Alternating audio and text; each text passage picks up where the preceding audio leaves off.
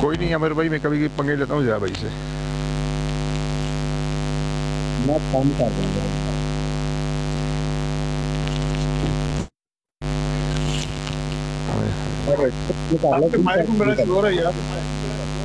Mic बंद करो। वालेकुम सलाम। ਮੈਂ ਵੀ ਗਿਆ ਉਹਨਾਂ ਦੀ ਬਰਾੜ ਦਾ ਤੇ ਮੈਂ ਉਹਨੂੰ ਇਹ ਗੱਲ ਆਖੀ, ਮੈਂ 15 ਮਿੰਟਾਂ ਦੀ ਮੁਫਤੀ ਸਾਹਿਬ ਦੀ ਤਕਰੀਰ ਹੈ ਉਹ ਲਾ ਕੇ ਤੇ ਸੁਣਾ ਦਿਓ, ਮੌਲਾਨਾ ਮੁਫਤੀ ਮਹਮੂਦ ਦੀ।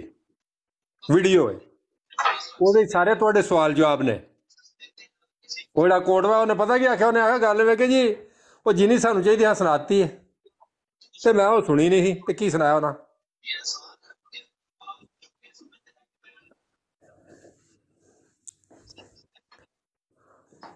ਸਰਫਰਾਜ਼ ਭਾਈ ਗੱਲ ਜੋ ਮੰਨੀ ਨਾ ਹੋਈ ਇਹਨਾਂ ਨੇ ਫਿਰ ਬਹਾਨੇ ਬੜੇ ਨੇ ਝੂਠ ਜਿੰਨਾ ਮਰਜ਼ੀ ਬੋਲ। ਰਹੇ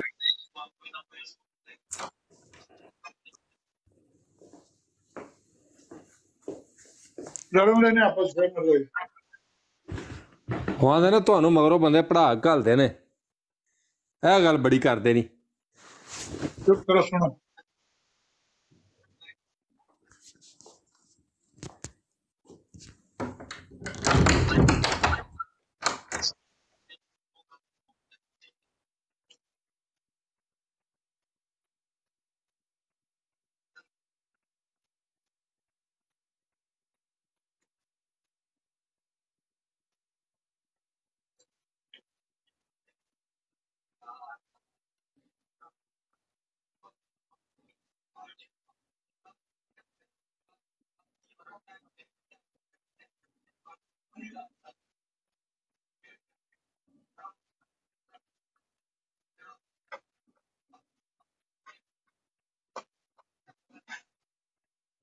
ਹੂੰ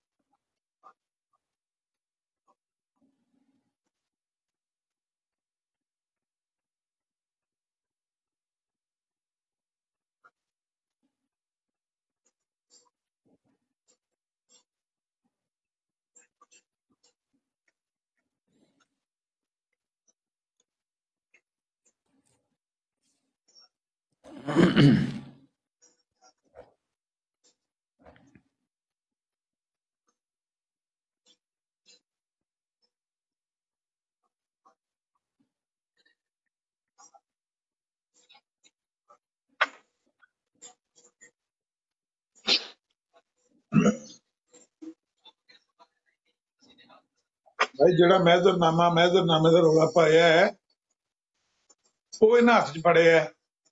ਆਂਦਰ ਅਸੈਂਬਲੀ ਦੀ ਕਾਰਵਾਈ ਸ਼ਾਮਲ ਨਹੀਂ ਕੀਤਾ ਗਿਆ। ਅਸੈਂਬਲੀ ਦੀ ਕਾਰਵਾਈ ਕਿਹੜਾ?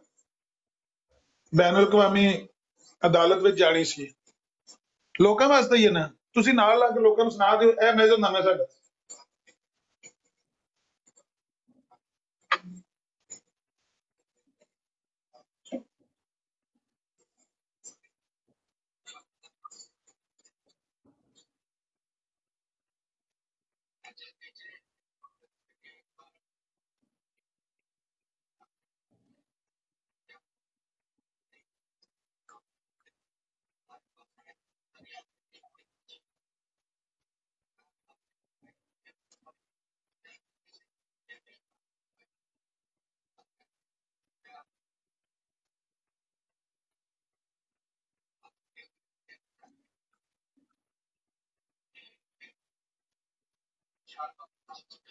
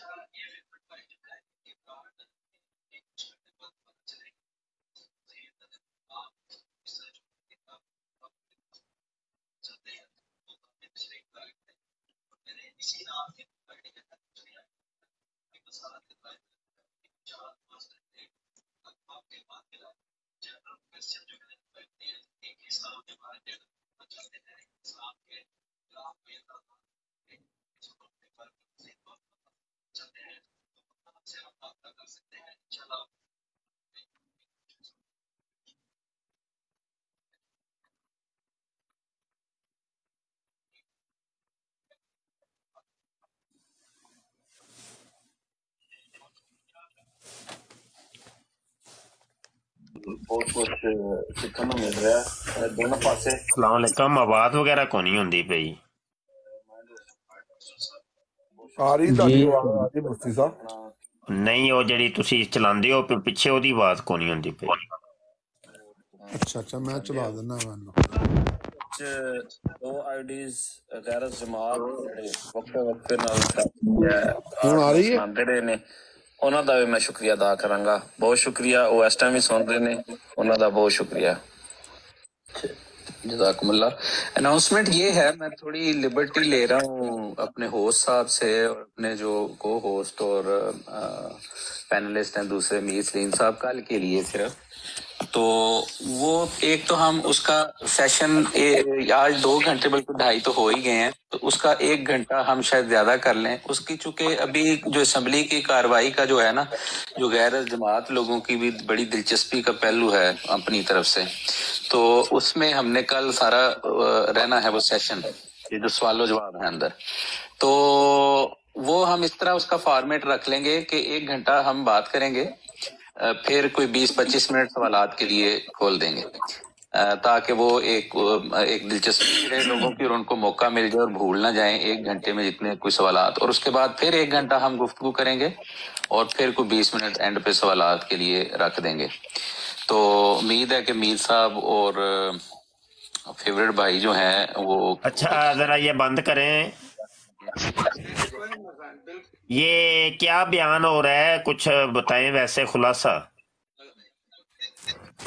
दो कौमी हेलो एक बंदा बोल के बताए ये क्या हो रहा है? मैं दसना मुफ्ती साहब आपको क्या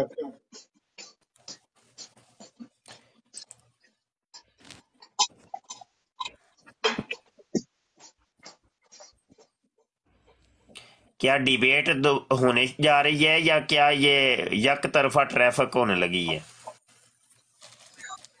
नहीं नहीं ये एक तरफा ट्रैफिक अच्छा चलो ठीक है वो समझ आ गई मैं पहले उधर ही था जी तो इधर अब मैं आया हूँ गुजारे ये है कि भाई माहदरनामा माहदरनामा ਉਹ ਪੇਸ਼ ਨਹੀਂ ਹੁਆ तो ਅੱਧਾ ਪਾਕਿਸਤਾਨ ਜਿਹੜਾ ਸੀ ਹੋ ਜਾਣਾ ਸੀ ਉਹ ਕਾਦੀਆਨੀ ਉਹ ਯਾਰ ਛੱਡੋ ਮਾਹਦਰਨਾਮੇ ਨੂੰ ਤੇ ਅਸੈਂਬਲੀ ਚ ਕੀ ਹੋਇਆ ਚਲੋ ਮੰਨਨੇ ਆ ਕੁਝ ਵੀ ਨਹੀਂ ਹੋਇਆ ਉੱਥੇ ਤੁਹਾਡਾ ਜ਼ੁਲਮ ਤੇ ਜ਼ਿਆਦਤੀ ਹੋਈ ਤੇ ਅੱਜ ਪਲੇਟਫਾਰਮ ਖੁੱਲੇ ਨੇ ਆਓ ਅਸੈਂਬਲੀ 'ਚ ਜੋ ਕੁਝ ਡਿਸਕਸ ਹੋਇਆ ਸੀ ਉਹ ਅੱਜ ਕਰ ਲੈਨੇ ਅੱਜ ਨਵੀਂ ਅਸੈਂਬਲੀ ਲਾਣੇ ਆ ਕੌਮ ਦੇ ਸਾਹਮਣੇ ਸੋਸ਼ਲ ਮੀਡੀਆ ਦੇ ਵਿੱਚ ਇੱਥੇ ਤੁਹਾਡੇ ਕੋਲ ਗੱਲ ਹੁੰਦੀ ਕੋਈ ਨਹੀਂ ਤੁਹਾਡੇ ਖ- ਖਲੀਫੇ ਦੀ ਉੱਥੇ ਤੰਬੀ ਗਿੱਲੀ ਹੋਈ ਸੀ ਹੈ ਮਖਦਰਨਾਮਾ ਲਿਆਓ ਮਖਦਰਨਾਮਾ ਕਿਹੜਾ ਜਿਹਾ ਉਹ ਆਓ ਖੋਲੋ ਖੋਲੋ ਉਸੇ ਮਖਦਰਨਾਮੇ ਦੀਆਂ ਦੇ ਉੱਤੇ ਗੁਫ਼ਤਗੂ ਕਰਨੇ ਆ। ਇਹ ਮੇਰੇ ਕੋਲ ਪਿਆ ਜੇ ਇੱਥੇ ਮਖਦਰਨਾਮਾ ਕਾਦੀਆਨੀਓ ਸੁਣੋ ਓਏ। ਆਓ ਉਸੇ ਮਖਦਰਨਾਮੇ ਤੇ ਅੱਜ ਡਿਬੇਟ ਸ਼ੁਰੂ ਕਰਨੇ ਆ। ਉਹ ਵੇਨੇ ਆ ਕਿੰਨਾ ਕੁ ਪਾਕਿਸਤਾਨ ਜਿਹੜਾ ਵੇ ਉਹ ਕਾਦੀਆਨੀ ਹੁੰਦਾ ਹੈ। ਤੁਹਾਡੇ ਪੁੱਤਰ ਆਪਣੇ ਕਾਦੀਆਨੀ ਜਿੰਨੇ ਕੁ ਰਹਿ ਗਏ ਨੇ ਨਾ ਥੋੜੇ ਜਿਹੇ ਅੱਧ ਪਚੱਦੇ, ਉਹ ਵੀ ਨਾ ਟੁੱਟੇ ਤੇ ਮੈਨੂੰ ਨੀਵੇਂ ਥਾਂ ਬਿਠਾ ਲਿਆ ਜੇ। ਮੌਜੂ ਰੱਖੋ ਮੌਜੂ ਰੱਖੋ ਕਾਦੀਆਨੀਓ ਮਖਦਰਨਾਮਾ ਹੀ ਮੌਜੂ ਰੱਖੋ। ਜਿਹੜਾ ਤੁਹਾਡੀ ਜਮਾਤ ਦਾ ਛਪਿਆ ਹੋਇਆ ਮਖਤਰਨਾਮਾ ਹੈ ਨਾ, ਉਹੀ ਮੌਜੂ ਹੋਏਗਾ ਅਵਲ ਤੋਂ ਲੈ ਕੇ ਆਖਰ ਤੱਕ ਅਸੀਂ ਡਿਬੇਟ ਕਰਨੇ ਆ। ਉਹਦੇ ਚ ਜੋ ਕੁਝ ਵੀ ਹੈ ਵੇ ਉਹਦੇ ਸਫੇ ਡਿਵਾਈਡ ਕਰੋ ਤੇ ਆਓ ਮੈਦਾਨ ਲਾਓ। ਤੁਸੀਂ ਆਪਣਾ ਮੁਕੱਦਮਾ ਰੱਖੋ, ਸਾਰੀ ਦੁਨੀਆ ਦੇ ਸਾਹਮਣੇ ਰੱਖੋ। ਜੀ ਆਮਿਰ ਭਾਈ।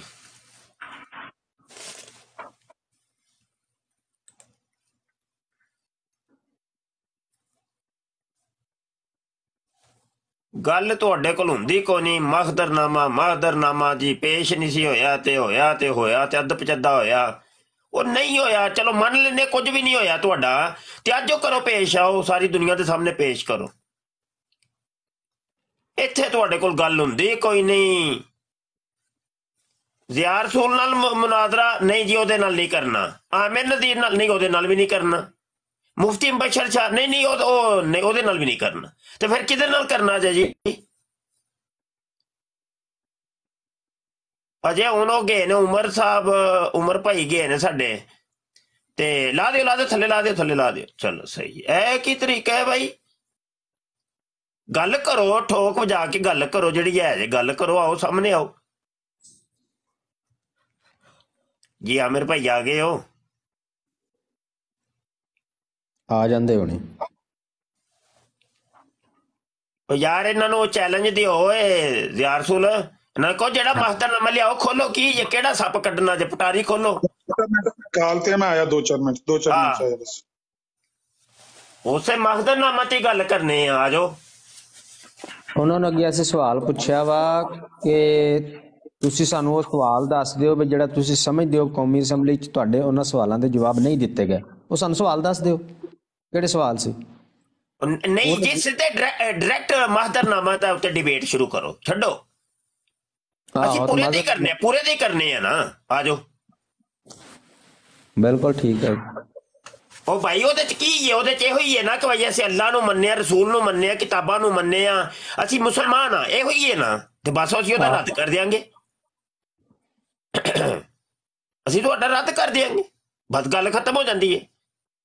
ਮਖਦਰਨਾਮਾ ਵੜ ਨਾ ਗਿਆ ਤੇ ਮੈਨੂੰ ਨੀਵੇਂ ਥਾਂ ਬਿਠਾ ਲਿਆ ਜੇ।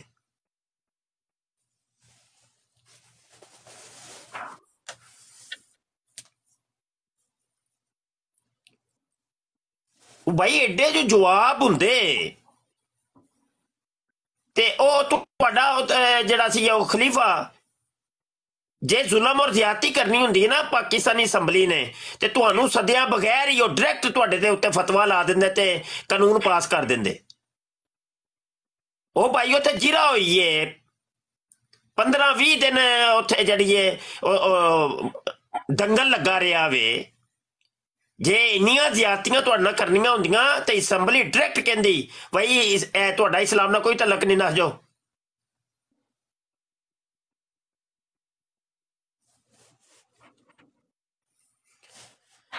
ਮਖਦਰਨਾਮਾ ਨਹੀਂ ਪੇਸ਼ ਹੱਦ ਹੋ ਗਈ ਯਾਰ ਕਮਾਲ ਹੋ ਗਈ ਮਖਦਰਨਾਮਾ ਕੀ ਇਹ ਮਖਦਰਨਾਮਾ ਕੁਝ ਵੀ ਰੱਟ ਲਈ ਆ ਉੱਤੇ ਬਹਿ ਕੇ ਉਹ ਲੱਗਾ ਹੀ ਉਹ ਅਤਾਉਲ ਮਨਾਨ। ਹਾਂਜੀ। ਉਹ ਯਾਰ ਖੋਲੋ, ਅੱਜ ਖੋਲ ਲੋ ਯਾਰ, ਚਲੋ। ਉਹ ਡਿਬੇਟ ਰਿਕਾਰਡ ਕਰ ਲੈਨੇ ਆ। ਤੁਸੀਂ ਆਪਣੇ ਚੈਨਲਾਂ ਤੇ ਅਪਲੋਡ ਕਰਿਆ ਜੇ, ਅਸੀਂ ਆਪਣਿਆਂ ਤੇ ਕਰਨੇ ਆ। ਤੇ ਉਹਨੂੰ ਹੀ ਦਲੀਲ ਬਣਾ ਲੈਨੇ ਇੱਕ ਵਾਰੀ ਦੁਬਾਰਾ ਜਿਹੜਾ ਵੇ ਤੁਸੀਂ, ਇਹ ਅਸੈਂਬਲੀ ਦਾ ਦਰਵਾਜ਼ਾ ਵਜਾਓ। ਉਹਨਾਂ ਕਹੋ ਜੀ ਐਲੋ ਜੀ ਇਹ ਤੁਹਾਡੇ ਮੌਲਵੀ ਐਸ ਅਸੀਂ ਮਖਤਰਨਾਮਾ ਪੇਸ਼ ਕੀਤਾ ਵੇ ਤੇ ਐ ਕੋ ਹਾਰ ਗਏ ਜੇ ਮੁਨਾਜ਼ਰੇ ਚ। ਹੁਣ ਸਾਨੂੰ ਦੁਬਾਰਾ ਮੁਸਲਮਾਨ ਕਰ ਦਿਓ। ਕਿਸੇ ਬੰਨੇ ਖਲੋਵੋ ਤੇ ਸਹੀ ਨਾ। ਆਓ ਤੁਸੀਂ ਕਰੋ।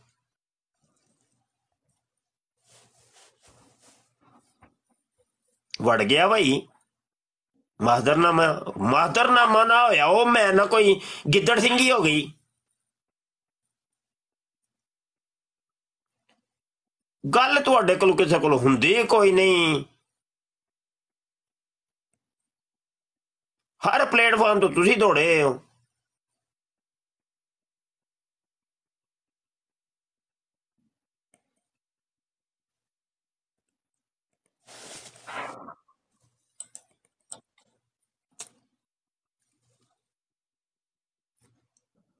ਚੱਲ ਯਾਰ ਯਾਰ, ਇੱਕ ਹੁਣ ਆਏ ਨੇ ਤਾਹਿਰ ਤਾਹਿਰੁਲ ਕਾਦਰੀ ਸਾਹਿਬ। ਹੈਲੋ जी ताहर साहब कौन हो? जी। ताहर साहब। जी जी अस्सलाम वालेकुम अ, ज़िया भाई अस्सलाम वालेकुम मुफ्ती साहब। सॉरी मैं वालेकुम वालेकुम सलाम। इसी आईडी से दूसरी लाइव पे गया हुआ था वो तो इसलिए मैंने म्यूट किया हुआ था। जी फरमाएँ जनाब। मैंने तो कोई बात खास नहीं करनी सिर्फ़ आपकी लाइव पे आपको दुआ सलाम करने के लिए आया था। जी ज़िया साहब मैं वही खान की आईडी है मेरी लास्ट परसों आपसे बात हो रही थी याद है आपको। वो अच्छा अच्छा अच्छा। मांगे थे आपसे आपने कहा था कल मैं आपको इनबॉक्स में करूँगा लेकिन ये मेरी अपनी आईडी है ताहिर खान के नाम से। मुझसे वाले मांगे थे? नहीं नहीं ज़िया भाई से मांगे थे। अच्छा।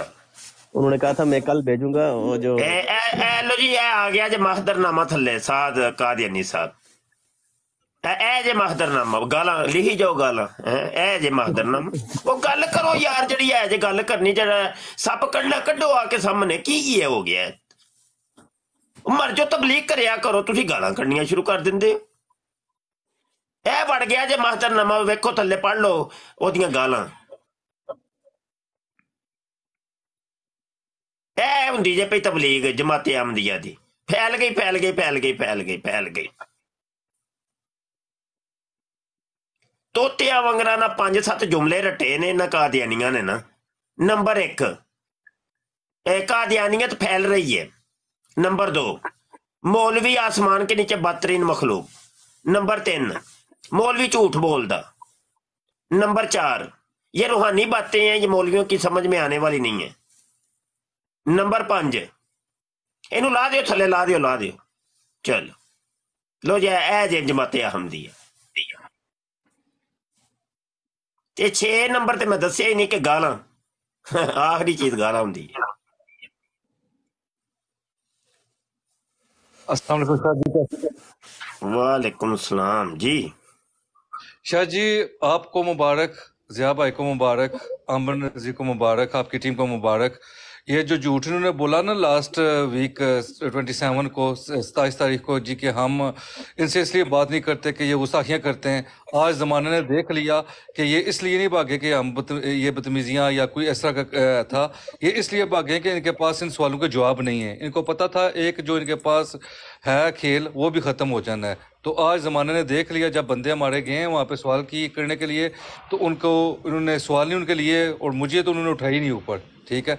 तो ये आज ज़माने ने देख लिया कि ये कहाँ खड़े हैं तो आप सबको मुबारकबाद अल्लाह पाक का शुक्र है ਅਲਹਮਦੁਲਿਲਾ ਉਹ ਬਸ ਕੁਝ ਵੀ ਨਹੀਂ ਜੀ ਜਨੂਨੀ ਭਾਈ ਕੀ ਕੁਝ ਵੀ ਨਹੀਂ ਹੈ ਹੀ ਕੁਝ ਨਹੀਂ ਕਾਦੀਆਨੀਅਤ ਯਕੀਨ ਜਾਨੋ ਅਸੀਂ ਤੇ ਤਰਸ ਹੀ ਗਏ ਆ ਕੋਈ ਆਏ ਕੋਈ ਆ ਕੇ ਗੱਲ ਕਰੇ ਕੋਈ ਉਹ ਯਾਰ ਮਰ ਜੋ ਅਸੀਂ ਕਹਿੰਨੇ ਆ ਪੇ ਤੁਸੀਂ ਕਰੋ ਤਬਲੀਗ ਆ ਕੇ ਆਪਣੀ ਕਰੋ ਤਬਲੀਗ ਸਾਡੇ ਸਾਹਮਣੇ ਬਹਿ ਕੇ ਕਰੋ ਨਾ। ਕਰਦੇ ਹੀ ਨਹੀਂ। ਤਬਲੀਗ ਤੇ ਵੜ ਗਈ। ਤਖਲ ਤਬ ਇਹ ਤੇ ਕਾਦੀਆਨੀਆਂ ਤੇ ਹਾਂ ਪੂਰੀ ਕਾਦੀਆਨੀਆਂ ਤੇ ਵੜ ਗਈ।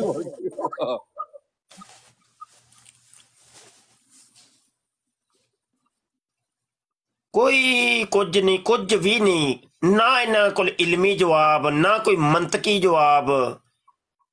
ना कोई अकली ते ना कोई नकली कोई जवाब है ही कोई नहीं। अच्छा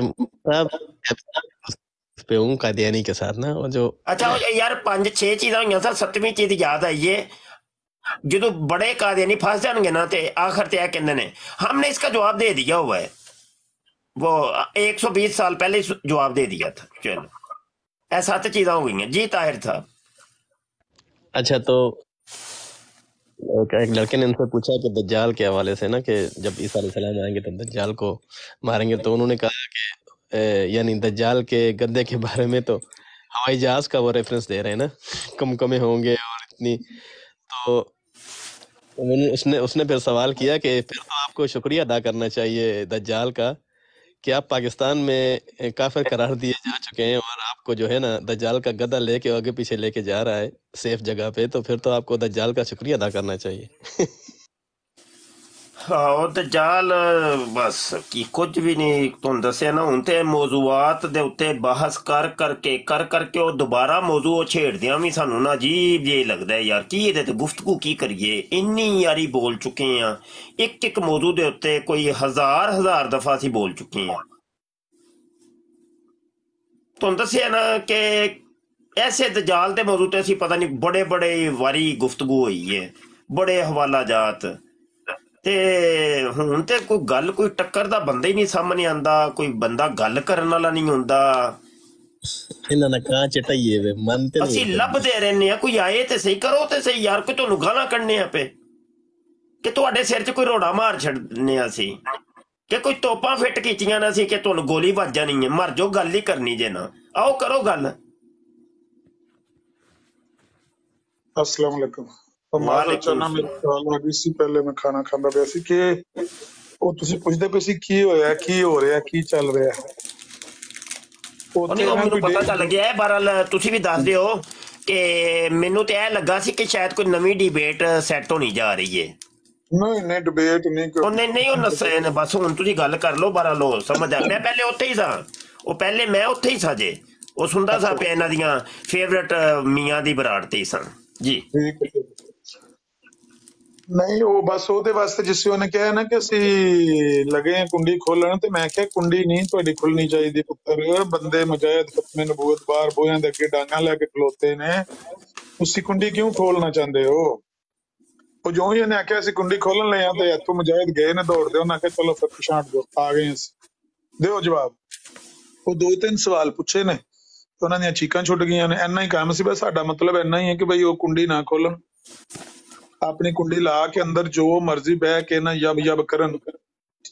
ਜੇ ਉਹਨਾਂ ਨੇ ਓਪਨ ਕਿਸੇ ਨੂੰ ਚੈਲੰਜ ਕਰਨਾ ਹੈ ਜਾਂ ਕਿਸੇ ਨੂੰ ਦਾਵਤ ਦੇਣੀ ਹੈ ਵੀ ਜਿਹੜਾ ਮਰਜ਼ੀ ਮੁਸਲਮਾਨ ਆ ਜੇ, ਇਸ ਮੌਜੂ ਤੇ ਸਾਡੇ ਤੇ ਸਵਾਲ ਕਰ ਲੇ ਤੇ ਉਹ ਮੌਕਾ ਖਾਲੀ ਨਹੀਂ ਜਾਣਾ ਚਾਹੀਦਾ ਜਦ ਤੱਕ ਸਾਡੀ ਸਾਹ ਸਾਹ ਹੈ ਅਸੀਂ ਨਾ ਹੋਏ ਤੇ ਪਿੱਛੋਂ ਲੋਕਾਂ ਦੀ ਜਿਹੜੇ ਜਿਹੜੇ ਮੌਜੂਦ ਹੋਣਗੇ ਉਹਨਾਂ ਦੀ ਮਰਜ਼ੀ।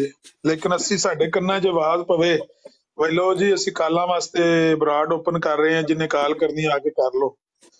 ਤੇ ਮੈਂ ਕਿਹਾ ਵੀ ਇਹ ਤੇ ਫਿਰ ਕੰਮ ਮਾੜਾ ਹੀ ਹੈ ਸਾਨੂੰ ਤੇ ਉਹਨਾਂ ਲੈਣਾ ਨਹੀਂ, ਪਰ ਜੇ ਮੈਂ ਇੱਕ ਬੰਦੇ ਨੂੰ ਕਿਹਾ ਵੀ ਇਹ ਵੀ ਸਾਡਾ ਵੀ ਪੁੱਛ ਲਿਓ ਵੀ ਜੇ ਆਖੋ ਤੇ ਅਸੀਂ ਦੋ ਆ ਜਾਂਦੇ ਹਾਂ, ਤੇ ਬਾਕੀਆਂ ਨੂੰ ਪਿਛਾਂ ਹੀ ਕਰ ਸਕਦੇ ਹਾਂ। ਬਹਰਹਾਲ, ਉਹ ਐਸੇ ਹੀ ਕੰਮ ਵਾਸਤੇ ਗਏ ਸੀ। ਉਹ ਤੁਹਾਨੂੰ ਦਿਹਾੜੀ ਵਾਲਾ ਨਹੀਂ ਕਿ ਦੱਸ ਸਕੇ। ਦਿਹਾੜੀ ਇੱਕ ਗੱਲ ਸ਼ੇਅਰ ਤੁਹਾਡੇ ਨਾਲ ਕਰਨੀ ਸੀ, ਲੇਕਿਨ ਉਹ ਜਿਸ ਵਾਰ ਤੁਸੀਂ ਆਉਂਦੇ ਹੋ ਨਾ, ਤੇ ਫਿਰ ਰਸ਼ ਪੈ ਜਾਂਦਾ ਹੈ। ਤੇ ਉਹ ਗੱਲ ਕਰਨ ਨਹੀਂ ਹੋਈ ਹੈ ਨਾ ਅਲ ਫਜ਼ਲ ਅਖਬਾਰ ਤੋਂ ਮੁਕਰ ਗਿਆ ਸੀ ਇਹਨਾਂ ਦਾ ਖਲੀਫਾ ਜਿਹੜਾ ਨਾ ਕੌਮੀ ਅਸੈਂਬਲੀ ਚ। ਹੂੰ। ਕਹਿੰਦਾ ਅਲ ਫਜ਼ਲ ਤੇ ਅਖਬਾਰ ਹੀ ਸਾਡਾ ਨਹੀਂ ਹੈ। ਹੂੰ ਆ ਯਾ ਯਾ ਬਖਤਿਆਰ ਨੇ ਆਖਿਆ ਵੀ ਬਾਹਰ ਗੱਲ ਜਾਏਗੀ ਲੋਕੀ ਕੀ ਆਖਣਗੇ? ਕਹਿੰਦਾ ਜੋ ਮਰਜ਼ੀ ਆਖਣ। ਅਲ ਫਜ਼ਲ ਅਖਬਾਰ ਸਾਡਾ ਨਹੀਂ। ਉਹਨੇ ਕਿਹਾ ਅਲ ਬਦਰ ਕਹਿੰਦਾ ਅਲ ਬਦਰ ਵੀ ਸਾਡਾ ਨਹੀਂ। ਇਹ ਵੀ ਨਹੀਂ ਸਾਡਾ। ਪਿਗਾਮੇ ਸੁਣਾ ਵੀ ਸਾਡਾ ਕੋਲ ਹਾਂ। ਤਬੀਅਤ ਠੀਕ ਹੀ ਨਾ। ਇਹ ਨਹੀਂ ਬਸ ਛੱਡ ਦਿਓ ਤੁਸੀਂ। ਉਹ ਤੇ ਅਸਾਂ ਬਣਾਇਆ ਸੀ ਤੇ ਉਹ ਇੱਕ ਚਲਾਉਂਦੀ ਹੈ ਆਰਗੇਨਾਈਜੇਸ਼ਨ ਹੈ ਵਿੱਚ ਉਹ ਚਲਾਉਂਦੀ ਹੈ। ਸਾਡਾ ਕੋਈ ਤਲਕ ਨਹੀਂ ਹੈ। ਯਾਨੀ ਜਿਸ ਗੱਲ ਤੋਂ ਫਸਣਾ ਨਜ਼ਰ ਆਉਂਦਾ ਹੈ, ਆਪਣੇ ਉਸ ਅਖਬਾਰ ਤੋਂ, ਉਸ ਕਿਤਾਬ ਤੋਂ ਮੁਕਰ ਜਾਣਾ ਉਹ ਅਸਲ ਇਸ ਗੱਲ ਇਨਕਾਰ ਕੀਤਾ ਅਲ ਫਜ਼ਲ ਅਖਬਾਰ ਤੋਂ ਇਸ ਗੱਲ ਇਨਕਾਰ ਕੀਤਾ ਕਿ ਯਾਇਆ ਬਖਤਿਆਰ ਨੇ ਦੱਸਿਆ ਕਿ ਉਹ ਜਿਹੜੀ ਨਜ਼ਮ ਹੈ ਨਾ, ਜਿਹੜੀ ਕਾਜ਼ੀ ਅਕਮਲ ਨੇ ਪੜ੍ਹੀ ਸੀ ਮੁਹੰਮਦ ਫਿਰ ਉਤਰ ਆਏ हैं हम में ਉਹ ਨਜ਼ਮ ਛਪੀ ਸੀ 5 ਅਕਤੂਬਰ 1906 ਦੇ ਅਲ ਬਦਰ ਅਖਬਾਰ ਚ ਫਿਰ ਲੋਰੀਆਂ ਨੇ ਕੀਤੇ ਇਤਰਾਜ਼ ਇਹ ਗੱਲ ਗੌਰ ਨਾਲ ਸੁਣਨ ਵਾਲੀ ਹੈ ਮੁਹੰਮਦ ਅਲੀ ਲੋਰੀ ਹੋਰਾਂ ਨੇ ਇਤਰਾਜ਼ ਕੀਤੇ ਤੇ ਉਹਨਾਂ ਆਖਿਆ ਜੇ ਇਹੋ ਜਿਹਾ ਖਲੀਫਾ ਹੋਵੇ ਤੇ ਇਹੋ ਜੀ ਤਰਬੀਅਤ ਹੀ ਹੋਣੀ ਹੈ ਕਿ ਸਾਡਾ ਇੱਕ ਰਿਸ਼ਤੇਦਾਰ ਸੀ ਤੇ ਉਹ ਗਿਆ ਕਿਸੇ ਦੀ ਤਜ਼ੀਅਤ ਕਰਨ ਤੇ ਉਹਨੇ ਜਾ ਕੇ ਆਖਿਆ ਤੁਹਾਡੇ ਬਜ਼ੁਰਗਾਂ ਦਾ ਬੜਾ ਅਫਸੋਸ ਹੋਇਆ ਅੱਲਾ ਉਹਨਾਂ ਦੀ ਮਗਫਰਤ ਕਰੇ। ਤੁਹਾਡੇ ਵਾਲਿਦ ਸਾਹਿਬ ਫੋਤ ਹੋ ਗਏ ਨੇ ਤੇ ਪਰ ਉਹ ਜੇ ਇਹੋ ਜੀ ਲਾਦ ਹੋਵੇ ਤਾਂ ਮਾਪਿਆਂ ਮਰਨਾ ਹੀ ਹੈ ਕਿ? ਉਹਨੇ ਆਖਿਆ ਇਹ ਤਜ਼ੀਅਤ ਚੰਗੀ ਤਜ਼ੀਅਤ ਹੈ ਕਿ ਗਾਲਾਂ ਕੱਢਣ ਆਇਆ ਸਾਨੂੰ ਹੂੰ। ਉਹ ਗੱਲ ਇਹ ਮੁਹੰਮਦ ਅਲੀ ਲੋਰੀ ਨੇ ਆਖਿਆ ਵੀ ਜੇ ਇਹੋ ਜਿਹਾ ਖਲੀਫਾ ਹੋਵੇ ਤੇ ਤਰਬੀਅਤ ਇਹੋ ਜੀ ਹੋਣੀ ਹੈ ਨਾ ਜੋ ਕੋਈ ਪਿਆਂਦੇ ਹੋ ਮੁਹੰਮਦ ਫਿਰ ਉਤਰ ਆਏ ਹੈ ਹਮੇ। और पहले से हैं बढ़कर अपनी शान ਉਹਨੇ ਆਖਿਆ ਇਹ ਅਖਬਾਰ ਇਹ ਮੁਹੰਮਦ ਅਲੀ ਲਾਹੌਰੀ ਕਿਉਂ ਇਤਰਾਜ਼ ਪਿਆ ਕਰਦਾ ਹੈ ਤੇ ਨਜ਼ਮ ਅਸੀਂ 5 ਅਕਤੂਬਰ 1906 ਦੇ ਅਲ ਬਦਰ ਚ ਛਾਪੀ ਸੀ ਮਿਰਜ਼ਾ ਸਾਹਿਬ ਦੇ ਜਿਉਂਦਿਆਂ ਮਿਰਜ਼ਾ ਸਾਹਿਬ ਦੇ ਸਾਹਮਣੇ ਪੜ੍ਹੀ ਸੀ ਇਹ ਗੱਲ ਸੁਣਨ ਵਾਲੀ ਹੈ ਕਾਜ਼ੀ ਅਕਮਲ ਨੇ ਸਫਾਈ ਦਿੱਤੀ ਹੈ 13 ਅਗਸਤ 1944 ਦੇ ਅਲ ਫਜ਼ਲ ਅਖਬਾਰ ਚ ਕਿ ਭਾਈ ਗੱਲ ਹੈ ਵੇ ਮੈਂ ਉਹ ਜਿਹੜੀ ਨਜ਼ਮ ਲਿਖੀ ਹੈ ਨਾ ਕਿ ਮੁਹੰਮਦ ਫਿਰ ਉਤਰ ਆਏ हैं ਕਾਦੀਆਂ में ਉਹ ਮੈਂ ਤਾਂ ਲਿਖੀਏ ਕਿ ਖੁਤਬਾ ਲਾਮੀਆਂ ਚ ਮਿਰਜ਼ਾ ਕਾਦੀਆਨੀ ਨੇ। ਇਹੋ ਹੀ ਗੱਲ ਆਖੀ ਹੈ ਉਹਨੇ ਆਪਣੀ ਨਜ਼ਮ ਦੀ, ਉਸ ਗੁਸਤਾਖੀ ਦੀ ਦਲੀਲ ਖੁਤਬਾ ਇਲਾਮੀਆਂ ਨੂੰ ਬਣਾਇਆ। ਹੁਣ ਉਹਦੇ ਤੋਂ ਇਹ ਮੁਕਰ ਨਹੀਂ ਸਕਦੇ। ਉਹ 13 ਅਗਸਤ 1944 ਦੇ ਅਖਬਾਰ ਚ ਅਲ ਫਜ਼ਲ ਅਖਬਾਰ ਚ। ਤੇ ਉਹਦੇ ਬਾਅਦ 22 ਅਗਸਤ 1944 ਦੇ ਅਲ ਫਜ਼ਲ ਅਖਬਾਰ ਚ ਉਹਨੇ ਕਾਜ਼ੀ ਅਕਮਲ ਨੇ ਜ਼ਹੂਰ, ਕੀ ਨਾਮ ਦਾ ਅਕਮਲ, ਜ਼ਹੂਰ ਅਕਮਲ, ਜੋ ਵੀ ਨਾਂ ਸੋ, ਉਹਨੇ ਬੜੀ ਮੁਹੰਮਦ ਅਲੀ ਲਾਹੌਰੀ ਦੇ ਪਿੱਛੇ ਕੁੱਤੇ ਲਾਏ ਨੇ ਕਿ ਇਹ ਅਸੀਂ ਨਜ਼ਮ ਮਿਰਜ਼ਾ ਕਾਦੀਆਨੀ ਦੇ ਸਾਹਮਣੇ ਪੜ੍ਹੀਏ ਤੇ ਉਹਨੇ ਜਜ਼ਾਕ ਅੱਲਾ ਕਹਿ ਕੇ ਤੇ ਇਹਨੂੰ ਕਬੂਲ ਕੀਤਾ ਤੇ ਇਹਨੂੰ ਚੁੱਕ ਕੇ ਅੰਦਰ ਲੈ ਗਿਆ।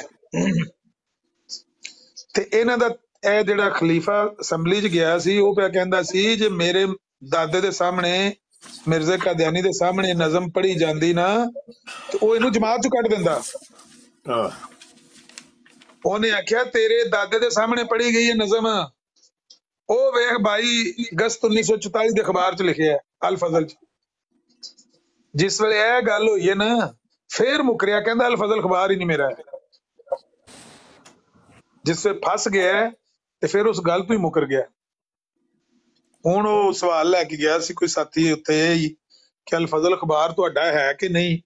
ਅਲ ਬਦਰ ਅਖਬਾਰ ਤੁਹਾਡਾ ਹੈ ਕਿ ਨਹੀਂ? ਤੁਹਾਡਾ ਖਲੀਫਾ ਤਾਂ ਮੁਕਰ ਗਿਆ ਸੀ ਅਸੈਂਬਲੀ ਜਾ ਕੇ। ਤੇ ਅੱਗੋਂ ਯਬ ਯਬ ਕਰਨ ਲੱਗ ਪਏ ਨੇ, ਬਸ ਸਵਾਲ ਦਾ ਤਾਂ ਜਵਾਬ ਹੈ ਕੋਈ ਨਹੀਂ ਕਿਸੇ ਕੋਲ। ਫਿਰ ਇੱਕ ਉਹਨਾਂ ਨੂੰ ਇੱਕ ਹੋਰ ਸਾਥੀ ਗਏ ਨੇ ਤੇ ਉਹਨਾਂ ਨੇ ਆਖਿਆ ਵੀ ਤੁਸੀਂ ਇਸ ਤਰ੍ਹਾਂ ਦਾ ਕੋਈ ਸਵਾਲ ਦੱਸ ਦਿਓ ਜਿਹੜਾ ਤੁਸੀਂ ਸਮਝਦੇ ਹੋ ਕਿ ਤੁਹਾਡੇ ਖਲੀਫੇ ਨੇ ਉੱਤੇ ਸਵਾਲ ਪਾਇਆ ਤੇ ਅੱਗੋਂ ਜਵਾਬ ਨਹੀਂ ਲੱਭਾ। ਉਹ ਕਿਹੜਾ ਸਵਾਲ ਹੈ? ਕੋਈ ਇੱਕ ਸਵਾਲ ਦੱਸ ਦਿਓ ਦੋ ਦੱਸ ਦਿਓ ਤਿੰਨ ਦੱਸ ਦਿਓ। ਲਓ ਜੀ ਲੀਮ ਸਾਹਿਬ ਦੀ ਬਰਾਡ ਵੀ ਆਨ ਹੋ ਗਈ ਮੈਨੂੰ ਸ਼ੱਕ ਪੈਂਦਾ ਨੋਟੀਫਿਕੇਸ਼ਨ ਆ ਗਿਆ ਅੱਛਾ ਮੈਂ ਅਰਜ਼ ਕਰ ਰਿਹਾ ਵਾਂ ਇਹ ਜੇ ਜਿਓ ਮਖਦਰਨਾਮਾ ਜਿਹਦਾ ਬੜਾ ਰੋਲਾ ਪਾਇਆ ਬੜਾ ਰੋਲਾ ਪਾਇਆ ਇਹ ਇਹਨੇ ਕਰਨਾ ਸਾਜੇ ਅੱਧਾ ਪਾਕਿਸਤਾਨ ਇਹ ਕਾਦੀਆਨੀ ਇਹ ਜਿਓ ਇਹ ਇਹਦੀ ਮੈਂ ਜਿਹੜੀ ਇਹ ਉਨਵਾਨ ਪੜ ਦੇਣਾ ਵਾ। ਆਓ ਕਾਦੀਆਨੀਓ ਕਰ ਲੋ ਇਹਨਾਂ ਦੀ ਗੱਲ ਕਰ ਲੋ ईवान नंबर एक, ईवान की हालिया करारदादों पर एक नज़र। नंबर दो, मुसलमान की तारीफ़ और जमात अहमदिया का मौकफ। नंबर तीन, मकाम अलैहि वसल्लम और हज़रत बानिय सिलसिला अहमदिया की आरिफाना तहरीरात। नंबर चार, ज़ात बारी ताला का इरफान अज इफादात हज़रत बानिय सिलसिला अहमदिया। नंबर पाँच कुरान अजीम की अल्लाह वरफा शान हज़रत बानी सिलसिला अहमदिया की नज़र में। नंबर छह, शान खातमुलंबिया सल्लल्लाहु बानी सिलसिला अहमदिया की निगाह में। नंबर सात, आयत खातमुलनबीयीन की तफसीर। नंबर आठ, इनकार जहाद के इल्ज़ाम की हकीकत। नंबर नौ, बाज दीगर इल्ज़ाम का जायजा। नंबर दस मुआज़ अरकान असम्बली की खिदमत में एक अहम गुजारिश। नंबर ग्यारह, पाकिस्तान के मुख्तलि फ़िरकों के अकायद जो दूसरे फ़िरकों के नज़दीक महल नज़र है। नंबर बारह, हज़रत बानिय सिलसिला अहमदिया का एक पूर्व दर्द इंतबा नंबर तेरह के उत्ते दुआ है। आओ, ऐसे तरतीब ने गल शुरू कर लेना, बस गल खत्म होंगी जी तेरह पॉइंट ने थोड़े तेरह पॉइंट ही जे ना, लो, है जे। तुसें ही लिखे ने ना। असि तो नहीं लिखे। आओ, इन्हें गल करने। अज ला लेने असंबली। ਸੋਸ਼ਲ ਮੀਡੀਆ ਤੇ ਅਸੈਂਬਲੀ ਲਾਣੇ ਆ। ਉਹ ਕਿਹੜਾ ਸੱਪ ਜੇ ਕੱਢੋ ਨਾ ਲਿਆਓ, ਆਓ ਗੱਲ ਕਰੋ। ਮੁਸਲਮਾਨ ਦੀ ਤਾਰੀਫ ਖੋਲ ਲੈਨੇ ਆ ਜੀ 13 ਸਫੇ ਦੇ ਉੱਤੇ ਮੁਸਲਮਾਨ ਦੀ ਤਾਰੀਫ ਹੈ ਜੀ। ਆ ਜਾਓ। ਹੈਲੋ ਜੀ, ਇਹ ਪਿੱਛੇ ਪਹਿਲੇ ਗੱਪਾਂ ਮਾਰੀਆਂ ਨੇ। ਇਹ ਗੱਪਾਂ ਮਾਰਨ ਤੋਂ ਬਾਅਦ ਅੱਗੇ ਜਾ ਕੇ ਇਹ ਹਦੀਸ ਇੱਕ ਲਿਖੀ ਏ। ਸੁਣ ਲਓ ਜੀ ਹਦੀਸ। एहदीस है, जबरील का छोटा जहा टुकड़ा लिखे। या मुहम्मद अखबिरनी अनिल इस्लाम, के हज़रत जबराइल अमीन ने अर्ज़ की, या रसोल्ला सल्ला वसलम मुझे इस्लाम के बारे में बताइए, इस्लाम के फ़काल रसूलुल्लाह, हजूर सलाम ने फरमाया अल इस्लाम अनता शहदा अल्लाह व अन्ना मोहम्मदन रसूलुल्लाह सल्लाम इस्लाम ये है कि तू ये गुआई दे कि अल्लाह के सिवा कोई मबूद नहीं, और मोहम्मद सल्लल्लाहु अलैहि अल्लाह के रसूल हैं। अभी मैंने पूरी दीस नहीं पढ़ी। आओ बात कर लो। तुम लोगों का अल्लाह अलग है, तुम लोगों का मोहम्मद अलग है। साबत हम कर देते हैं आज करो, गल करो। अगली बात है, वह तुकी मसला और तू नमाज़ को कायम करे। आओ इसके ऊपर बात करते हैं, कादियानियों की नमाज़ के ऊपर कर लेते वह तो जका और जक़ात को तू अदा कर। आओ इसके ऊपर बात करते हैं। ये तरतीब से रहेंगे ना हम। इसी तरतीब के साथ चलेंगे। हाँ जी? अच्छा वाह तसूम रमजाना तू रमज़ान के रोज़े रखे। आओ इसके ऊपर बात करते वताहुजल बैत, और हज करना, बैतुल्ला का। इसके ऊपर बात करते इन सता ही सबीला, अगर तेरे अंदर कुदरत है इतनी, तू ताकत रखता है। काला सदकता तो जिब्राइल कहने लगे, अर्ज़ करने लगे, आपने सच इरशाद फरमाया। फाजिब ना लाहू। इसके ऊपर हम सबने बड़ा ताजुब किया कि यस आलो हु व हु, खुद ही सवाल करता है, खुद ही जवाब भी देता है। काला फाख बिन अनिल ईमान। फिर वो कहने लगा, मुझे ईमान के बारे में बताइए, अब ईमान क्या होता है? काला हजूर अली इस्लाम ने इरशाद फरमाया, अन तुमिना बिल्ला, कि तू ईमान लाए अल्लाह के ऊपर। आओ इसके ऊपर बात करते हैं। वा मलाइकत ही, और उसके फरिश्तों के ऊपर। आओ बात करती है इसके ऊपर। तुम्हें पता है तुम काने हो, तुम्हें पता टीची टीची ने जेरे बहस आ जाना है? आ जाना इधर सकीना फरिश्ती ने भी आ जाना है। अच्छा। वह कुतुबे ही, और उसकी किताबों के ऊपर। तुम्हें पता है ਇਹਨਾਂ ਨੇ ਜ਼ੇਰੇ ਬਹਸ ਲਿਆ ਨਾ ਤਸਕਰੇ ਨੂੰ ਵੀ ਇਹਨਾਂ ਨੇ ਮਿਰਜ਼ੇ ਦੀਆਂ ਵਹੀਆਂ ਨੂੰ ਵੀ ਲੈ ਆਣਾ ਵਿੱਚ आओ करो ना बात व रसूले ही हैं तुम्हें पता है मिर्जा कादियानी जो है ना ये रगड़ा लग जाना उसको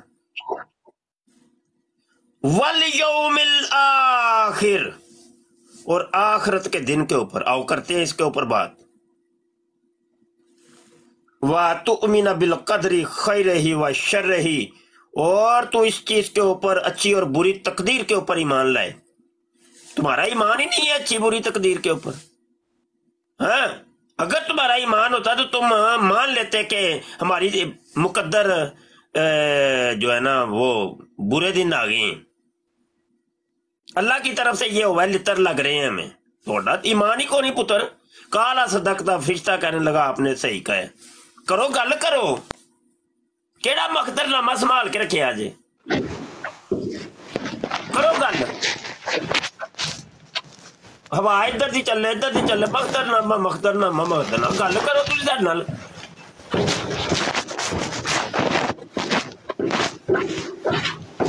आवाज़ आ रहा है आस्क ला नबीयाबादी ਕੋਈ ਨਹੀਂ ਯਾਰ ਯਾਰ ਸੁਲ ਕੀ ਕੀਤਾ ਜੇ ਯਾਰ ਕੋਈ ਮੁਰ ਕੋਈ ਕੋਈ ਲੱਭਦਾ ਹੀ ਨਹੀਂ ਮੁਰਗਾ ਹੀ ਨਹੀਂ ਲੱਭਦਾ ਕੋਈ ਸ਼ਿਕਾਰ ਨਹੀਂ ਲੱਭਦਾ ਕਿੱਥੋਂ ਲੱਭੀਏ ਸ਼ਿਕਾਰ ਕੁਰਾਨ ਅਜ਼ੀਮ ਕੀ ਅੱਲਾ ਵਰਫਾ ਸ਼ਾਨ ਹਜ਼ਰਤ ਬਾਨੀ ਬੜੀ ਸ਼ਾਨਾਂ ਨੇ ਤੁਹਾਡੀਆਂ ਬਿਆਨ ਕੀਤੀਆਂ ਬਾਨੀਆਂ ਸਿਲਸਿਲਾ ਨੇ ਕਰੋ ਗੱਲ ਸਾਡੇ ਨਾਲ ਕਰੋ ਆ ਕੇ ਸਾਹਮਣੇ ਆ ਕੇ ਕਰੋ ਉਹ ਸ਼ੁਕਰ ਅਸ ਮੈਂ ਬਹਾਨਾ ਪੇ ਮਹਦਰਨਾਮੇ ਤੁਸੀਂ ਤੇ ਬੰਦੇ ਹੀ ਨਹੀਂ ਲੋਕਾਂ ਨੂੰ। ਤੁਹਾਨੂੰ ਤੇ ਸਾਡਾ ਸ਼ੁਕਰੀਆ ਅਦਾ ਕਰਨਾ ਚਾਹੀਦੀ ਹੈ ਕਿ ਭਈਆ ਮੌਲਵੀ ਸਾਡੀ ਤਬਲੀਗ ਕਰਦਾ ਪਿਆ ਉਹ। ਤੁਹਾਨੂੰ ਤਾਂ ਕਿਤਾਬਾਂ ਹੀ ਕੋਈ ਨਹੀਂ ਤੁਹਾਡੇ ਕੋਲ ਹੈ ਪੜ੍ਹੀਆਂ ਕੋਈ ਨਹੀਂ ਤੁਸੀਂ।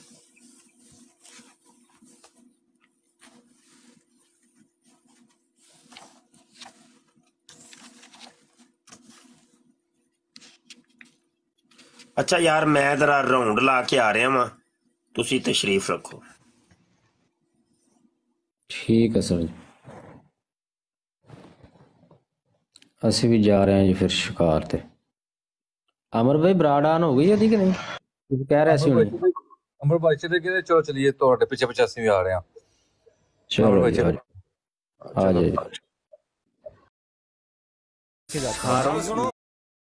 ਨੇ ਔਰ ਬੜੇ ਤੁਹਾਡੇ ਕੋਲ ਕੋਈ ਬੰਦਾ ਹੈ ਜਿਹੜਾ 884 ਸਫੇ ਤੋਂ ਖੋਲ ਕੇ ਕੌਮੀ ਅਸੈਂਬਲੀ ਦੀ ਕਾਰਵਾਈ ਨੂੰ ਤੇ ਜਵਾਬ ਦੇ ਛੜੇ ਵੀ ਕਿਉਂ ਮੁਕਰ ਗਏ ਨੇ ਤੁਹਾਡੇ ਖਲੀਫਾ ਸਾਹਿਬ ਉੱਥੇ ਅਸੈਂਬਲੀ 'ਚ ਜਾ ਕੇ ਇਹ ਅਲ ਫਜ਼ਲ ਖਬਾਰ ਹੀ ਮੇਰਾ ਨਹੀਂ ਹੈ।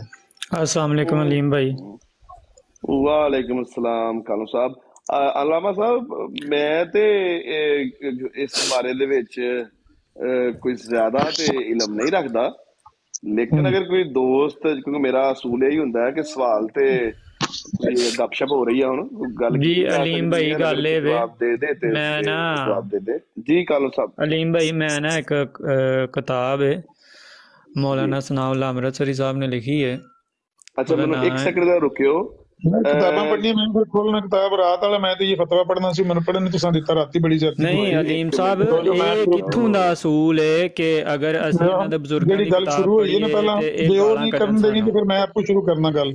ਮੈਂ ਜਵਾਬ ਦੇਣਾ ਥੈਂਕ ਯੂ ਚੱਲਦੀ ਹੈ। ਅਦੀਮ ਸਾਹਿਬ ਗੱਲ ਸੁਣ ਤੁਹਾਡੀ ਗੱਲ ਦਾ ਜਵਾਬ ਦੇਣਾ। ਇਹ ਤਾਂ ਮੌਲਾਨਾ ਸਨਾਉਲ ਅੰਦਰ ਸੇ ਤਹਿਰੀਰ ਪੜ੍ਹਨੀ ਨਹੀਂ ਜਵਾਬ ਦੇਣਾ ਵਾ ਹੁਣ ਸ਼ੇਖ ਅਬਦਰਮਾਨ ਮਿਸਰੀ ਦਾ ਬਿਆਨ ਕਿਨਾ ਪੜ੍ਹੀਏ ਜਿਹੜਾ ਗਾਲਾਂ ਕੱਢਣ ਲੱਗ ਪੈਂਦੇ ਤੁਸੀਂ ਜੇਕਰ ਤੁਹਾਡੇ ਬਜ਼ੁਰਗਾਂ ਦੀਆਂ ਗੱਲਾਂ ਕੱਢੀਆਂ ਤੇ। ਇਹ ਗਾਲਾਂ ਨੇ ਕਾਲੂ ਹੋਰ ਸਾਹਿਬ ਕੀ? ਜਿਹੜੀਆਂ ਸੁਪਰੀਮ ਹਾਈ ਕੋਰਟ ਚ ਬਿਆਨ ਰੁਕ ਜਾਓ ਰੁਕ ਜਾਓ ਮੇਰੀ ਗੱਲ ਵੀ ਸੁਣ ਲਓ ਮੇਰੀ ਗੱਲ ਵੀ ਸੁਣ ਲਓ ਦੋਨੋਂ ਆਪਾਂ ਇਹਨੂੰ ਉੱਤੇ ਲੈ ਲਓ ਜ਼ਰਾ अच्छा ਮੈਨੂੰ ਕੋਈ ਸੀਟ ਉੱਤੇ ਚਾਹੀਦੀ ਹੈ नहीं नहीं ज़िया भाई को बाद में लेंगे जब ज़रूरत पड़ेगी हर बंदे की जो है ना फरमाइश पे पूरा सैलाब यहाँ पर या पूरी अयड़ का अयड़ नहीं आ सकता जो होस्ट चाहेगा जिसको चाहेगा बुला लेगा ठीक है ना जी कोई बराए मेहरबानी डिक्टेट ना करे यहाँ पे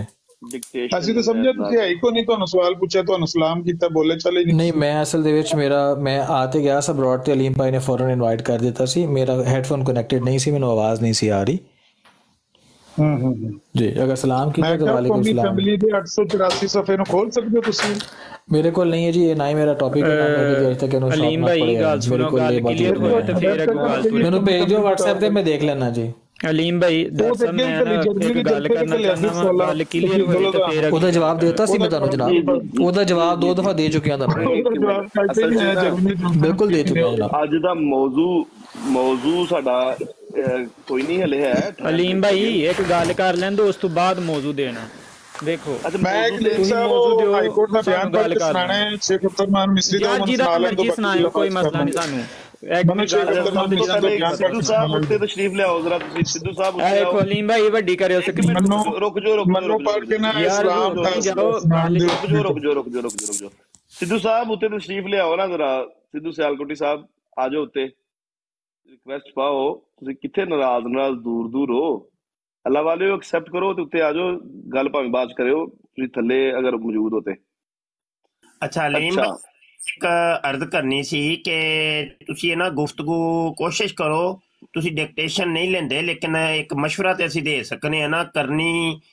ਤੇ ਤੁਸੀਂ ਆਪਣੀ ਮਰਜ਼ੀ ਜੇ ਲੇਕਿਨ ਇਹ ਅੱਛਾ। ਵੇਖ ਬੰਦਿਆਂ ਦੇ ਦਰਮਿਆਨ ਔਰ ਇੱਕ ਮੌਜੂ ਦਾ ਤਾਯਨ ਕਰ ਲਵੋ ਕਿ ਭਈ ਇਹ ਮੌਜੂ ਵੇ ਤੇ ਬਕਾਇਆ ਕਿ ਸੁਣਨਗੇ ਇਹ ਇੱਕ ਤਰੀਕਾ ਕਾਰ ਹੈ हाँ जी अलीम भाई मगर ये है कि हमने यहाँ पे दंगल का सामान ही पैदा करना ਅਸੀਂ ਅਸਲ 'ਚ ਇਹ ਕੰਮ ਕਰਨਾ ਨਹੀਂ ਤਾਂ ਚਾਹ ਰਹੇ ਫੌਰਨ ਹੀ ਮੈਂ हाँ ਸਾਰੀ ਮੈਂ ਅਸਲ 'ਚ ਵਾਰੀ ਵਾਰੀ ਗੱਲ ਕਰਨਾ ਚਾਹ ਰਿਹਾ ਡਾਕਟਰ ਸਾਹਿਬ ਸਾਰਿਆਂ ਦੇ ਨਾਲ ਔਰ ਅਸੀਂ routine सबसे बना के- बारी बारी बात करें आप बारी होस्ट हैं आप आप ही बात करें हमने दंगल मुर्गियों की मुर्गों की लड़ाई नहीं यहाँ करवानी ठीक है जी आज तो बिल्कुल डॉक्टर भी साहब नहीं मैं ना दंगल कोई हो रहा है। लड़ाई नहीं करना चाहता मैं आपसे सिर्फ करो एक साहब पैगाम- किसी ने होस्ट भाई आपसे मुखातिब नहीं है थोड़ा वेट फरमाइएगा जी। जी। कालू साहब जरा एक मिनट रुकिए मेहरबानी करें आप। करुण साहब जरा स्क्रीन अपना कैमरा बंद करें प्लीज़ आप। जब बात होगी ना जब मौका बनेगा फिर बात कीजिएगा। आते साथ ही उस अगले बंदे को पता भी नहीं है कि उन्होंने करना क्या है बात क्या है और मेहमान को घर आने से पहले ही बंदा जो है वो तीरों पे रख ले तो ये चीज़ ऐसे नहीं होती। बात पहले शुरू हो ले। होस्ट बैठे हैं ना होस्ट बात करते हैं।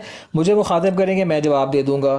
ये मुबशर साहब से बात करेंगे वो जवाब दे देंगे मून साहब से या आपसे या आमिर साहब से बात करेंगे तो वो जवाब देंगे। दैट्स इट काम खत्म। ਬਹੁਤ ਸ਼ੁਕਰੀਆ ਡਾਕਟਰ ਸਾਹਿਬ ਬਹੁਤ ਸ਼ੁਕਰੀਆ। ਜੀ ਜਨਾਬ ਅਲਾਮਾ ਸਾਹਿਬ ਜੀ ਸਭ ਪਹਿਲੇ ਗੱਲ ਕਰ ਰਹੇ ਸੋ ਤੇ ਸੁਣਾਓ ਕੈਸੇ ਮਿਜ਼ਾਜ ਨੇ ਤੁਹਾਡੇ? ਠੀਕ ਠਾਕ ਹੋ? ਅਮਰ ਨਜ਼ੀਰ ਸਾਹਿਬ ਮਾਈਕ ਖੋਲੋ ਆਪਣਾ ਤੁਹਾਡਾ ਮਾਈਕ ਮੈਂ ਬੰਦ ਕੀਤਾ ਸੀ। ਮੇਰਾ ਮਾਈਕ ਤੁਸੀਂ ਬੰਦ ਕੀਤਾ ਸੀ। ਮੈਂ ਬੜੀ ਦੇਰ ਦਾ ਬੰਦ ਕੀਤਾ ਸੀ ਤੁਹਾਡਾ ਮਾਈਕ ਸੀ ਬੋਲੀ ਤੇ ਨਹੀਂ ਜਾ ਰਹੇ। तो मैं बोली जा रहा माशाल्लाह। एक बड़ा मुजरब काम है जी ये अगे भी कीती रखे हो। ये तो, तो जादू हो गया। मैं भी कहा आमिर साहब इतने खामोश ने आज बैटरी नहीं कमज़ोर हो गई निकरे असल में मैं कैमरा ऑन करके मैं स्कैन पे लांदा सी तो मेनू स्क्रीन नज़र नहीं सी आ रही। ਤੇ ਮੈਂ ਨਹੀਂ ਦੇਖਿਆ ਕਿ ਮੇਰਾ ਤੁਸੀਂ ਮਾਈਕ ਮਿਊਟ ਕਰ ਅਸੀਂ ਕਾਲੂ ਸਾਹਿਬ ਦਾ ਕੈਮਰਾ ਬੰਦ ਕਰਾਇਆ ਤੇ ਤੁਸੀਂ ਕੋਈ ਬਹੁਤੇ ਸਕੇ ਨਹੀਂ ਤੁਸੀਂ ਵੀ ਬੰਦ ਕਰ ਲਓ ਤੁਹਾਡੀ ਮਿਹਰਬਾਨੀ। ਤੁਹਾਡੇ ਤੋਂ ਜਾਏ ਮੀਂਹ ਤੇ ਜ਼ਾਹਿਰ ਹੋਮ ਗਰਾਊਂਡ ਹੈ ਤੇ ਤੁਹਾਡਾ ਕੋਈ ਗੱਲ ਨਹੀਂ ਹੋਮ ਗਰਾਊਂਡ ਹੈ ਤੁਸੀਂ ਖੇਡਣਾ ਕਿਹੜਾ ਸੀ ਤਰਲੇ ਕਰਕੇ ਬੁਲਾਇਆ। ਜੀ ਆ ਹੀ ਗਏ ਤੇ ਫਿਰ ਹੌਸਲੇ ਨਾਲ ਖਵੋ ਖਲੋਵੋ ਕੱਲ ਵੀ ਜੋ ਕੁ ਤੁਸੀਂ ਇਨਸਾਫ ਕਿਸੇ ਨਾ ਕਿਸੇ ਦੀ ਹੋਮ ਗਰਾਊਂਡ ਤੇ ਹੋਣੀ ਹੈ ਨਾ। ਕਿਸੇ ਨਾ ਕਿਸੇ ਦੀ ਹੋਮ ਗਰਾਊਂਡ ਤੇ ਹੋਣੀ ਹੈ ਕਿ ਨਹੀਂ ਹੋਣੀ ਇਹ ਦੱਸੋ। ਉਹਨਾਂ ਦੀ ਹੋਣੀ ਹੈ ਜਿਹੜੇ ਦੂਜੇ ਦੇ ਘਰ ਜਾ ਕੇ ਨਹੀਂ ਖੇਡ तो ਸਕਦੇ कोई ਜ਼ਾਹਿਰ बात ਉਹਨਾਂ नहीं ਦੀ। है ऐसे कोई परेशानी की बात नहीं है हमारी होम ग्राउंड पे आपको एतबार है आपको हमारे होस्ट पर एतमाद है तभी आप आए हैं ना तो टेंशन ना लें अगर आपने कल एतमाद किया है पिछले दिनों किया है तो आइंदा भी किए रखिएगा टेंशन ना लीजिए आप ठीक है ਤੁਹਾਡੇ ਤੋਂ ਕਰੋ ਬੰਦੇ ਦੇ ਤਮਾਦ ਹੈ ਤੇ ਆ ਜਾਈਦਾ ਨਾ ਡਾਕਟਰ ਸਾਹਿਬ बस ठीक है जब आए हैं तो फिर कायम रहे ना फिर अपनी देखें अगर आप देखें अगर आप होम ग्राउंड वगैरह कह के आप अगर अपनी परेशानी का इजहार करेंगे तो इसका मतलब है कि आपको अपने ही एतमाद पर एतमाद नहीं है। ठीक है ना? आप अपनी ही शख्सियत के मतलब फैसले को फिर आप काबिल क्या कहते हैं उसको यार मतलब उस पर मतलब क्या बंदे का ट्रस्ट नहीं रह जाता। डॉक्टर साहब मेरी गल तुसी समझे नहीं है। यार मैं उर्दू में बात कर रहा हूँ आप भी उर्दू में बात करें। हमारी जो लाइव है ना इसकी ऑफिशियल लैंग्वेज उर्दू है। पंजाबी में अक्सर बात दाएँ बाएँ फिसल जाती है हम वो नहीं चाहते। मैं इटालियन में कर लेता हूँ। आप इटालियन में कर ले मैं फिर फ्रेंच और जर्मन में बोल लूँगा ठीक है? असल में मिर्ज़ा साहब की ज़ुबान थी उसी पर ही मुफ्ती साहब आपको किसी ने साहब मुखातिब नहीं फरमाया? मुफ्ती साहब मेहरबानी करें मेहरबानी करें। बोलेंगे सिर्फ़। अच्छा मैं ये कह रहा था कि अगर आप पर बात है यह है कि आमिर साहब और मैं हम वार्म अप होते रहते हैं जब ग्राउंड में आते हैं ना। तो बरए करम कोई दोस्त परेशान ना हो ठीक है? आप पर हमारा इतमाद इतना ही है कि आपके मुँह से हमने कभी गालियाँ नहीं सुनी।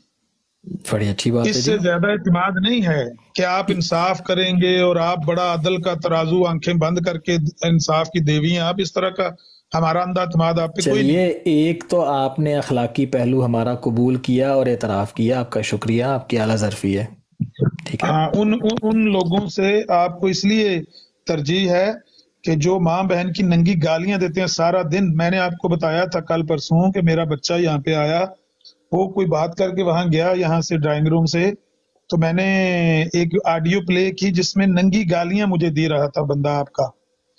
और मेरा बेटा वो वहां से अपने कमरे से वापस आ गया मुंह उसका जनाब सुरख लाल मुझे कहता है बंदा पापा ये बंदा कौन है जो आपको गालियां दे रहा है तो मैं क्या बेटा ਕੋਈ ਨਹੀਂ ਤੇਰੇ ਬਾਪ ਦਾ ਕਿਸੇ ਨਾ ਦੁਕਾਨ ਦਾ ਝਗੜਾ ਨਾ ਮਕਾਨ ਦਾ ਨਾ ਜ਼ਮੀਨ ਦਾ ਇਹ ਮਰਜ਼ਈ ਨੇ ਜਿਹੜੇ ਤੈਨੂੰ ਗਾਲਾਂ ਤੇਰੇ ਪਿਓ ਨੂੰ ਵੀ ਕੱਢਦੇ ਨੇ हम्म। ਕੋਈ ਐਸੀ ਗੱਲ ਨਹੀਂ ਹੈ ਹਮਾਰਾ ਕਿਸੇ से ਜ਼ਾਤੀ ਝਗੜਾ ਨਹੀਂ ਹੈ ਕੋਈ ਆਪਣੇ ਫਿਕਰ ਪੁੱਤਰ मत ਨੂੰ ਵੀ ਸੁਲਗਾ ਕੇ ਰੱਖਿਆ ਹੈ ਉਹਨੂੰ ਵੀ ਨਹੀਂ ਆਖਿਆ ਪੁੱਤਰ ਕੋਈ ਗੱਲ ਨਹੀਂ ਖੈਰ ਹੀ ਠੰਡ ਦੇ ਹੋ ਜਾ ਉਹਨੂੰ ਵੀ ਮੈਂ ਅੱਗ ਲਾ ਕੇ ਦੁਨੀਆ ਤੁਸੀਂ ਗੱਲ ਛੜਿਆ ਤੋਂ ਹੈ ਰਿਹਾ। ਓਏ ਹੋਏ ਹੋਏ ਨਹੀਂ ਹੋਏ ਸੁਲਗਾਣ ਵਾਲੇ ਤਾਂ ਤੁਸੀਂ ਹੋ ਨਾ नहीं ਗਾਲਾਂ नहीं ਕੱਢਣ नहीं ਵਾਲੇ आमिर साहब बड़ी ਅਸੀਂ ज्यादती है बड़ी ज्यादती है आमिर साहब देखें अल्लाह ताला कुरान करीम में फरमाता है छठे पारे में कि ला युहिब्बुल्लाहुल जहरा बिस्सूइ मिनल कौल इल्ला मन ज़ुलिम तो मेरे मोहतरम अगर आपकी जानब से आगाज़ है और अगर कोई मजलूम अहमदी बेबसी में आके अगर कोई बात कह भी गया है तो ऐसे तो ना करे ना ये तो बात बेबसी मुसलमा में- हकीकत है कि आगाज़ तो उन लोगों की जानब से ही होता है जो मुनकरीन है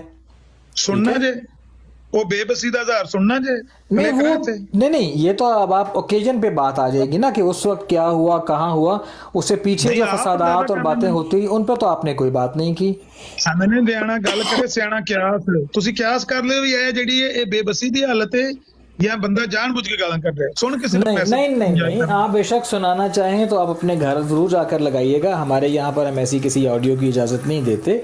मगर बात मोहतरम सिर्फ़ इतनी सी है कि जो भी बात करें अखलाक मोहम्मद सल्लल्लाहु अलैहि वसल्लम उसका मैार होने चाहिए। हम अपने अमल के जवाब दे हैं।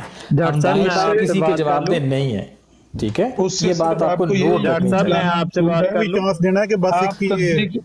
ही जी कल भाई एक सेकंड होल्ड करें मेहमान से बात हो ले फिर आप भी कर लीजिएगा। जी? आमिर नज़ीर साहब हैं जो आपके ये मुझे गालियाँ देकर गए थे क्यों इन्होंने गालियाँ दी थी?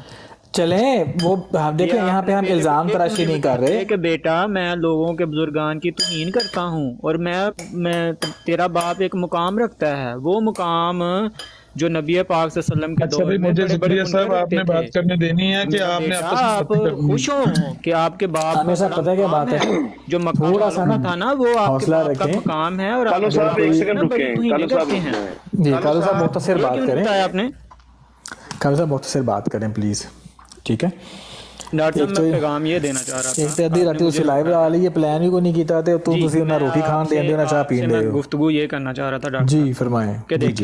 सुनाइए। जितने लोग इस दुनिया में आए हैं जितने नबी उनके बाद अल्लाह ताला ने नबी भेजे हैं और पैगंबर हम्म। भेजे हैं। हम्म। और सबसे आला और सबसे अफजल जो नबी है पैगंबर हैं वो हमारे आका मौला हज़रत मोहम्मद मुस्तफ़ा सल्लल्लाहु अलैहि वसल्लम। सल्लल्लाहु अलैहि वसल्लम। जब एक मुसलमान और बाकी गूँगे हो दुरूद पढ़ लो सल्लल्लाहु अलैहि वसल्लम को मान लेते हैं तो उसके अच्छा, अच्छा, अच्छा। अखलाक उसका अखलाकी मियार पूरी दुनिया से मुनफरिद होना चाहिए।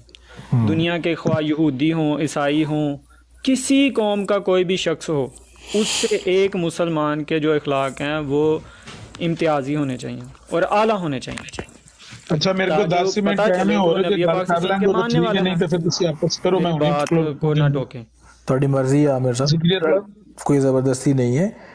ਗੱਲ ਇਹ ਵੇ ਕਿ ਜਦੋਂ ਵਾਰੀ-ਵਾਰੀ ਗੱਲ ਹੋ ਰਹੀ ਹੁੰਦੀ ਹੈ ਜਦੋਂ ਤੁਹਾਨੂੰ पूरा टाइम आपको मेरी जब गल टाइम ते पूरा कट दिया दी गया ना, है ਤੁਹਾਡੇ ਉਮਰਾਂ हाँ में होने की आपकी वजह से मेरी बात गल ते मैं कटी गई यकीनन ना आपकी बात काटी गई है हम कालू साहब को यही अभी समझाने लगे थे कि जी उनका मैं जुमला असल में मुकम्मल होता मैं असल में ये ये समझा चाह रहा रहे हूँ हो जी हाँ जाहिर है मतलब बात करते हुए तो बद अखलाकी है ना कि उसको ठप दिया जाए और भाई जब बात हो रही है तो वो जुमला मुकम्मल करेगा तो हम कहेंगे जी आपकी बात बड़ी अच्छी है अच्छा, ये शुक्रिया जुमला मगर है। बारी चलो, आमिर ठीक। साहब की थी चलो जुमला मुकम्मल हो रहा जी।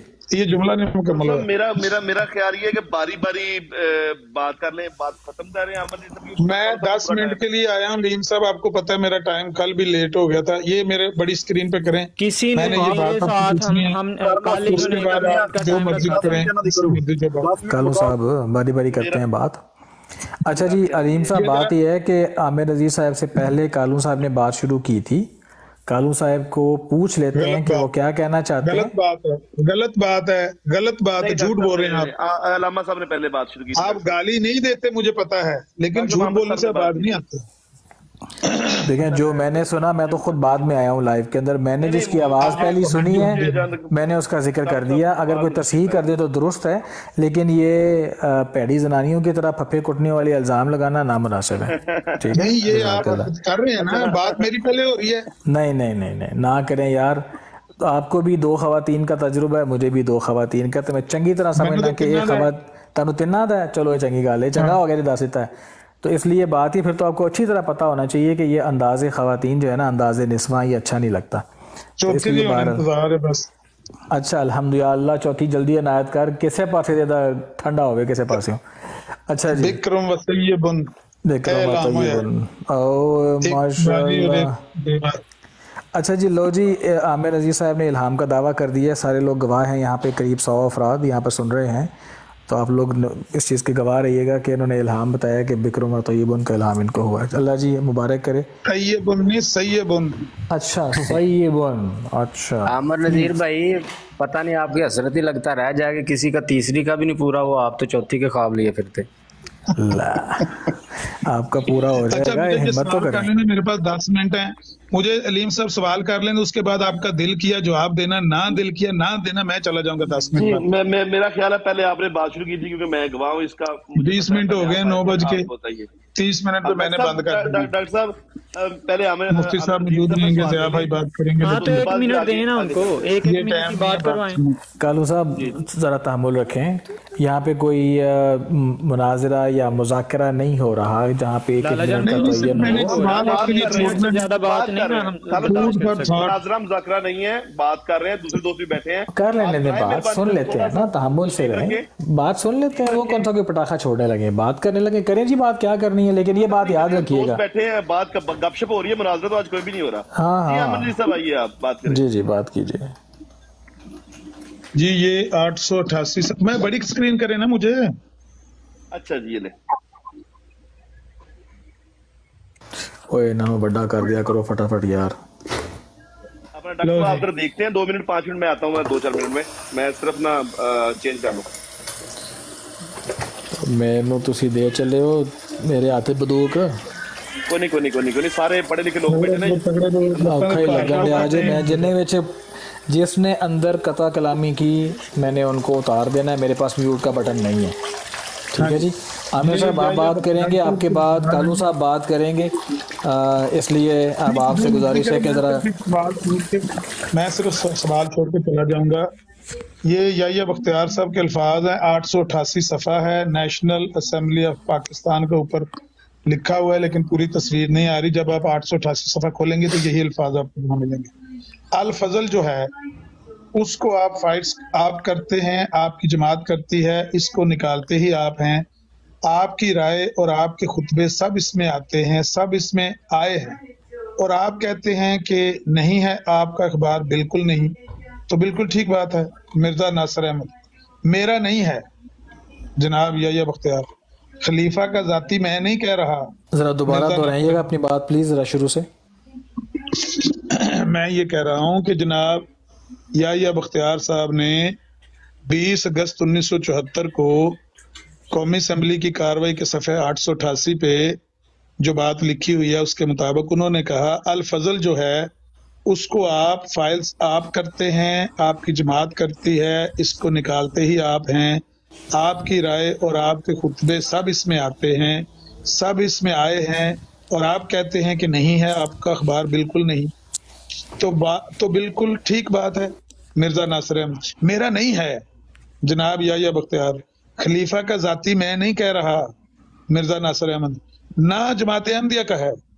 जनाब याया बख्तियार, आपकी आवाज़ है, वो आपकी जमात की आवाज़, मिर्ज़ा नासर अहमद। ना मेरी आवाज़ है, मेरी आवाज़ के कुछ हिस्सों को उसका नकल कर देना, डैश। वो अखबार मेरी आवाज़ नहीं बन जाता। या या बख्तियार साहब, ठीक है, आपके हिस्से ही नकल कर रहा है वो। मिर्ज़ा नासिर अहमद मेरी आवाज़ के कुछ हिस्सों को वो नकल करता है।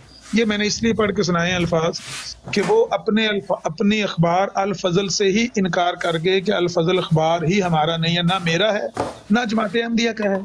आपने बताना है कि ये अल फजल अखबार किसका है? अगर आपके खलीफा साहब का भी नहीं है जमात अहमदिया का भी नहीं है कौमी असम्बली में खड़े होके इतना बड़ा ब्लंडर कौन जवाब दे? बात यह है कि आपको अल-फजल अखबार के अंदर कभी लिखा हुआ मिलता है कि ये तर्जुमान है जमात अहमदिया मतलब आप भी आउन करते हैं इस बात को कि वाकई ये आपकी जमात का भी नहीं है? और अगर तो ये हज़रत मिर्ज़ा नासिर अहमद साहब ने ऐसे फरमाया है तो उन्होंने यकीनन दुरुस्त फरमाया है हम उनके एक एक लफ्ज़ को ऑन करते हैं।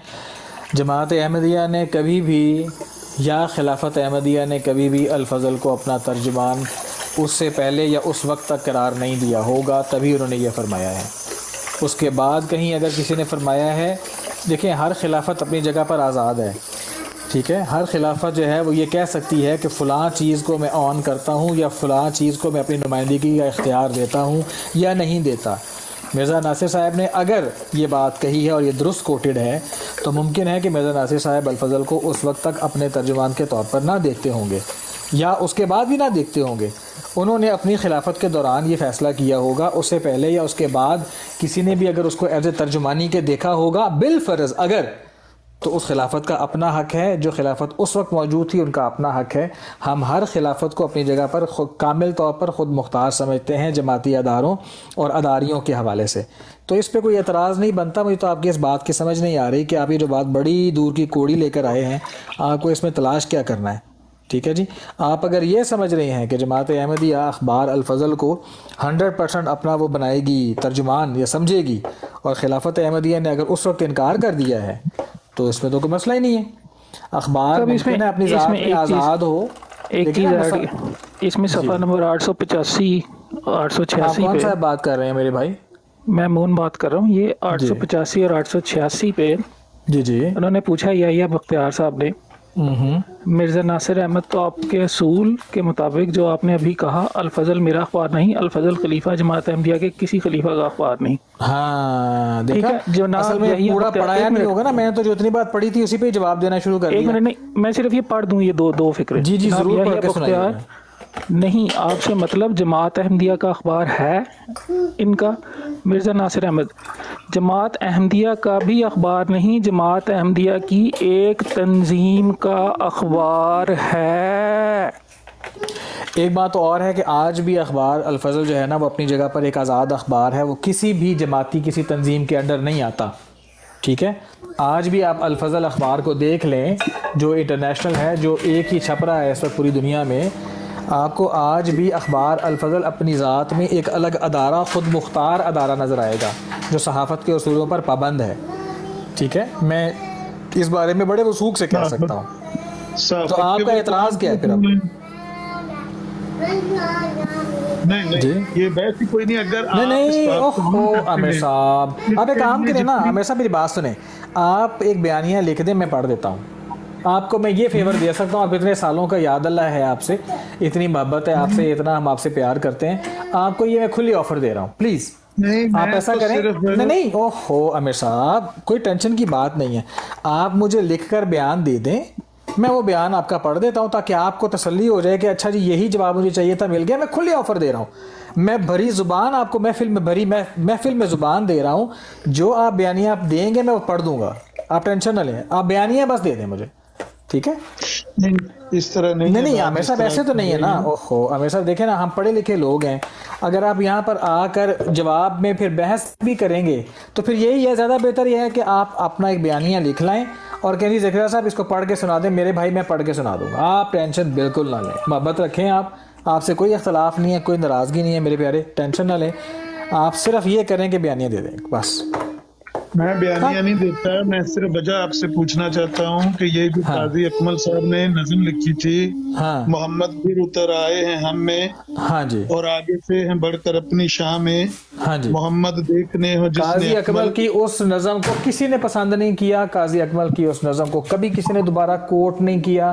काजी अकमल की उस नज़म को एक गलती तस्वुर किया गया है।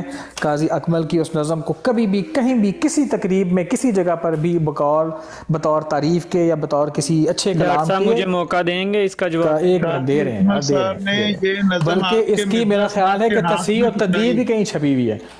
ठीक है? काजी अकमल साहब ने ये नज्म आपके मसीह मऊद के सामने पड़ी है। हाँ तो मसीह माउद ने दोबारा उसको पढ़ने के लिए नहीं कहा। मसीह माउद ने अगर उस वक्त मसले वो शफकतन खामोशी इख्तियार कर ली किसी महफिल में किसी के सामने वे बात बात बयान कर रहे हों कोई तेज़ी में पड़ जाए गुजर जाए वहाँ से तो बंदा कहता है मैं क्या इसकी जहालत का जवाब दूँगा? उसको जजाकल्ला कह के उससे कबूल की है। भाई हमारे यहाँ पे हमेशा एक मुहावरा है जजाकल्ला का। आप किसी को अगर जूता भी पकड़ाएँगे तो वो जजाकल्ला कहेगा, आप किसी को चलते फिरते हुए सलाम भी कर जाएँगे तो जजाकल्ला में जवाब मिल जाएगा। जजाकल्ला से मुराद ये नहीं है कि उस चीज़ का कोई एतराफ़ हो गया कि जी आपने बहुत मोहर मोहर तस्दीक सब्त कर दी गई।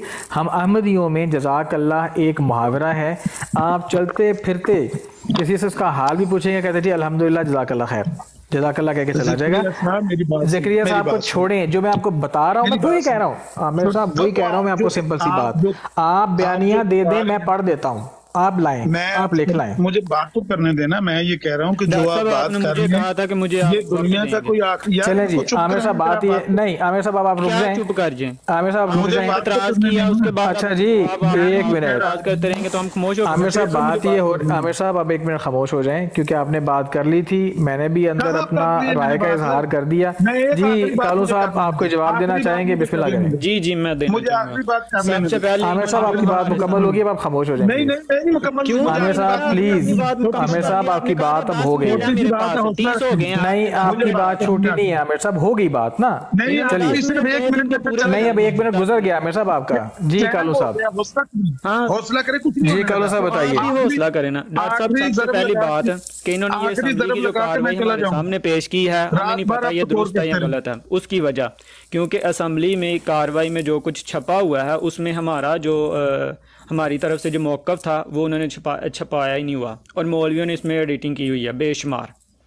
ये जो हमारे सामने असम्बली के चंद वर्के लेकर आए हैं हमारा जो मौक़ है वो इसमें शामिल है? हमें नहीं पता ये सच है या झूठ है। बिल्कुल बात सही ये इन्होंने उस पर भी हम बात करते हैं लेकिन ये झूठ है या सच है इसका कोई नहीं पता क्योंकि उसमें बदयांती की गई है हमारा मौक़ ही नहीं उसमें शामिल किया गया।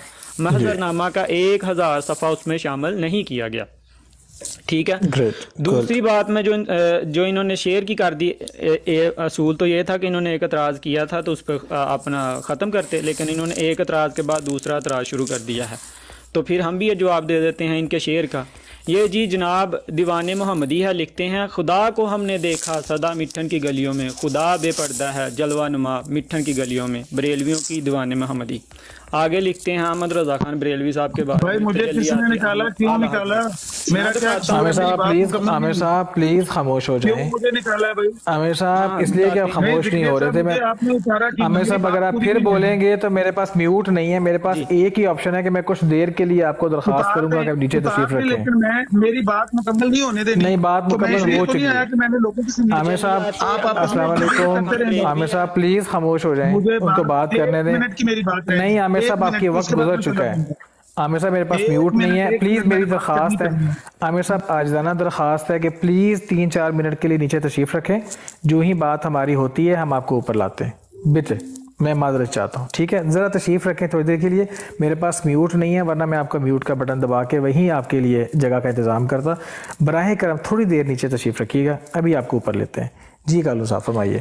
आगे है जी तजल्लियात इमाम अहमद। आमिर साहब आपने कालू साहब आपने गुफ्तु मुख्तसर करनी है दो ढाई मिनट के अंदर। जी जी मैं दो तीन शेर ही बस सुना रहा हूँ। उसमें लिखते हैं लिखने वाला तजल्लियात इमाम अहमद रजा खान बरेलवी में आपकी क्या करे कोई मदात नाब गौसे दरियाए रहमत। आपकी ज़ात अक्से पेम्बरी सैयद मुर्शदी आला हज़रत। ठीक है? इनके एतराज़ात के जो जवाब हैं अगर इस तरह ये लेना चाहते हो तो हम देंगे। फिर लिखते हैं वही जलवा जो फरान पे हुआ अहमद की सूरत में। वही जलवा जो फरान की फरान पर हुआ अहमद इसी जलवे को फिर अयां किया मिठन की गलियों में। देखते जाएँ और शर्माते जाएँ। अच्छा चलें जी ठीक है जी। अगर तो एक तरफ़ से किसी ने कोई बात लिख दी जिसको ऑन नहीं करते हम उसको हम हरगिज़ वहाँ से कहीं पे दोबारा कोट नहीं किया कहीं कुछ नहीं हुआ। उसके जवाब में अगर कानू साहब ने आपकी कुतब से कुछ पेश कर दिया है तो जवाबुल जवाब हो गया। इस मामले को क्लोज करते हैं जी। बाहर हाल बहरहाल। हैं इनको। जी जी। ये ऑन भी करते हैं, इनकी कुतब में छपे भी हुए हैं सारे कुछ वेरी गुड ठीक है जी, हम तो उनकी जो नज़म है, हम उसको कहीं पे भी किसी हवाले से भी मैं साफ़ और वाजे बता देता हूँ, सबको पता होना चाहिए इस चीज़ का कि वो जो नज़म है वो कभी भी कहीं दोबारा कोट नहीं की गई, उसकी कहीं हौसला अफजाई नहीं की गई। वो बस एक गलती है, छपी है, उसको वहीं रहने दिया है, ख़त्म बात। ठीक है दूसरा डॉक्टर साहब जो मैं अपनी बात करना भाई चाहता जो था कुछ आपने पढ़ के सुनाया है ना आप मेरा शेर सुन लें। जी। जो शेर आपने पढ़ के सुनाया आमिर भाई हमारा शेर भी सुन लें आमिर भाई आमिर भाई इसके बाद एक आमिर भाई दे दे कालू आमिर भाई इसके बाद आमिर भाई खामोश होकर बैठ जाए इनको बात करने दे अब माइक म्यूट कर लें। हाँ वो एक रहा आपकी बारी है। नहीं नहीं म्यूट कर ले मैं। कालू मुकम्मल कर लें इनको करने। दे इन, इन्होंने घंटा लगाना है दो घंटे लगाने चार लगाने इनको तसल्ली करने दे। है अलीम भाई जो कल इन्होंने हरकत की या जो अमूमन करते हैं मैं इनको सिर्फ़ ये पैगाम देना चाहता हूँ कि यह हरकत दुरुस्त नहीं है।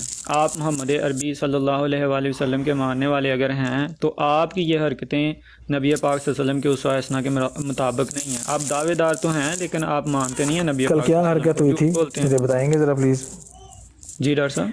कल क्या हरकत हुई थी? जो इन्होंने आखिर पे हज़रत मिर्ज़ा गुलाम अहमद कादियानी अलैहिस्सलाम के बारे में अल्फाज बोले थे। अच्छा मैं इतफाक से कल गाड़ी चला रहा था। मुझे मैंने बताया भी था कि मैं गाड़ी चला रहा मैंने नहीं सुना।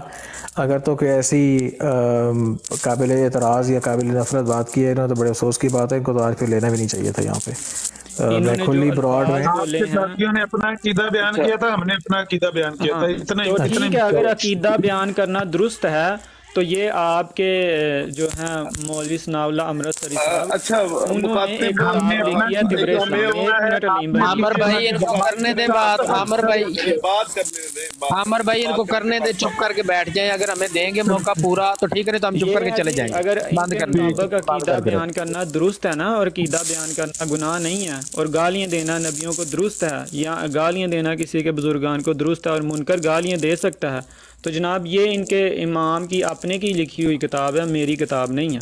ये ज़रा गौर से पढ़ लें। स्क्रीन पे बड़ा कर दे जी इनको अलीम साहब। स्क्रीन बड़ी कर दें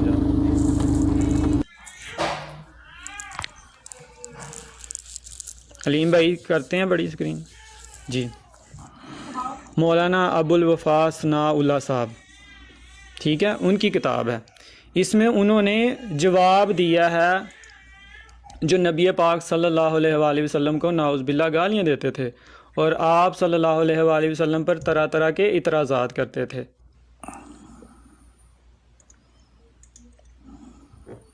जी।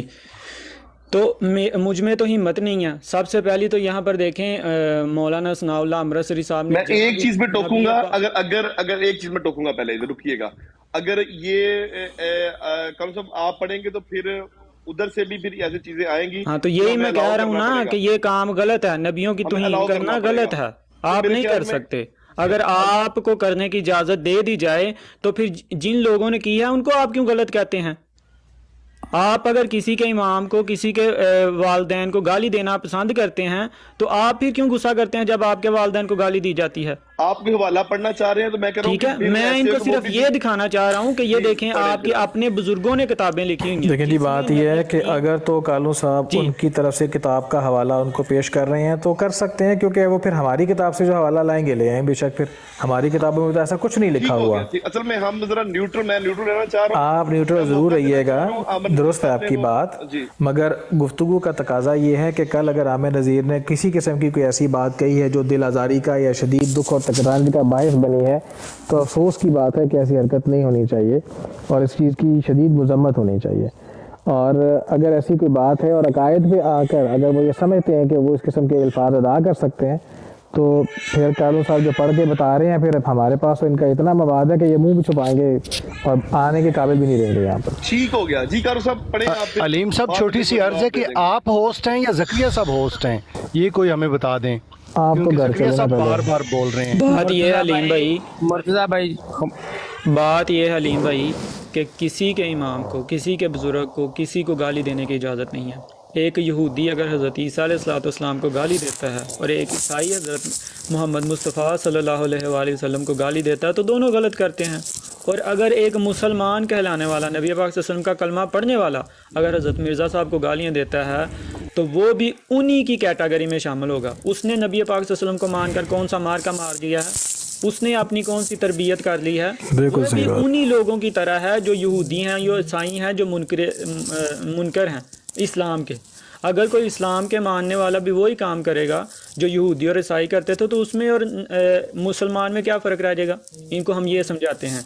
आप हमारे बुज़ुर्गों को गालियाँ देते हैं। तो इसका यह मतलब है कि आप इस चीज़ को जायज़ समझते हैं कि आपके बुज़ुर्गों को कोई गाली दे ले। आप इस जायज़ इस चीज़ को जायज़ समझते हैं क्योंकि अल्लाह ताला कहता है कि तुम्हारे लेने के और देने के बाट जो है ना वो एक जैसे ही होने चाहिए। जिन बाठों से लेते हो, उन्हीं से देना पसंद करो। अल्लाह ने ये पूरा जो है ना, मजमून बयान किया हुआ है कि लेन देन में जो है ना खराबी ना करो। जैसे लेते हो, वैसे ही दो। तो ये जब हमारे बुज़ुर्गों को गालियाँ देते हैं, इनको ज़रा भी खुदा का खौफ नहीं आता? ज़रा भी इनको इस चीज़ की शर्म नहीं आती कि ये कौन से अल्फाज इस्तेमाल कर रहे हैं? और देखें, इनके अपने बुज़ुर्गों ने वो वो इल्ज़ाम लिखे। अब ये मौलाना सनाउल्ला अमृतसरी की किताब है। उसमें वो देखें, उसने खुद ये सनाउल्ला अमृतसरी ने ये किताब लिखी है। उसमें देखें, नबी पाक का नाम लिखा हुआ है। सल्लल्लाहु अलैहि वसल्लम लिखा हुआ है साथ कहीं पर? नहीं लिखा हुआ। जहाँ पर भी उसने नाम लिखा है, मोहम्मद लिखा हुआ है। ये सनाउल्ला अमृतसरी ने लिखा हुआ क्यों नहीं लिखा? फिर आगे वो एतराज़ लिखता है। अमृतसरी अपनी किताब में एतराज़ लिखता है। नबी पाक वसल्लम पर किसी बदबख्त ने जो एतराज़ किया हुआ है उस एतराज़ को मिनो अन वैसे ही अपनी किताब में कोड करता है और वो लिखता है। और बेशुमार इस किताब में उसने वो नबी करीम वसल्लम पर होने वाले एतराज़ात को कोड किया हुआ है। और अगर तुम मिर्ज़ा साहब को गालियाँ देना पसंद करते हो तुम इल्ज़ाम लगाना पसंद करते हो तो ये बातें भी तुम पसंद करते हो नबी पाक वसल्लम के बारे में करना। तुम्हें तुम्हें ये कबूल है? अपनी ज़ुबानों को लगाम दो इख्तलाफ रखो। इख्तलाफ का ये मतलब नहीं कि तुम गालियाँ देना शुरू कर दो। ये कौन सा तुम्हारा तरीका है तबलीग का? तुम हमारी किताबें हमारे सामने बयान करते हो और हम हम हमें कहते हो कि अपनी किताबों का इसका भी जवाब दो इसका भी जवाब दो इसका भी जवाब दो। तो जब हम आपके सामने आपकी किताबें रखते हैं उस वक्त आपको तकलीफ़ क्यों होती है? नहीं होनी ठीक हो गया। तकलीफ़। ठीक हो गया। कानू साहब आपका पॉइंट आ गया। बात हो गया अच्छा अब आमिर साहब बात कर रहे थे वो तो चले गए हैं। अब जिया साहब मुर्जा साहब या मुफ्ती साहब आप रिस्पोंड कर सकते हैं जनाब। आपको पूरा मौका है। मेरी स्क्रीन बड़ी करें और टाइम मुझे बताएँ कालो साहब ने कितना लिया है? जी कालू साहब से पूछता हूँ। कालू साहब आपने कितना टाइम आप बताएँ आप मॉडरेटर हैं आपको पता होगा कितना टाइम लिया मैं कालू साहब से पूछता हूँ, मैंने नोट नहीं किया। कालू साहब आपने कितना टाइम लिया तकरीबन? बताइए तीन मिनट ढाई मिनट तीन मिनट। नहीं नहीं एक मिनट लिया सिर्फ़ एक मिनट। नहीं ठीक है आप एक नहीं नहीं ठीक है आप एक मिनट बात कर दयानतदारी है। आपकी। नहीं नहीं ठीक है ठीक है नहीं नहीं ये दयानतदारी है आपकी। कानून से पूछे थे मेरे ख्याल में आपके पास जो टाइम है तो तीन से चार मिनट का आप करें बात। सलीम साहब ये क्या बात हुई? मेरे ख्याल में मुझे मुझे आई एम नॉट श्योर कि चार मिनट था तीन मिनट था। सात मिनट टाइम लिया उसने सात मिनट। आप बात करें जी। वही आज कोई मुनाजरा नहीं हो रहा कि आप टाइम पे चलें अपनी बात मुख्तसरन ख़त्म करें जी मुख्तसरन उनको भी तो मुख्तसरन खत्म कराए ना मुनाजरा नहीं होगा फिर हमें बता दें कि हमारे देखें साथ जो कल तो आपके भाई ने मजमूम हरकत यहाँ पर की है जो इंतहाई काबिल भाई आप रोज मजमूम हरकत करते हैं। आप देखें ये चक्कर ऐसे ही रहना है आप हमें हमें कहते रहे हमने आपने मजमूम की हमारा है वो हमने बयान करना है। वो आपको मजमूम लगे। अब चुप करें ना। अब चुप करके सुने अब बंद करें। माइक म्यूट करें। हमारा अकीदा है, हमने डंके की चोट बयान करना है। आपको मजमूम मजमूम लगे, मिर्चे लगे, तकलीफ़ हो। अगर आप लोग यहाँ पे हमें बुला के, हमें फतवे पढ़ के सुनाते हम भी सुनाएँगे। जितना आप हमें सुनाएँगे, हम उतना ही सुनाएँगे। अब मेरी जरा सात मिनट जो है ना, मेरी सुनिए अब। मैं आपको सुनाता हूँ जी। गालियाँ क्या होती हैं? गुस्ताखियाँ क्या होती हैं? ये पहला मेरा सवाल भी है आप पे सारे जितने यहाँ पे आपने जो बात की हैं इधर इधर इधर इसका माइक म्यूट करें। नहीं टोका तो गया माइक म्यूट करें साहब नहीं कानू साहब नहीं आपको नहीं टोका। इसका माइक म्यूट करें। ऐसे नहीं। इसका माइक म्यूट करें। ऐसे नहीं। बात पता क्या? नहीं दी इनको मैंने इनसे पूछा है क्या ये जायज़ समझते हैं माइक म्यूट कर माइक म्यूट करो अब तुम्हें मिर्चें लगेंगी अब बर्दाश्त नहीं होगा तुमसे एक मिनट भी। वहाँ से तेरे को कर माइक। ऐसे नहीं। माइक बंद कर। माइक बंद कर। चुप कर। माइक बंद करो अब बर्दाश्त करो। मसला पता क्या ये आपकी किताब है मिर्ज़ा साहब की रूहानी खजाइन है रुकिए, जिल्द रुकिए, पाँच है। आप, आप, आपको मौका मिलेगा आपका टाइम दोबारा शुरू होगा रुके। रुके बात सुने।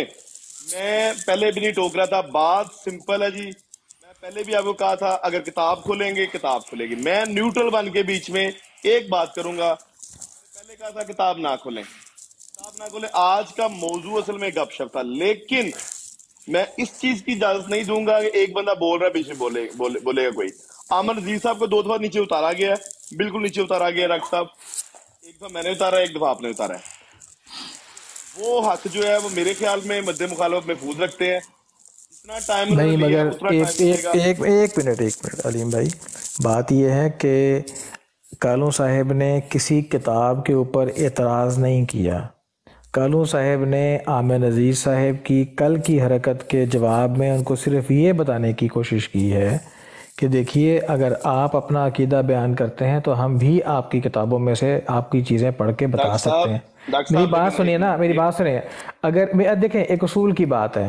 कि कोई बंदा किसी को अगर एक जगह पे हमला करता है, दूसरा उसके जवाब में अगर उसको जवाब देता है तो इसका मतलब ये नहीं कि तीसरे को इजाज़त दी जाए कि तुम आओ। ये असूल गुफ्तगु नहीं है कि आमिर नज़ीर की हरकत के जवाब में हमारा या अहमदियों में से कोई एक बंदा आकर जवाब दे तो उस जी, डॉक्टर साहब, आपकी आवाज़ नहीं मुझे आ रही। डॉक्टर साहब, आपकी आवाज़ नहीं आ रही। अच्छा आपको मेरी आवाज़ आ रही है? किसी दो और दोस्त को? अब आपको मेरी आवाज़ आ रही है जी? मैं ये अर्ज़ करना चाह रहा हूँ। जी मैं ये अर्ज़ करना चाह रहा हूँ कि देखिए अगर आमिर नज़ीर साहब की किसी मजमूम हरकत या दिल दुखाने वाली किसी ऐसी तकलीफ़ दे बात के बाद अगर जमात अहमदिया का कोई बंदा आकर ये बात बताता है कि आप जो बात कर रहे हैं वो दुरुस्त नहीं है, या अगर आप अपना अकीदा बयान कर रहे हैं तो उस अकीदे को हम भी ऐसे बयान कर सकते हैं। ठीक है? इस अंदाज से पेश कर सकते हैं। फ़लाँ किताब में आपकी ऐसी चीज़ें जो आपकी जानब से बतौर अकीदे के हैं, वो हम भी पेश कर सकते हैं। तो आमिर साहब की कल की हरकत के जवाब में एक बंदे ने रिबटल कर दिया। लेकिन रिबटल का रिबटल नहीं हुआ करता। अगर यहाँ पर ज़िया साहब को इजाज़त दी जाएगी बात करने की तो खाम खा झगड़ा शुरू हो जाएगा। ज़िया साहब का इस मामले में ना लेना है, ना देना है। ज़िया साहब का इस मामले में कोई जवाब देने का इख्तियार नहीं है। उसूली तौर पर आमिर नज़ीर ने बात की उसके जवाब में एक बंदे ने बात कर दी। अब उसके बाद ज़िया साहब का तुक क्या बनता है कि वो बतौर थर्ड पर्सन के आके तो अपनी नाक बचाने के लिए फेस सेविंग के लिए आए और अजीब गरीब किस्म की बातें कर दें। आप ये नहीं कह सकते कि आपने किताब पेश की है तो वो भी करेंगे। आमिर नज़ीर के रिबटल में हो गई बात वो मामला ख़त्म हो गया वहाँ पे। अब तीसरे बंदे को आप मौका जब देंगे तो बात बढ़ जाएगी आगे आपकी मर्ज़ी है। साहब आप मालिक हैं होस्ट के। मेरी बात सुने डॉक्टर साहब। यहाँ तो अमर नजीर साहब हों वो जवाब दें। तो खत्म होगी ना फिर ये जिया रसूल क्यों बोल रहे हैं अंदर? और फिर देखें जिया साहब का अंदाज है गुफ्तगु। माइक बंद कर और तू चुप कर। यार ये तरीक नहीं है गुफ्तगु करने का? हमारी हमारे मिजाज नहीं है यहाँ पर ऐसा। देखा है आपने डॉक्टर साहब ये कौन सी बातें आप सुना रहे हैं हमें? उसका मेरे देखा प्यारे बच्चे जरा तहमुल से बात करो मुझसे ऊँची आवाज़ में बात करने की ज़रूरत नहीं है। जिया साहेब मेरी आवाज़ मेरे सामने ऊँचा चिल्लाने की चंगाड़ने की ज़रूरत नहीं है आप ये ये बदयांती क्यों आराम से तमीज के साथ शाबाश। आराम से जरा धीमे होके बैठो। तुम्हारा तुम्हें तमीज है। चलो मैं फिर तुम्हें घर भेज देता हूँ फिर तो तमीज अपने घर से खा लेना किसी को। आप रुके अब बात सुने रुके एक सेकंड पता क्या जी अभी गर्मा गर्मी की तरफ़ बात ना जाए। नहीं बिल्कुल हम बचाना चाह रहे हैं गर्मा गर्मी से मैं हैरान हूँ इस बात के ऊपर। और भाई आमिर साहब से बात हुई है आमिर साहब कल आके जवाब दे देंगे। आमिर साहब की कल की बात का आज रिबटल हो रहा है तो उनकी बिल्कुल उसकी तो आज की बात आज का आज आमिर नहीं कर सकते तो आज की कालू साहब की बात का कल आमिर साहब भी आके रिबटल कर लेंगे आपको इख्तियार नहीं नहीं आज ही करेंगे हम आज ही करेंगे। आपको इख्तियार नहीं करेंगे। नहीं है। चले ठीक है नहीं है उसका रिबटल नहीं करना मैं अपनी बात रखने लगा हूँ जी। मुझे टाइम दे। आपकी बात अभी रखने का टाइम ही नहीं है। हम यहाँ पे इस वक्त आज किसी किस्म के मुनाजरे के लिए बैठे ही नहीं हुए। आज हम तो आए थे गुफ्तगू करने के लिए साहब किस लिए। बैठे हुए फिर बता दें हम चले जाते हैं। अगर आपने अकेले बैठ के खुद तकरीरें करनी हम चले जाते हैं। बता दें जी लीम साहब। जी लीम साहब साहब। कोई नहीं है कोई भी। चलो जी नाज शरीफ शुरू करते हैं जी। ना अलीम साहब हैं होस्ट भी गए और वो भी गए।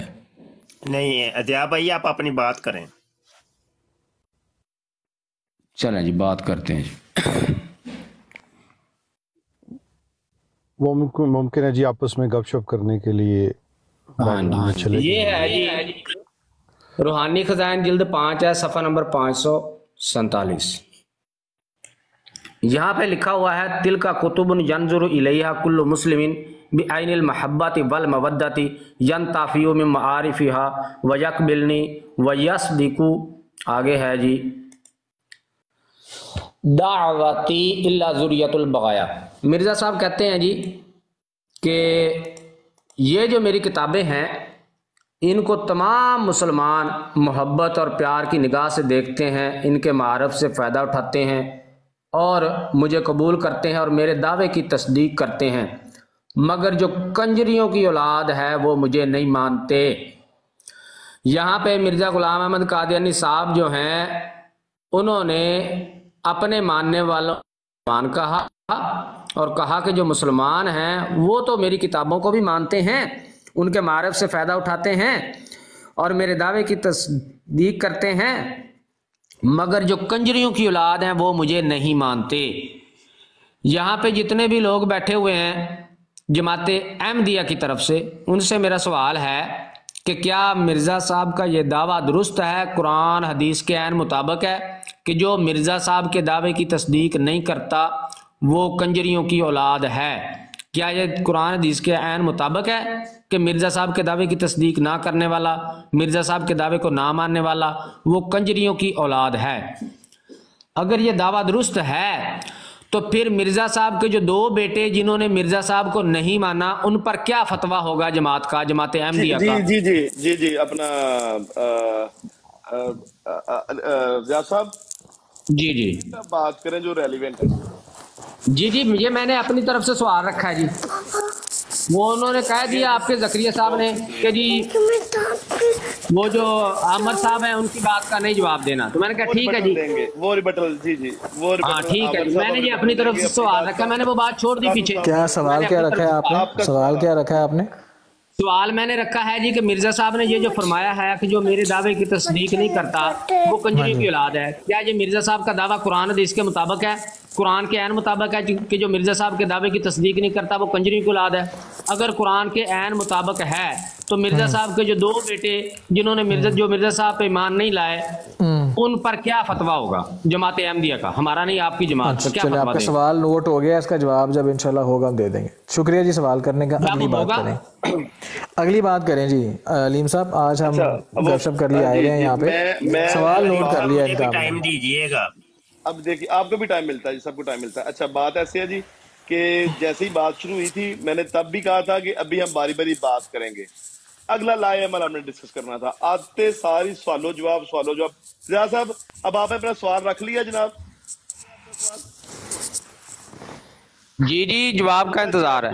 जी आपको जवाब का इंतज़ार मिल जाएगा। आपको आप- जवाब मिला आपको मिल जाएगा। सॉरी अच्छा जी मैं आज दोस्तों को नीचे उठा रहा हूँ। हम बातचीत करने के लिए आज बैठे थे लेकिन आते ही वो गर्मा गर्मी गर्मा गर्मी। बराए मेहरबानी मुझे मुखातिब करना है।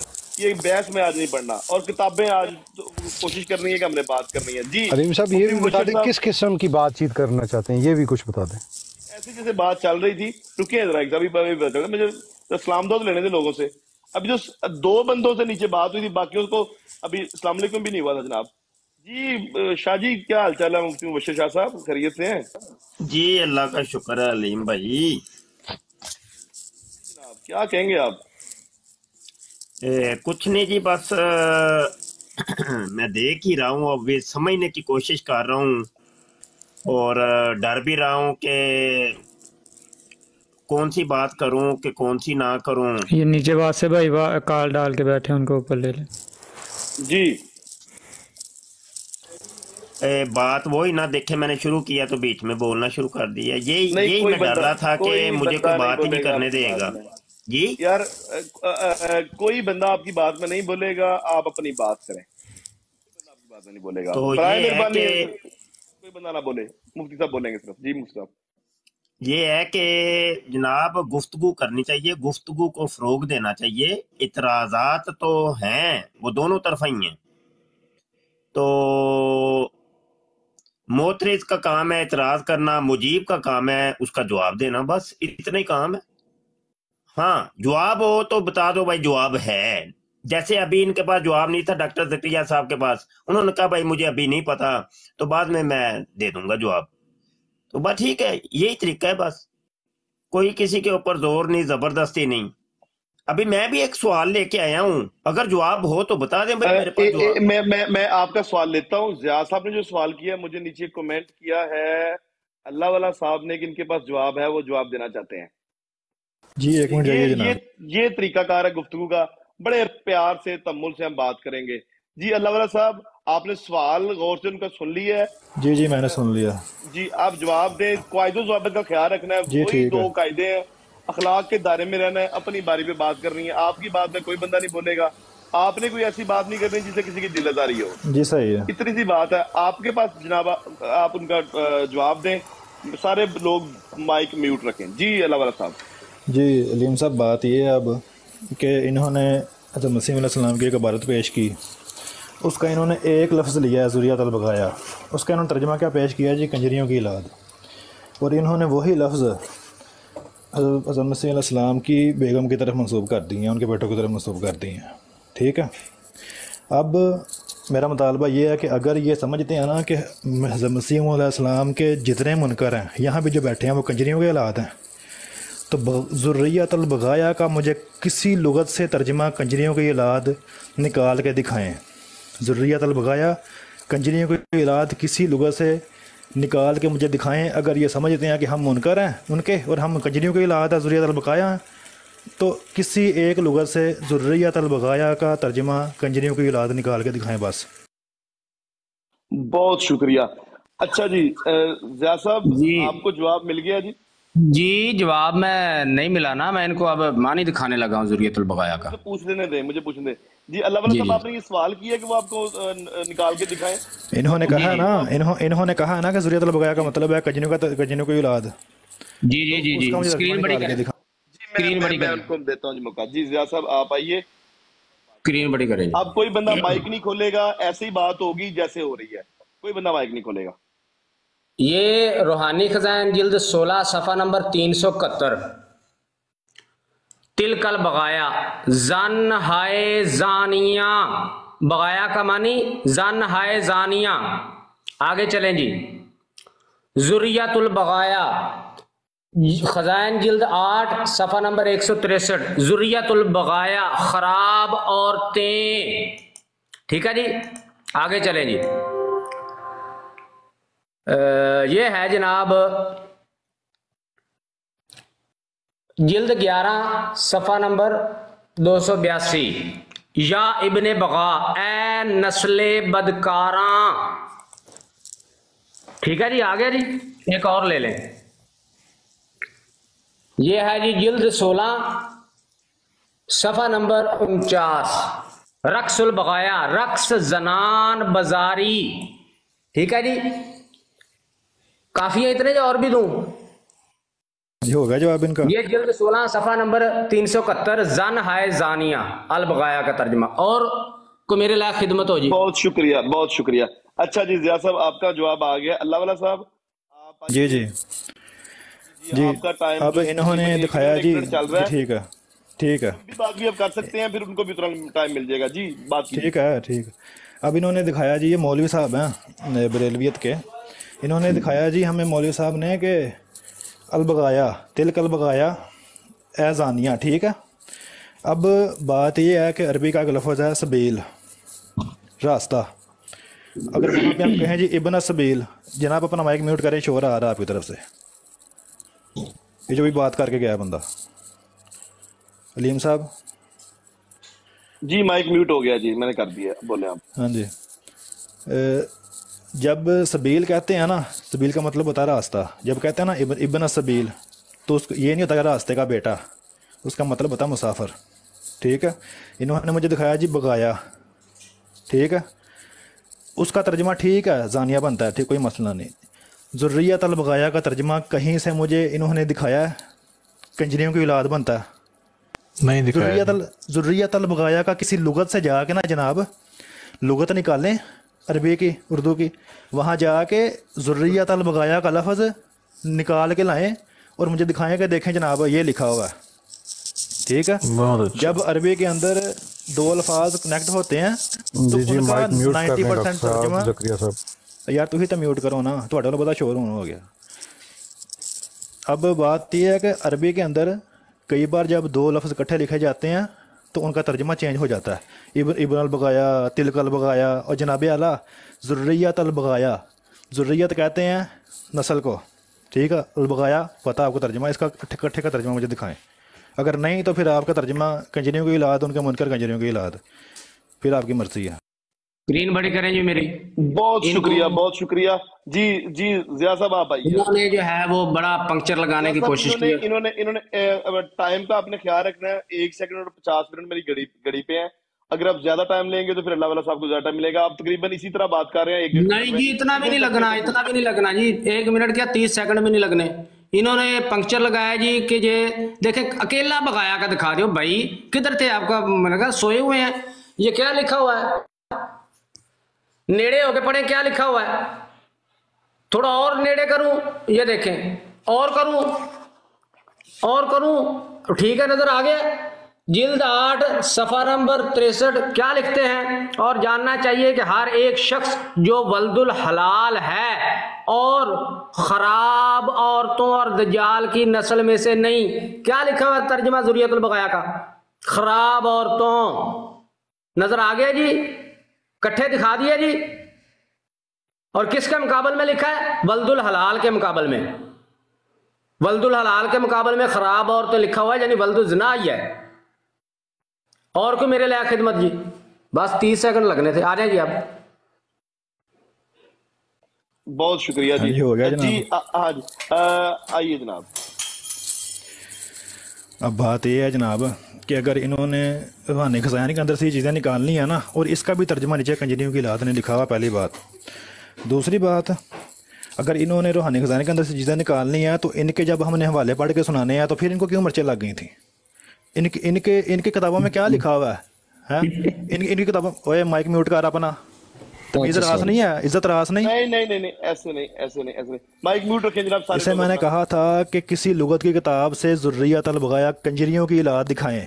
ठीक है? अगर अल्लाह साहब एक सेकंड देखें उन्होंने आपके साथ सीग वाहिद में गुफ्तु नहीं की। आप अपना लहजा और अपना अंदाज वही पेश करेंगे जो जमात का खासा है।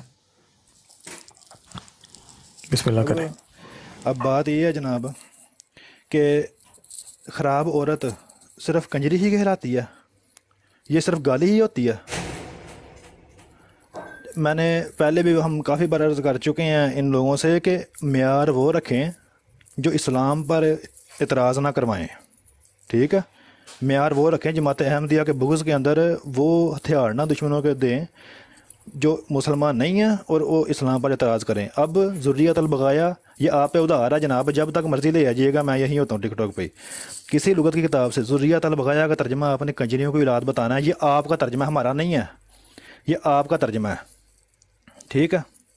ये आपका तर्जमा है ज़ुर्रियत बगाया, ये आप लोगों ने हमें दिखाना है कंजरियों की औलाद कि अजम की जो मुनकर है, वो कंजरियों की औलाद है, ये आपने मुझे दिखाना है।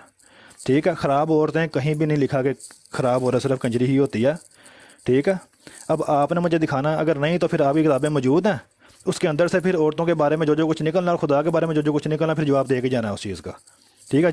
लुगत निकाल लें जी ठीक। बहुत शुक्रिया जी। बहुत शुक्रिया जी। बस जी हो गई है जी बात? आए जी आए जी। जब वो कह गए कि हो गई है तो फिर आपने कहना जरूर होता हाँ, वो कह गया बेचारा कि मैं मुकम्मल करती है इन्हें जरूर थोड़ा ਵਿਚਾਰਾ ਕਹਿ ਗਿਆ ਜੀ ਵਿਚਾਰਾ ਕਹਿ ਗਿਆ ਜੀ ਤੁਹਾਡਾ ਵਿਚਾਰਾ ਕਹਿ ਗਿਆ ਜੀ ਹਾਂ ਉਹ ਕਹਿ ਗਿਆ ਤੇ ਇਹ ਜਿਹੜਾ ਸਭ ਤੋਂ ਵੱਡਾ ਵਿਚਾਰਾ ਹੈ ਤੜਕਾ ਜ਼ਰੂਰ ਲਾਣਾ ਗੱਲ ਕਰ ਵੀ ਜੜੇ आया जकरिया साहब क्या बात है जी क्या बात है जी चलो जी टाइम अब मिर्जा साहब की अपनी जुबानी जुरियातुल बगाया का तर्जुमा दिखा दिया है खराब औरतों और मिर्ज़ा साहब ने किसके मुकाबले में लिखा है हलाल जादों के मुकाबले में क्या लिखा हुआ है कि हर एक शख्स जो वल्दुल हलाल है और खराब औरतों और दजाल की नस्ल में से नहीं है क्या मतलब है साफ़ मतलब है कि मिर्ज़ा साहब ने जब हलाल औरतों के मुकाबले में लिखा है तो उनको हराम ज़्यादा ही लिखा है दूसरी जगह भी मिर्ज़ा साहब ने नहीं नहीं नहीं नहीं नहीं नहीं नहीं भाई आपको बोलने का किसने कहा है डॉक्टर साहब करने थे इसे करने चले जी करें करें। लेकिन ये है। पूछते हैं जी कि जुर्रियतुल बगाया दोनों लफ्जों का तर्जुमा दिखाएँ। अब मिर्ज़ा साहब ने इब्ने बगा भी लिखा हुआ है। जुरियातुल बगाया एक जगह और एक जगह इब्ने बगा अगर ये दो जुमले दो अल्फाज जमा हो जाने से मतलब चेंज होता है तो इबन बगा का मतलब नस्ल बदकारा क्यों लिखा है मिर्ज़ा साहब ने? बताएँ मुझे। चलें जी इनको ये एतराज़ है जी कि हम जो है वो क्या उसको कहते हैं कि जी, कंजरी की औलाद हमने गलत तर्जमा किया क्या ये मानते हैं कि खराब औरतों की औलाद ठीक है, कि जो मिर्ज़ा साहब को नहीं मानते, वो खराब औरतों की औलाद हैं? और अगर हम इसको अरबी में कहें तो ऐसे कहेंगे कि वो जुरियातुल बगाया हैं। तो चलें जी, मुझे बता दें, कुरान पाक से कोई एक सबूत दे दें कि मिर्ज़ा साहब को ना मानने वाले जुरियातुल बगाया, या खराब औरतों की औलाद हैं। क्या मिर्ज़ा साहब का यह दावा कुरान के मुताबिक है? अगर कुरान के मुताबिक है तो मिर्ज़ा साहब के बेटे ने जो उसको मिर्ज़ा साहब के दावे की तस्दीक नहीं की, मिर्ज़ा साहब का वो बेटा जुरियातुल बगाया, यानी खराब औरतों की औलाद था या नहीं? जमात का इसके बारे में क्या मौकफ है, क्या फतवा है? आ जाए जी। बहुत शुक्रिया। आइए जनाब। साहब चाह रहे हैं बात करना कानून साहब रुके रुके रुके रुके देखिए सारे लोग सुन रहे हैं बात अच्छे तरीके से हो सकती है सिर्फ़ थोड़ा सा हमें तमुल चाहिए। इतना सा तमुल हो बड़ी प्यारी बात होती है। जब कोई अच्छा। पार्टिसिपेंट या कोई बंदा इस तरह की बात करता है खराब काम खराब होता है। अच्छा अलीम साहब बात यह है बात यह है कि जुर्रियत बगाया का तर्जमा कंजरी इन्होंने किया था। रुके रुके रुके रुके जी। मैं अभी आपका मौका है आपने बातें सारी सुननी है ना अच्छे से? उनकी जी। दलाइल सुननी है। जी। जी आप बोलिए। बात यह है कि जुर्रियत बगाया का तर्जमा कंजरियों की औलाद इनका तर्जमा था हमारा तर्जमा नहीं था। हमारी किताब में कहीं भी कंजरी नहीं लिखा जुर्रिया का तर्जमा। ठीक है? अब ख़राब लिखा हुआ वहाँ पे ख़राब कंजरी नहीं होता। इन्होंने कंजरी समझना ना तो ये भी मुनकर समझते रहें। ठीक है? इस चीज़ का मैं आप रिस्पॉन्स नहीं करूँगा जब तक ये नहीं लाते दुगा से हवाला। कालों साहब कुछ कहना चाह रहे थे अगर आप चाहते हैं तो कुछ इजाज़त देते हैं। वो रुकिएगा। आइए जनाब जिया साहब आप आइए उसके बाद मैं आपको पूछूँगा कि अब अच्छा जी असल असल मसला अब समझ आया है। असल मसला अब समझ आया है। ये मनाजर साहब जो तशरीफ़ लाए हैं इनका असल मसला अब समझ आया कि इन मोहतरम बेचारे को सिरे से पता ही नहीं है कि अरबी के कौन से लफ्ज़ का क्या मतलब है और कौन से लफ्ज़ का क्या मतलब है। कहते हैं जी हमारी किताब में कहीं भी जुरियत का मतलब जुरिया का मतलब कंजरियों नहीं लिखा हुआ। इन्ना व ये हैं आपकी जमात के अरबी दान। ओ भाई, आपने कौन सी जगह से अरबी का ये कायदा पढ़ा हुआ है? कहाँ से आपने अरबी लुगत सीखी है, जनाब मोहतरम? अल्लाह वाला साहब ओए आपको किसने कह दिया कि जुरिया का मतलब यहाँ पे कंजरियाँ किया गया है? ओ भाई, जुरिया का मतलब जुरियत का मतलब होता है औलाद। जिस तरह मिर्ज़ा साहब ने कहा, रक्सुल बगाया, यानी रक्स जनान बाजारी, यानी बगाया बाजारी औरतों का रक्स। आगे मिर्ज़ा साहब ने लिखा कि जी, इब्ने बगा इब्ने बगा बदकारों की नस्ल, ये तर्जमा किया मिर्ज़ा साहब ने। फिर मिर्ज़ा साहब ने किया अल बगी जन्ने फाहिशा। फिर मिर्ज़ा साहब ने तर्जमा किया तिल कल बगाया, जन हाय जानिया। ओ भाई, ये बगा का मतलब है कंजरियों की औलाद। जुरियत का मतलब नहीं। जुरियत का मतलब होता है औलाद। कंजरियों की औलाद। बगाया का मतलब मिर्ज़ा साहब ने खराब औरतों जन है जानिया नस्ल बदकारा जने फाहिशा किया हुआ है। और जुरिया का मतलब होता है औलाद। यानी जने फाहिशा जन है जानिया बदकारों की औलाद। जिसको दूसरे लफ्जों में कहेंगे कंजरियों की औलाद। बहुत शुक्रिया बहुत शुक्रिया तो आपका मसला ही आप समझ आया आप आगे समझ। शुक्रिया। बहुत शुक्रिया। अच्छा अब बात है फिर एक कालू साहब आपसे बात करना जी कल ही कहेंगे मैंने जुर्रिया की जगह बगाया मैं देता हूँ वासे भाई जवाब खामोश हैं। रुके अब दोनों में से कौन बंदा आपसे बात मैं देता हूँ अल्लाह साहब आप खामोश रहेंगे। अब इसके बाद कालू साहब आगे बात करें। कालू साहब वही दो असूल हैं वही कवायद है उनका ख्याल रखना आइए ऐसे ही बात करें। आइए। ज़रूर। बिस्मिल्लाहिर्रहमानिर्रहीम। सबसे पहली बात तो जिस जगह से इन्होंने अबारत पेश की है, हज़रत साहब ने उस पर, उस जगह पर कोई तर्जमा नहीं किया हुआ। ठीक है? तो अगर मिर्ज़ा ग़ुलाम अहमद कादियानी अलैहिस्सलाम ने ख़ुद कोई तर्जमा नहीं किया तो ये अपनी तरफ़ से कोई तर्जमा करते हैं तो इनकी मर्ज़ी है। हमारी तरफ़ से कोई इस तरह का तर्जमा ना है, ना होगा। ये इनका अपना मामला है। कुरान करीम में भी बगाया का लफ्ज़ आया हुआ है तो वहाँ क्या मुराद कंजरियाँ हैं? तो ये अगर लेते हैं तो इनको लेने दें। ये इनका अपना मामला है, हमारे इनकी तरफ़ से कोई मामला नहीं है। दूसरी बात, हमारा ये जवाब था, अब मैं ज़िया साहब से सवाल करना चाहता हूँ। हमारे तो जो बात है, वहाँ पर ना तो मिर्ज़ा साहब ने कोई इस तरह का तर्जमा किया है और ना ही कोई इस तरह का तर्जमा मिलता है। वो तो बात है मुतशाबे, और मुतशाबे बात का ये हमारी तरफ़ मंसूब कर रहे हैं। तो वो करते रहें, उससे कोई फ़र्क नहीं पड़ता। लेकिन इनकी किताबों में तो मुतशाबे नहीं है। महकम बात अहमद रज़ा खान बरेलवी साहब ने की हुई है, वो ये है। अहमद रज़ा खान बरेलवी साहब फरमाते हैं कि आज कल के रवाफ़ तो अमूमन ज़रूरियात दीन के मुनकर कतन मुर्ताद हैं। इनके मर्द या औरत का किसी से निकाह हो ही नहीं सकता। ऐसे ही वहाबी, देवबंदी, नेचरी, चक्रालवी, जुमला मुर्तदीन हैं। इनके मर्द या औरत का तमाम जहान में जिससे निकाह होगा, मुस्लिम हो या काफर, असली हो या मुर्ताद इंसान हो या हवान, महज बातल और जनाए खालस होता है और औलाद वल्दु जना होती है। ये मोहकम बात लिखी हुई है। क्या लिखा हुआ है कि उनका निकाह जो होता है, वो निकाह नहीं होता? और वो जना करते हैं, खालस जना। कोई यहाँ पर मुतशाबे नहीं है, कोई किसी लफ्ज़ का तर्जमा करने की ज़रूरत नहीं है, कोई डिक्शनरी देखने की ज़रूरत नहीं है। हर शख्स को आईने की तरह यह पता चल रहा है कि अहमद रज़ा खान बरेलवी साहब क्या फरमा रहे हैं। फरमाते हैं कि उनका निकाह नहीं, जो अमल वो आपस में करते हैं, वो जना खालस होता है और औलाद वल्दु जना होती है। क्या होता है? निकाह निकाह नहीं, बल्कि खालस जना है। निकाह निकाह नहीं, खालस जना है और औलाद वल्दुल जना है, यानी हरामी औलाद। अब ये हमें बताएँ क्या अहमद रजा खान बरेलवी साहब ने जो ये जो बात की है? अच्छा कालू साहब जी। आपकी बात आ गई है। अब मुझे अब एक बात बताएँ। पहला टॉपिक खत्म हो गया अब इस टॉपिक पे आप आ गए हैं। अगर इस टॉपिक पे आएँगे तो फिर मुझे बताएँ कि मैं उनको कैसे रोकूँगा उस। बात से जो वो खोलेंगे। इसको कहते हैं दलील खसम। आपको शायद याद हो। अच्छा। हमारी जो बात है वो मोहकम है। अगर मिर्ज़ा ग़ुलाम अहमद कादियानी अलैहिस्सलाम का ज़ुरियातुल बगाया कहना इनको चुभता है और वो इनको तकलीफ़ देता है तो अहमद रज़ा खान बरेलवी साहब ने ये कौन सी कुरान हदीस के मुताबिक उनको जानिया कहा है? जानी तो आपको पता है किसको कहते हैं? कंजरी को। कौन सी किताब से पढ़ रहे हैं जी? ये जी मलफूजात आला हज़रत से। अच्छा जानी किसको कहते हैं? जना कौन करती है? कंजरी।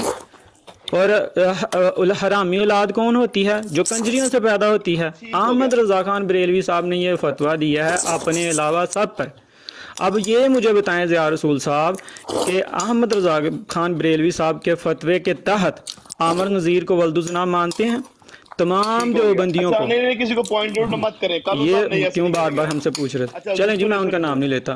तमाम जो बंदियों को शिया को वहाबियों को अहमद रजा खान बरेलवी के फतवे के तहत हरामी और लंबी बात करेंगे मुझे टाइम कालू साहब लंबी बात ना करें।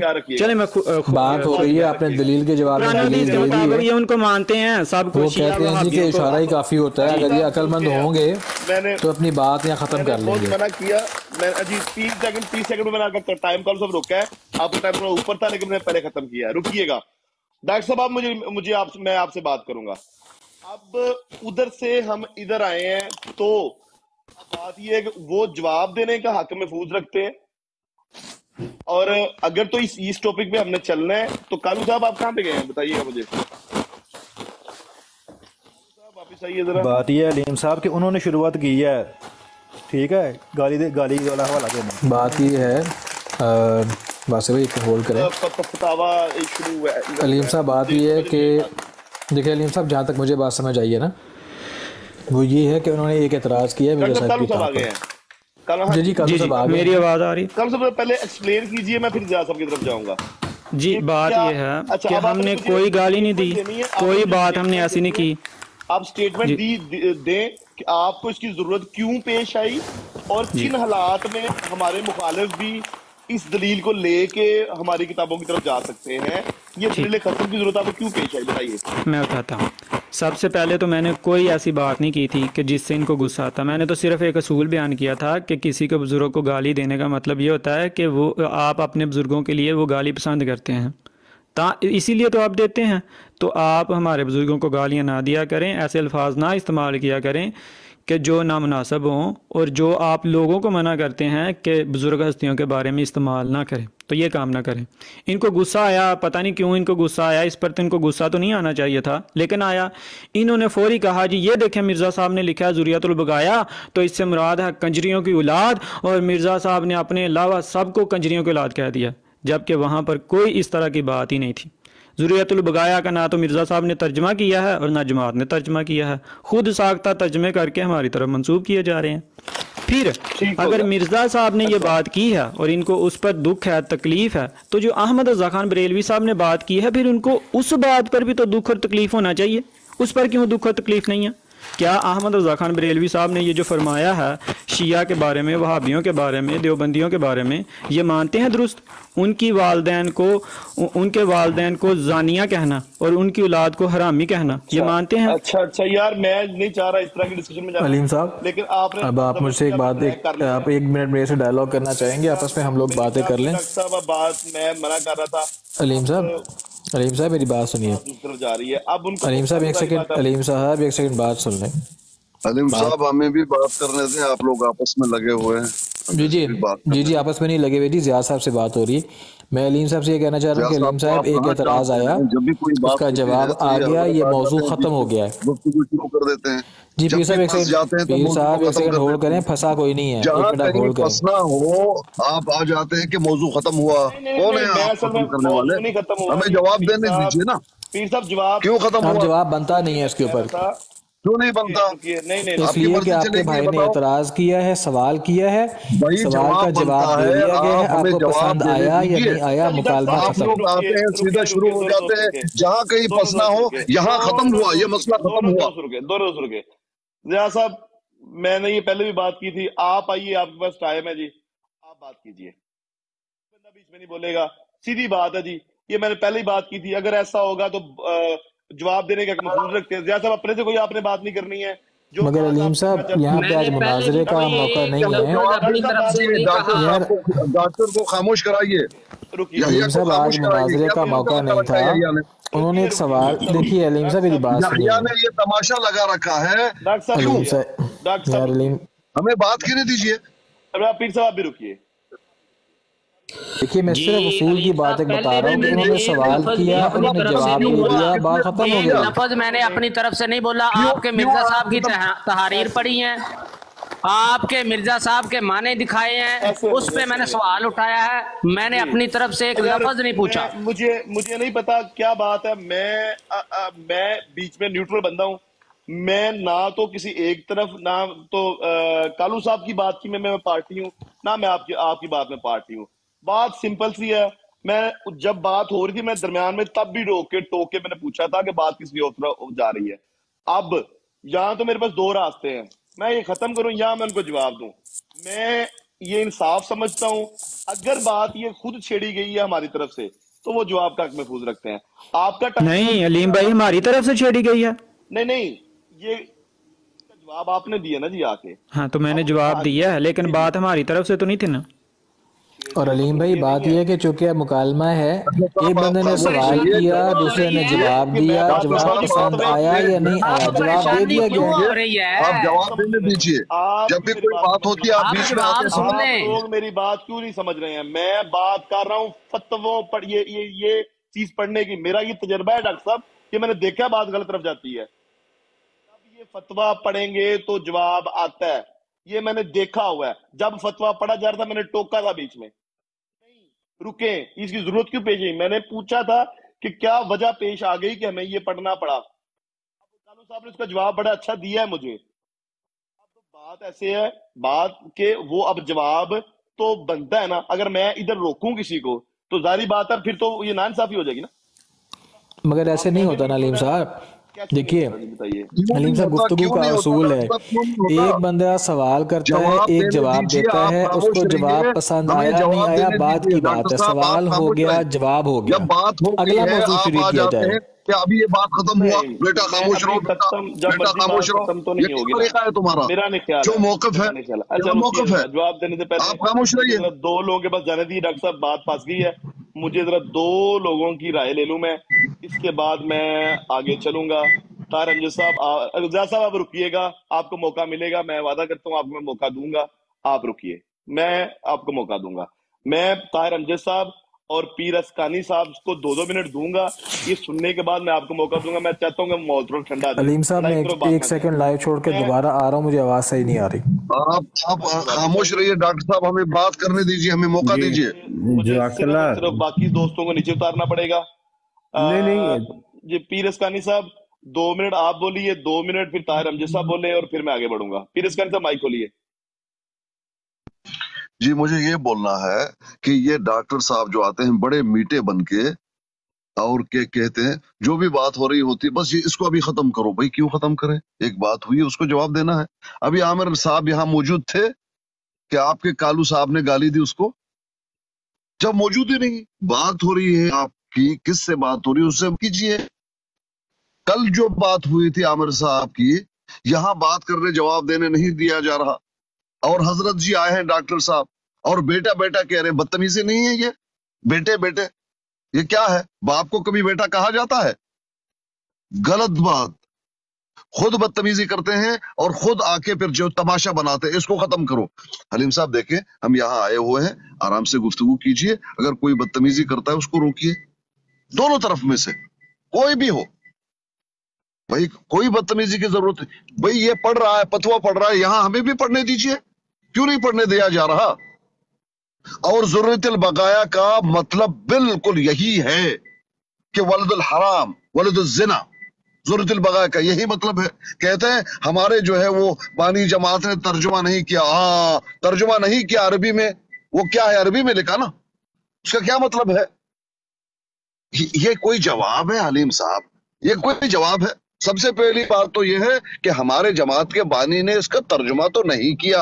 अल्लाह अल्लाह क्या बात? ये ज़रूरत बकाया जो है, वलद हराम से निकल के ये जो है वलद हलाल बन जाएगा। क्यों तर्जुमा ही नहीं किया? क्या क्या बात है, हलीम साहब?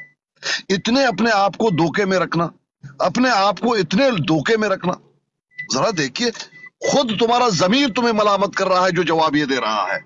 और आगे से अपने दिल का जो है बड़ास निकाल के आमिर साहब को गाली दे रहे हैं ये कालू साहब। और कालू साहब की गुफ्तगु मैंने देखा है दो तीन दिन में यहाँ सुना हूँ। जब भी आते हैं बस यही। यही जो है गंदी बातें शुरू कर देते हैं। और यहाँ से जब जवाब दिया जाता है तो फिर डॉक्टर साहब आते बेटे आप तो खामोश रहे बेटे। कभी बाप को बेटा कहा जाएगा अलीम साहब? डॉक्टर साहब बहुत शुक्रिया पीर असकानी साहब बहुत शुक्रिया। बहुत शुक्रिया बहुत शुक्रिया। बहुत शुक्रिया। जी बहुत शुक्रिया। जी तारंजन साहब माइक खोलिए जनाब, बोलिए। जी, शुक्रिया बहुत बहुत। बात यह है कि ज़ुरियतुल बगाया पर बात हुई। हर ज़ुबान में, लिटरेचर में अपने मुहावरे होते हैं और वो वहाँ पर चलते हैं। क्या जुरियतुल बगाया का सिर्फ़ यही मतलब लिया जा सकता है और कोई मतलब नहीं लिया जा सकता? ये एक बात।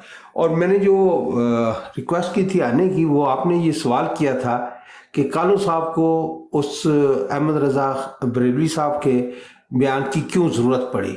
वो इसलिए ज़रूरत पड़ी कि ज़िया रसूल साहब ने इसका हवाला देकर फिर एक सवाल उठाया कि मिर्ज़ा साहब के दो बेटे जो उन पर ईमान नहीं लाए थे उनकी ज़िंदगी में आ, उनकी क्या स्टेटस है? तो इसका लाजमी जो है वो जवाबुल जवाब जो मिलता है इल्ज़ामी जवाब उसमें कालू साहब हक बजानब थे। कि उन्होंने अहमद रज़ा साहब बरेलवी ने जो जो बंदियों, बरेलवी अहल हदीस और अहल तशैय के बारे में जो कहा है, वो बिल्कुल वाज है। उसमें तो तर्जमा करने की ज़रूरत भी नहीं है। तो ये एक, मेरा ख्याल है कि उनका हक था जिसका इस्तेमाल किया है। तो अब ये ज़िया रसूल साहब और दूसरे गैर अहमदी वो बताएँ, इसमें तो बिल्कुल वाज है। ये तो अपनी ज़ुबान और सादा से लफ्ज़ है। तो ये कहाँ खड़े हैं? तो इतदाल या एहतराम जो होना होता है, वो बाहमी होता है। ये नहीं होता कि दूसरे मतलब का, दूसरे के लफ्ज़ का बदतरीन मतलब निकालना और अपने जो लफ्ज़ इस्तेमाल किए हैं, उनका बेहतरीन लफ्ज़ बताना। ये खुद फरेबी के सिवा कुछ नहीं है। जजाकल्ला बहुत शुक्रिया बहुत शुक्रिया जनाब अली। अच्छा दोनों का मैंने मौकफ लिया। थोड़ा सा जो माहौल है, वो थोड़ा ठंडा हुआ। आ, अच्छा मैं ये समझता हूँ कि जैसे कि ताहिर अमजद साहब ने मुझे बताया कि वो दलीलें खसम देने की ज़रूरत क्यों पेश है जी बिल्कुल ठीक है आपकी बात सौ फ़ीसद मैं इतफाक करता हूँ आपसे। फिर इसकानी साहब आपकी बातें भी हमने सुनी। तो गुफ्तगु जो है इसका ये आखिरी टर्न है। एक एक बारी दोनों के पास है एक एक बारी दोनों के पास है। बात शुरू की थी जिया रसूल साहब ने। आखिरी बात जो थी वो खत्म की कालू कालू साहब ने आखिरी बारी उन्होंने ली है। एक एक बारी जो क्लोजिंग आप लोगों ने देनी है एक एक बारी आप दे दें। जिया रसूल साहब तीन मिनट आपके पास है तीन मिनट कालू साहब के पास है। इसके बाद इस टॉपिक को हम खत्म करेंगे फिर हम अगली बात करेंगे। मेरे ख्याल में मैं नहीं चाहता कि हम किसी लड़ाई की तरफ़ जाएँ कोई नया आ, कोई हमारे ऊपर कोई आ, कोई लड़ाई झगड़े की तरफ़ बात जाए। मैं भाई बड़ा डरता हूँ, ये एक दूसरे के के फतवों से और किताबों से और उसके अंदर इतना हाथ ढूंढ के और फिर जो तेज तेज बातें और वो सख्त बातें निकालते हैं हम एक दूसरे की। लेकिन चूँकि एक एक बारी है तीन तीन मिनट की दोनों दोस्तों के पास अपनी अपनी बात करें और उसके बाद फिर हम आगे मूव करेंगे, फिर मैं दूसरे दोस्तों को ऊपर लूँगा। सबसे पहले अभी तीन मिनट जा साहब आपके पास है, तीन मिनट कालू साहब के पास होंगे। ये क्लोजिंग होगी इस टॉपिक के ऊपर। जी जा साहब, अपनी बात शुरू करें। जी जजाकल्ला बहुत बहुत शुक्रिया। सबसे पहले ये कहा जा रहा है कि जवाब चूँकि दे दिया था, जैसा भी दिया पसंद आया या नहीं आया, वो भाई जवाब दिया कहाँ है? सवाल मेरा ये था कि मिर्ज़ा साहब का ये फतवा, क्या कुरान, हदीस के मुताबिक है? उसका कौन सा जवाब दिया फिर मेरा सवाल था कि मिर्ज़ा साहब के बेटों का क्या स्टेटस होगा इस फतवे के मुताबिक? कौन सा जवाब दिया उसके? और जवाब में कहते हैं, जी, हमने इल्ज़ामी तौर पे कहा है। अच्छा आपने इल्ज़ामी तौर पे फतवा पढ़ के सुनाया। उसमें से रिज़ल्ट आप निकाल लें कि उसमें से कौन सा रिज़ल्ट सही है कि अहमद रजा खान साहब का जो फतवा है, उसके मुताबिक जो उन्होंने किसी को कहा, क्या वही वो बनते हैं या नहीं बनते? और उसी के मुताबिक मुझे जवाब दे दें कि मिर्ज़ा साहब ने ये जो कहा है, क्या ये गलत कहा है? तो कह दें कि गलत कहा है, हम नहीं मानते। और अगर दुरुस्त कहा है तो मिर्ज़ा साहब के बेटों का स्टेटस बता दें। अब मेरे सवाल का तो जवाब दिया नहीं गया, लेकिन चले गए उधर जी फतवा पढ़ने के लिए, जिसका ना कोई तल्लक ना वास्ता क्योंकि जवाब है नहीं। अब जो मैं पेश करने लगा हूँ, मुझे कह रहे थे, जी तकलीफ़ क्यों हो रही है? मुझे कोई तकलीफ़ नहीं हुई तकलीफ़ आपको होगी अब अब जो मैं पढ़ने लगा हूँ अब आपको तकलीफ़ होगी। एक लफज भी जिया रसूल का नहीं होगा। सब कुछ आपकी किताबों में से पढ़ के सुनाऊँगा। ये स्क्रीन जरा मेरी बड़ी है ऑलरेडी ये देखें जी ये आपके जो है वो बशीरुद्दीन महमूद साहब जो आपके दूसरे खलीफा हैं जिनको आप मिसले मौद भी कह, कहते हैं ये उनतीसवें पारे की जनाब कर रहे हैं जी तर्जमा। सफ़ा नंबर है सात सौ तिरसठ। तफसीर सगीर है, अल कलम का तर्जमा है। यहाँ पे लिखते हैं, कुरान मजीद में जनीन, जनीम का लफज है जिसके मानी होते हैं कि वो शख्स जो किसी कौम का फ़र्द तो नहीं, मगर अपने आप को उसकी तरफ़ मंसूब करता है। आगे चले जी। ये आपके मिर्ज़ा ताहर साहब का तर्जमा है जी, कुरान का। इसमें ये जनीम का मानी लिखते हैं वल्दुल हराम। नज़र आ रहा है जी? वल्दुल हराम, जनीम का मतलब। आगे मिर्ज़ा साहब का है जी तफसीर हज़रत मसीह मऊद। जनीम का क्या मतलब लिखा हुआ है? वल्दुल जना। अब मुझे बताएँ कि आपके बेटे जो हैं, मिर्ज़ा साहब के बेटे, उसने कहा है जी कि ये जनीम उसको कहते हैं जो किसी कौम का फर्द तो नहीं, मगर अपने आप को उसकी तरफ़ मंसूब करता है। मिर्ज़ा साहब कहते हैं हमारी कौम मुगल बरलास है। दूसरी जगह पे कहते हैं कि हम नस्ल इसहाक व इस्माइल से हैं। तीसरी जगह पे कहते हैं मैं इसराइली भी हूँ और फातमी भी। चौथी जगह पे कहते हैं आजिज का खानदान दरअसल फारसी है ना के मुगलिया। मुझे बताएँ कालो साहब मिर्ज़ा साहब कौन सी नस्ल से हैं? क्योंकि मिर्ज़ा साहब के बेटे कहते हैं कि वो शख्स जनीम है जो किसी कौम का फर्द तो नहीं मगर अपने आप को उसकी तरफ़ मंसूब करता है। आप अपनी आपकी किताबें। आपकी ही बारात। मेरी कोई बात नहीं थी बीच में। ठीक है, बहुत शुक्रिया, आपके तीन मिनट पूरे हो चुके हैं। आपको मैंने पहले भी कहा था, अपने अल्फाज आपने इस्तेमाल नहीं करने हैं। तीन मिनट आपके पूरे हो चुके पूरे तीन मिनट हो चुके हैं। बहुत शुक्रिया आपका। आपकी आखिरी टर्न थी ये। कालू साहब, आपकी भी आखिरी टर्न है। बात कीजिए, तीन मिनट आपके पास है। कालू साहब, आइए। जजाकल्ला जी देखें पहला एतराज़ जो इनका था इसका मतलब है कि उसका जवाब मिल गया इनको चाहिए तो ये था कि पहले एतराज़ पर बात करते जो इन्होंने पहला एतराज़ किया था इन्होंने उस एतराज़ को छोड़ दिया अहमद रजा खान बरेलवी साहब की बात का भी कोई जवाब नहीं दिया और एक नया एतराज़ लेकर आ गए जी यहाँ पर लिखा है मिर्ज़ा साहब ने ये यहाँ पर लिखा है मिर्ज़ा साहब ने ये यहाँ पर इस तरह बता रहे हैं जिमें जै- अ, जिमें ना बड़े खानदाना ਦੀਆਂ ਹਿਸਟਰੀਆਂ ਇਹਨਾਂ ਕੋਲ ਪਈਆਂ ਨੇ ਪਹਿਲੋਂ ਸਾਰੀ ਸਾਨੂੰ ਹਿਸਟਰੀ ਲਿਆ ਕੇ ਵਹਾਓ ਕਿ ਮੁਗਲ ਬਰਲਾਸ ਕਿਹਨੂੰ ਕਹਿੰਦੇ ਨੇ ਬਨੀ ਇਸਰਾਈਲੂ ਕਿਹਨੂੰ ਕਹਿੰਦੇ ਨੇ ਤੇ ਫਲਾਂ ਫਲਾਂ ਕਿੱਥੋਂ ਕਹਿੰਦੇ ਨੇ ਤੇ ਕਿੱਥੋਂ ਤੁਰ ਕੇ ਇਹ ਸਾਰੀਆਂ ਨਸਲਾਂ ਪੈਦਾ ਹੋਈਆਂ ਨੇ ਤੇ ਫਿਰ ਸਾਡੇ ਨਾਲ ਗੱਲ ਕਰਿਓ ਸਾਨੂੰ ਬਸ ਐਸ ਫਤਿਹ ਦਾ ਜਵਾਬ ਦਿਵੋ ਕਿ अहमद रजा खान बरेलवी साहब ने शिया को वहाबियों को देवबंदियों को क्यों जनीम कहा है क्यों जानिया कहा है और उनकी औलाद को हरामी कहा है इस ਇਹਦਾ ਜਵਾਬ ਕਿਹਨੇ ਦੇਣਾ ਅਹਮਦ ਰਜ਼ਾ ਖਾਨ ਬਰੇਲਵੀ ਸਾਹਿਬ ਨੇ ਵੇਖੋ ਕੋਈ ਇਹਦੇ ਵਿੱਚ ਮੁਤਸ਼ਾਬੇ ਗੱਲ ਨਹੀਂ ਕੋਈ ਤਰਜਮਾ ਕਰਨ ਦੀ ਜ਼ਰੂਰਤ ਨਹੀਂ ਕਿਸੇ ਡਿਕਸ਼ਨਰੀ ਨੂੰ ਖੋਲਣ ਦੀ ਜ਼ਰੂਰਤ ਨਹੀਂ ਕਿਸੇ ਵੱਡੇ ਅਲਾਮਾ ਕੋਲ ਜਾਣ ਦੀ ਜ਼ਰੂਰਤ ਨਹੀਂ ਸਾਦਾ ਸਾਦਾ ਅਲਫਾਜ਼ ਦੇ ਵਿੱਚ ਵੇਖੋ ਨਾ ਕਿੱਡੀ ਸਲੀਸ ਉਰਦੂ ਦੇ ਵਿੱਚ ਉਹਨਾਂ ਲਿਖਿਆ ਸਾਦਾ ਉਰਦੂ ਦੇ ਵਿੱਚ ਕਿ ਇਨਕਾ ਨਿਕਾਹ ਬਾਤਲ ਹੈ और जनाए खालस होता है और औलाद वल्दु जना होती है केड़े केड़े वहाबी देवबंदी नेचरी चकरालवी वहाबी कौन ने आ, पीरस कहानी साहब पीरस कहानी साहब कौन है भाई बताएं हमें जब आप मिर्ज़ा साहब के बेटों का नाम लेंगे तो हम भी आपके भाइयों का नाम लेंगे। हमें बताएँ अमर नज़ीर का क्या स्टेटस है? अहमद रजा खान बरेलवी के मुताबिक। ये पीरस कहानी साहब का भी बता दें। पीरस कहानी साहब हमारी बातें आपको लगती हैं गंदी। तो ये अहमद रजा बरेलवी साहब की बातें क्यों नहीं गंदी लगती? सॉरी सॉरी सॉरी जी सॉरी नहीं करेंगे आप किसी को। चलें जी जिनको हमारी बातें लगती हैं गंदी उनको अहमद रजा खान बरेलवी साहब की बातें क्यों नहीं लगती गंदी? या अहमद रजा अहमद रजा खान बरेलवी साहब ने इतने इतने पेपर लिख दिए हैं और ये आपस में भाई भाई हैं? और भाई अगर अहमद रजा खान बरेलवी साहब की बातें आपको गालियाँ नहीं लगती तो मिर्ज़ा साहब अलैहिस्सलाम का ज़रूरत बगाया लिखना आपको गालियाँ क्यों लगता है? वो क्यों महसूस होता है? भाई। अलीम भाई जरा नीचे वासे भाई को अनब्लॉक कर दें प्लीज़ आपको वो गालियाँ नहीं लगना चाहिए। आपको जुरियातुल बगाया कहना आपको गालियाँ क्यों लगता है। आपको गालियाँ ये नहीं लगता जहाँ पर उन्होंने साफ़ लिखा है कि इनका निकाह निकाह नहीं, आपस में जो अमल करते हैं, जना होता है, जना खालस होता है, औलाद हरामी होती है, ये आपको गालियाँ नहीं महसूस होती। ओ भाई, जुरियातुल बगाया आप अपनी तरफ़ से तर्जमे करते हैं। फलां जगह फलां जगह फलां जगह। जबकि मिर्ज़ा साहब ने उसका तर्जमा ही नहीं किया हुआ। ये आपको सादा, सीधी ज़ुबान में जो लिखा हुआ है, वो आपको समझ नहीं आता। अजीब बात नहीं है आपकी। अजीब आपके म्यार हैं। सबसे पहले अपने घर की सफ़ाई करें। जब आपको अहमद रजा खान बरेलवी साहब की बात महसूस होगी गाली है तो फिर हमारे पास आना। कहना कि अहमद रजा खान बरेलवी साहब ने जो गाली दी थी उसकी बुनियाद पर हमने उनको काफर करार दे दिया है। अब जो आपकी अबारत लिखी हुई है जुरियातुलबगाया उस पर फैसला करें। और देखें कि जुरियातुलबगाया के क्या क्या मानी है। बहुत शुक्रिया बहुत शुक्रिया आपके बहुत शुक्रिया। अच्छा जी बहुत बहुत अच्छी बात है। अच्छा यार ये डॉक्टर साहब ये तीस सेकंड के लिए म्यूट आज मैं लगाया हुआ था लेकिन वो मुझे पता नहीं लग रहा कि वो तो दोबारा अनम्यूट करना पड़ा है। अच्छा जी बहुत शुक्रिया कालू साहब आपका।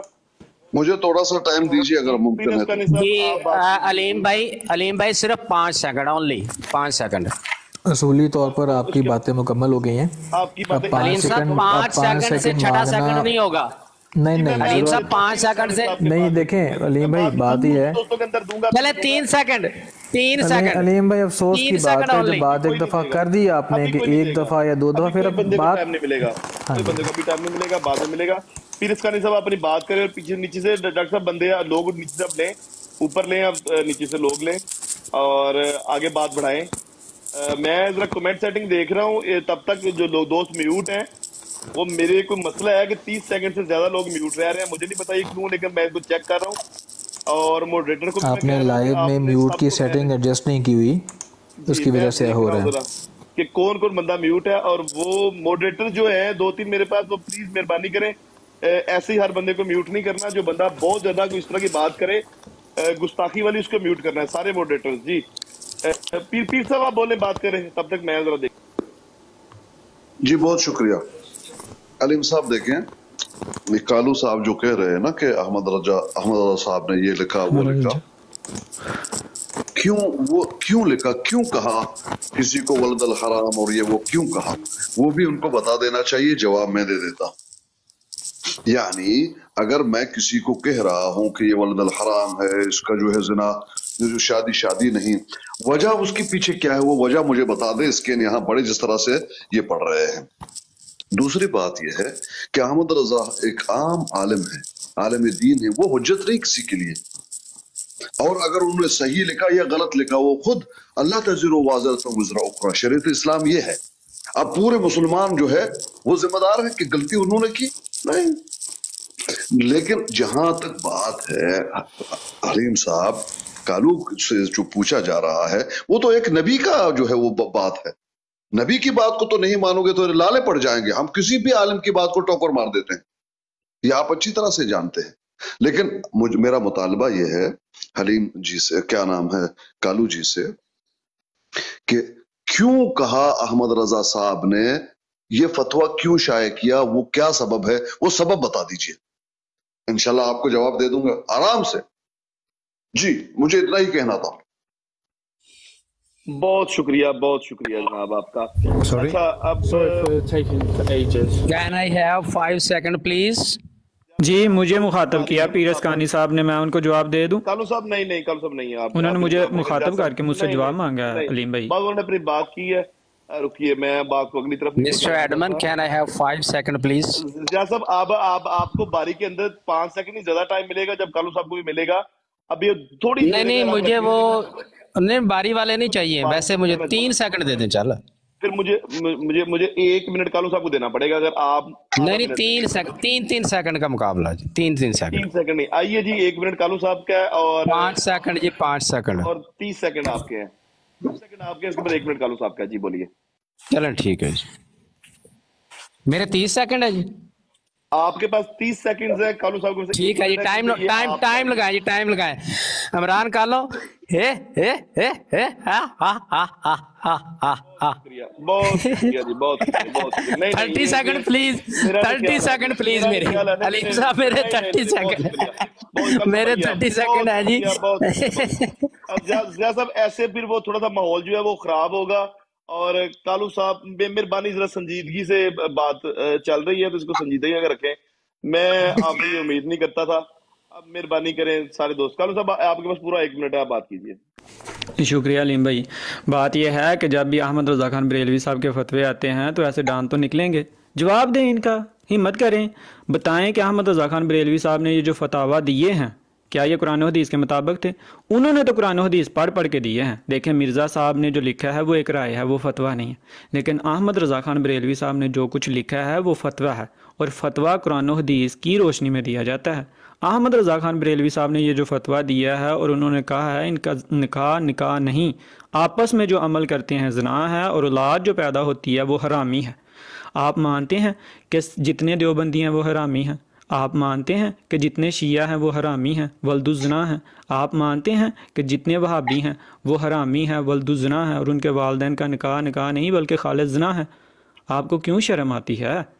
जब आप इस तरह के मौजू छेड़ेंगे आप हम पर इतराज़ात करेंगे तो भैया आप अपने घर को तो साफ़ करें। ये इनका जवाब किसने बहुत देना है? शुक्रिया बहुत शुक्रिया कालू साहब। फैसल भाई आइए बात कीजिए। मेरी अच्छा अलीम साहब आपसे एक बात पूछनी है। जी जनाब। अलीम साहब बात ये पूछनी है कि आपके नज़दीक भी मिर्ज़ा साहब की बात फकत राय है फतवा नहीं? है नहीं मेरे मैं इस टाइम होस्ट हूँ मैं न्यूट्रल हूँ अच्छा और मैं चाहता हूँ कि मैं न्यूट्रल नहीं रहूँ। मेरे पे अच्छा इत्तेफाक जो है। वो दोनों साइड से उठे और मेरे लिए वही हलीम साहब हलीम साहब। जी जनाब पीर साहब। इस मसले को खत्म कीजिए कालू साहब से कहिए कि वो सबक क्या है। खत्म करा देना पीर साहब।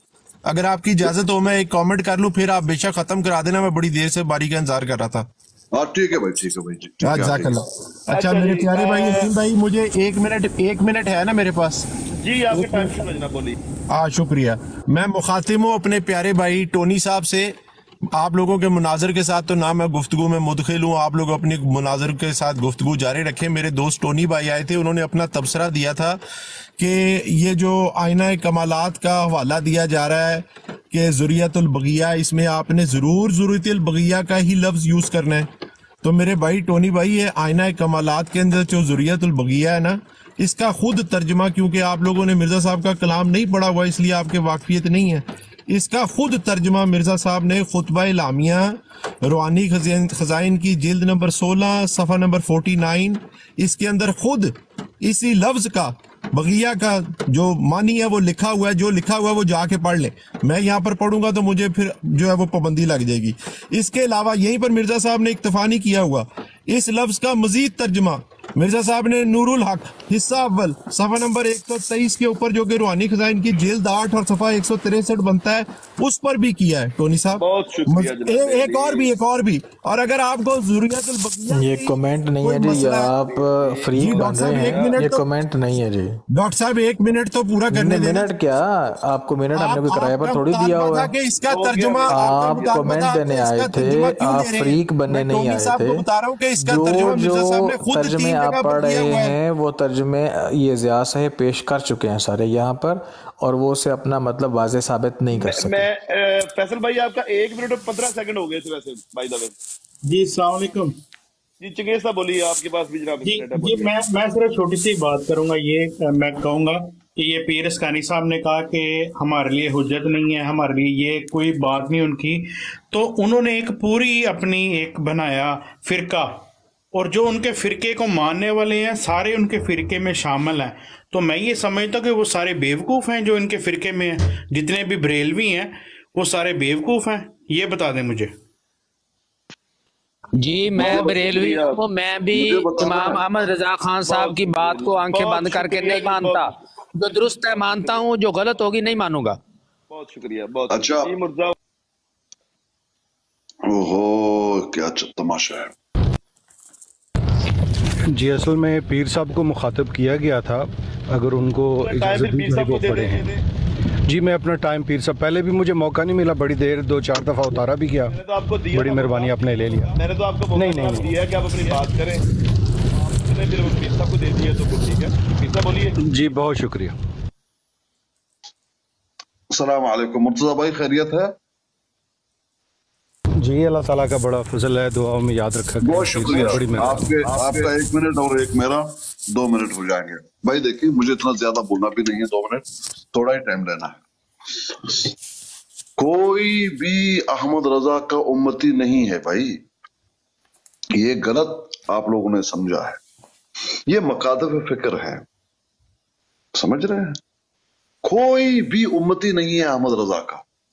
एक आलम दीन है, बहुत सारे लोग उसको पसंद करते हैं। आज भी कुछ आलम दीन घूम रहे हैं, कुछ कुछ को मैं पसंद करता हूँ, कुछ को मैं पसंद ही नहीं करता, बल्कि बाद से नफरत भी हो जाती है। सिर्फ़ इतना सा मामला है। लेकिन हर गलती उसकी या जो भी बात, जो भी वो कहे मानेंगे, नहीं मानेंगे भाई। जो कुरान और हदीस के मुताबिक हो, उसको मानेंगे।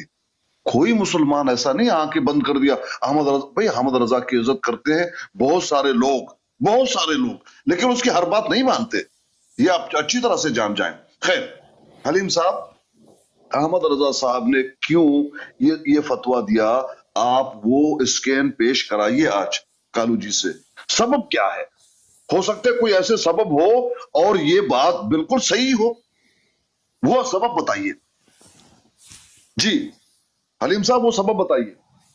जी बहुत शुक्रिया वो बताएँगे अभी आपके टाइम है जी लीम भाई मैं बात करूँ। नहीं नहीं पीर साहब भाई बोले पीर साहब को मुकम्मल सुने उसके बाद फिर आप आप बोल सकते हैं। पीर साहब वो आपको सुन लिया उन्होंने आप बात हाँ हाँ देखिए आप मतलब मेरा सवाल ये है हनीम साहब बहुत शुक्रिया आराम से कालू जी को कहिए कि जितना भी मुँह पाड़ के ये गाली देंगे हम जवाब नहीं देंगे। क्योंकि हम ऐसे लोगों को मुजम्मत के काबिल भी नहीं समझते याद रखना भाई। आप सिर्फ़ इतना बताइए कि क्यों अहमद रजा साहब ने इतना बड़ा फतवा दिया मुसलमानों को? क्यों? वो सबक बताइए। असल किताब से ये है सवाल। बहुत शुक्रिया पीर साहब। कालू साहब बात मैं तो क्योंकि फिर दोबारा सवाल आ गया आपने इसका आप इसका जवाब देना चाहेंगे तो दें। जी मैं दूँ। जी आए। सबसे पहली बात है कि जनाब, मैंने कोई गाली नहीं दी। जो कुछ लिखा हुआ अहमद रज़ा खान बरेलवी साहब की किताब में लिखा हुआ है, और वहाँ से मैंने पढ़ कर सुनाया है। अगर ये गाली है तो उस किताब पर पाबंदी लगाएँ, उसको ख़त्म करवाएँ तो मैं तो नहीं पढ़ूँगा फिर। जब तक मेरे पास है, जब तक उस बात को करोड़ों लोग मानने वाले हैं तो मैं तो पढ़ूँगा। दूसरी बात, कल आमन नज़ीर साहब ने हमारे सामने ये एक बात की थी। उन्होंने कहा था कि अकीदा जो है, वो इजमाही होता है, इनफरादी नहीं होता। इनफरादी अकीदा कुछ कोई हैसियत नहीं रखता, अगर किसी का हो। इजमाही अकीदा हैसियत रखता है। यही बात ज़िया रसूल साहब ख़ुद को बरेलवी भी कहते हैं और कहते हैं, जी, मेरे लिए अहमद रज़ा खान बरेलवी साहब उज्जत नहीं है। तो ये इनका इनफरादी बात है इजमाही बात नहीं है। इजमा इसको टकराता है। जाएँ किसी बड़े मुफ्ती से लिखवा कर लाएँ। जाएँ साद जो साद रिजवी है इस वक्त टीएलपी का या उस तरह और भी बहुत ज़्यादा बरेलवियों के बड़े बड़े मौलवी हैं। वो लिख कर दे दें कि हम अहमद रज़ा खान बरेलवी की जो बातें हैं हमारे लिए हुज्जत नहीं है। मैं नहीं आपके सामने पेश करूँगा। आपकी इनफरादी हैसियत कुछ नहीं है। आपको तो कोई दूसरा बंदा भी नहीं जानता। जिसको करोड़ों लोग मानते हैं वो आपके लिए हुज्जत नहीं है और आप कहते हैं कि मेरी बात आपके लिए हुज्जत होनी चाहिए। भाई क्यों? अहमद रज़ा खान बरेलवी साहब ने जो फतवे दिए हैं जिसमें उन्होंने वहाबियों के देवबंदियों के चिकरालवियों के नेचरियों के शिया के वालदेन के निकाह को उस अमल को जना कहा है जना खालिज कहा है और लाद को वल्दुजना कहा है। मुझ पर गुस्सा करने के बजाय आपको अहमद रज़ा खान बरेलवी साहब को जवाब देना चाहिए। किताब लिखें उस पर। आपको जवाब देना चाहिए उन मुफ्तियान को। मुझसे क्यों लड़ते हैं? मुझसे क्यों झगड़ते हैं? मुझसे ना लड़ें झगड़े। गालियाँ अगर दी हैं अगर ये गालियाँ हैं तो ये अहमद रजा खान बरेलवी साहब ने दी हैं। ये गालियाँ हैं तो ये हर बरेलवी आपको देता है जो खुद को कहता है मैं बरेलवी शुक्रिया ये देता है शुक्रिया। मैं नहीं देता। बहुत शुक्रिया। पीर साहब ये पीर आसकानी भाई ले लिया जवाब। पीर आसकानी भाई जवाब ले बात करें जी। जी मैं मैं थोड़ी सी बात कर लेता हूँ। देखें कालू साहब बहुत बेबस हैं बहुत ज़्यादा बेबस हैं। मैं वजह पीर आसकानी भाई इसने कहा है कि ये इमाम अहमद रजा खान साहब की जो है ना किताब है ये भी पूछे इससे ये मलफूजात उन्होंने लिखी है? ये भी इनसे पूछिए। मुझे, तो मालूम है कि क्यों लिखा है ये इसलिए मैं पूछ रहा हूँ वो बता नहीं रहे। हलीम साहब क्या मैं बता दूँ कि क्यों लिखा है ये सर अहमद रजा साहब ने? जी जी आप बताएँ आप बात करें जनाब बताएँ आप। जी देखिए वो नहीं बता रहे मैं बता देता हूँ।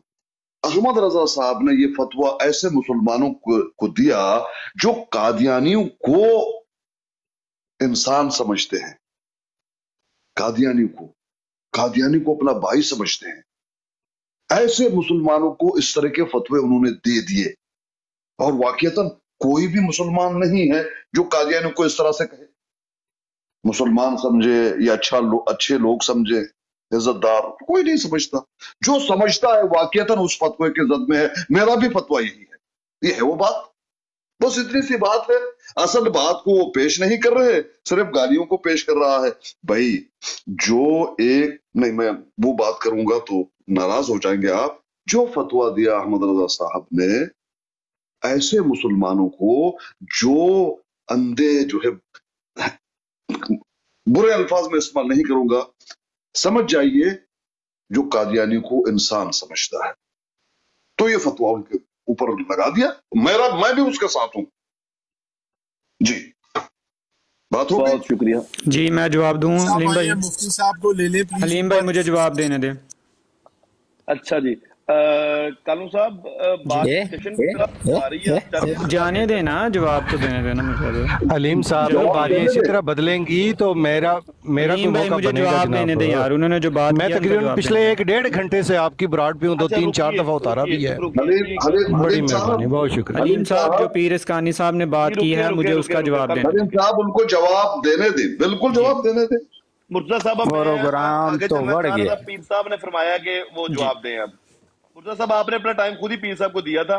मैं तो जनाब आपको मौका देने के लिए नहीं त्रै त्रै वारियाँ चार चार भाई दाएँ मुझे बाएँ लाओगे मैं पाँच उनसे पाँच बात कर रहा हूँ मिनट उनको जवाब तो। मेहरबानी करें भाई इतनी बदला बात करें आप बात करें इसके बाद अल्लाह अलीम भाई उन्होंने साहब ने खुद कहा कि मुझे उन्हें मुखातब जी बहुत शुक्रिया बहुत है। शुक्रिया।